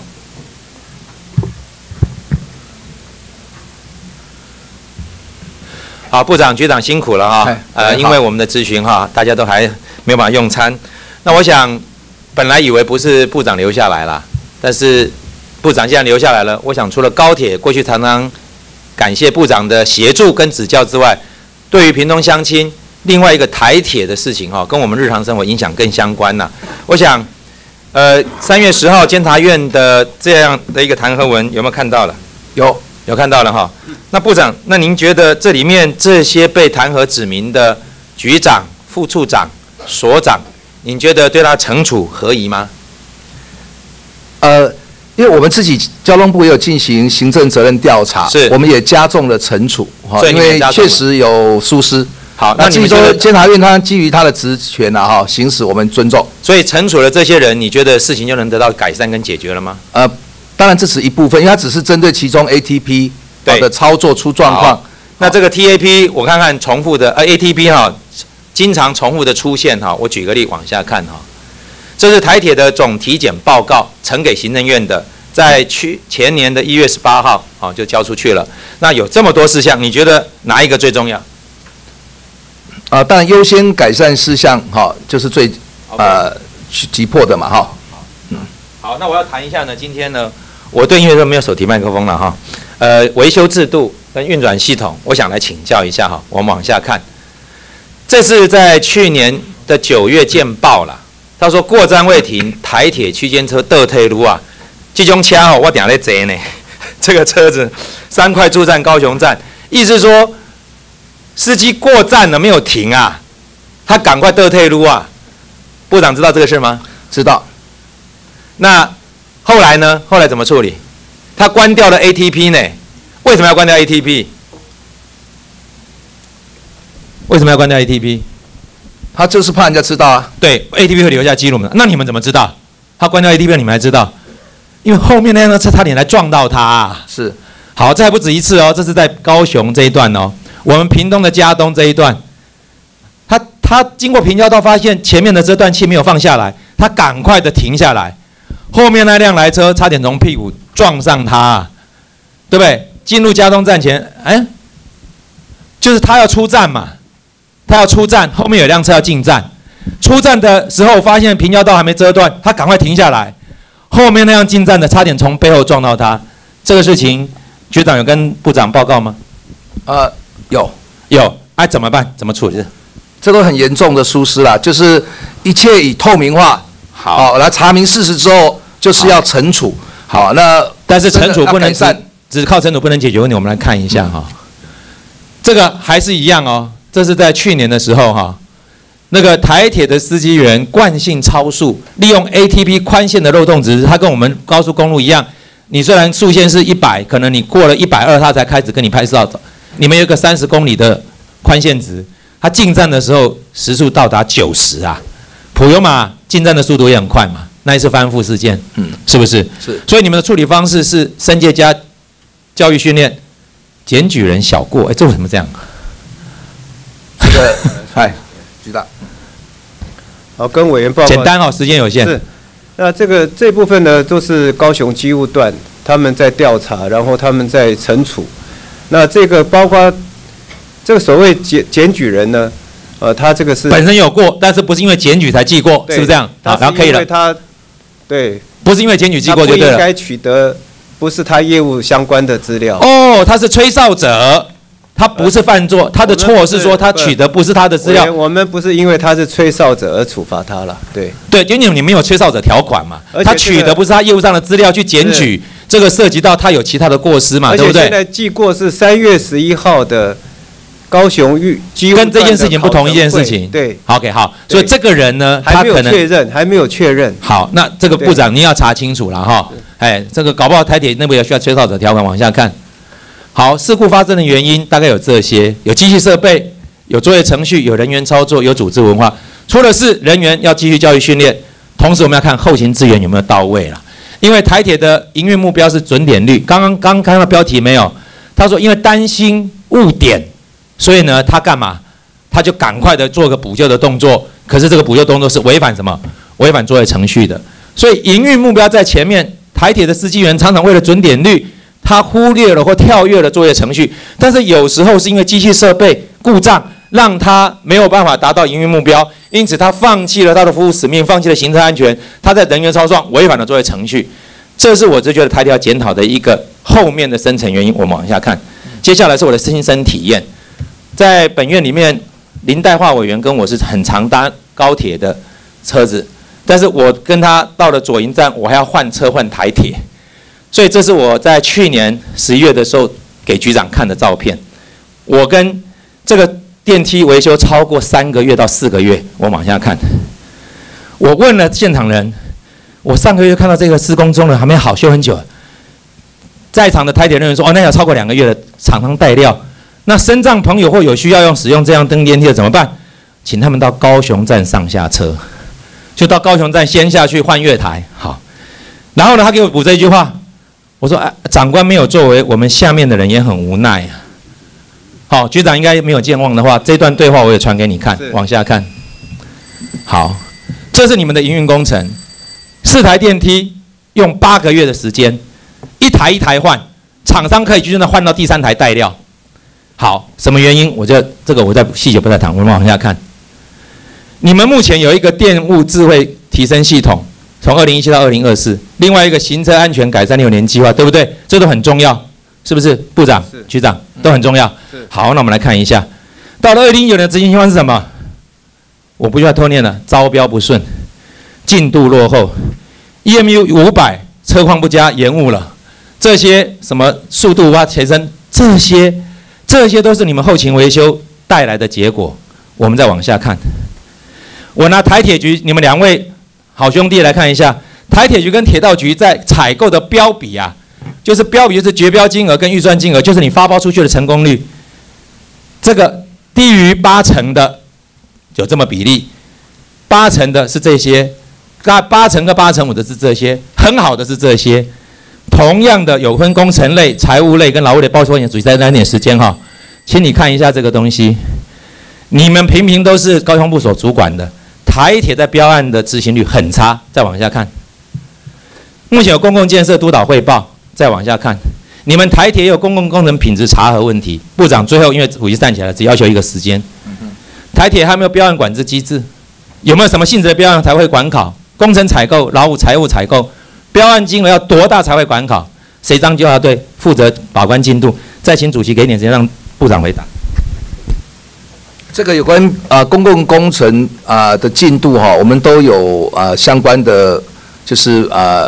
列管了哈，考核的标准啊，那至于说这个项目啊，详细的规定我会再加了解啊。好，那主席请部长答应我这个，请交通部每年针对应改善事项提出年度执行进度报告及其相共对应的公共计划执行状况，可以吗？这不难吗？呃，路政司你们可以吗？的了解是什么样？这个不可以答应提供这个吗？提供如果有这这个资料，我们当然可以提供。不，因为你们没有在做，所以要求你们要做啊！啊，你们可不可以做？你确定吗？来，有没有做？拜托主席裁示一下，怎么样做这件？我只做要求这个事情而已。应该是都有在执行了，但是就是针对你的要求，每年针对啊待改善事项提出年度执行进度报告跟相应公共建设计划执行情形，可以吗？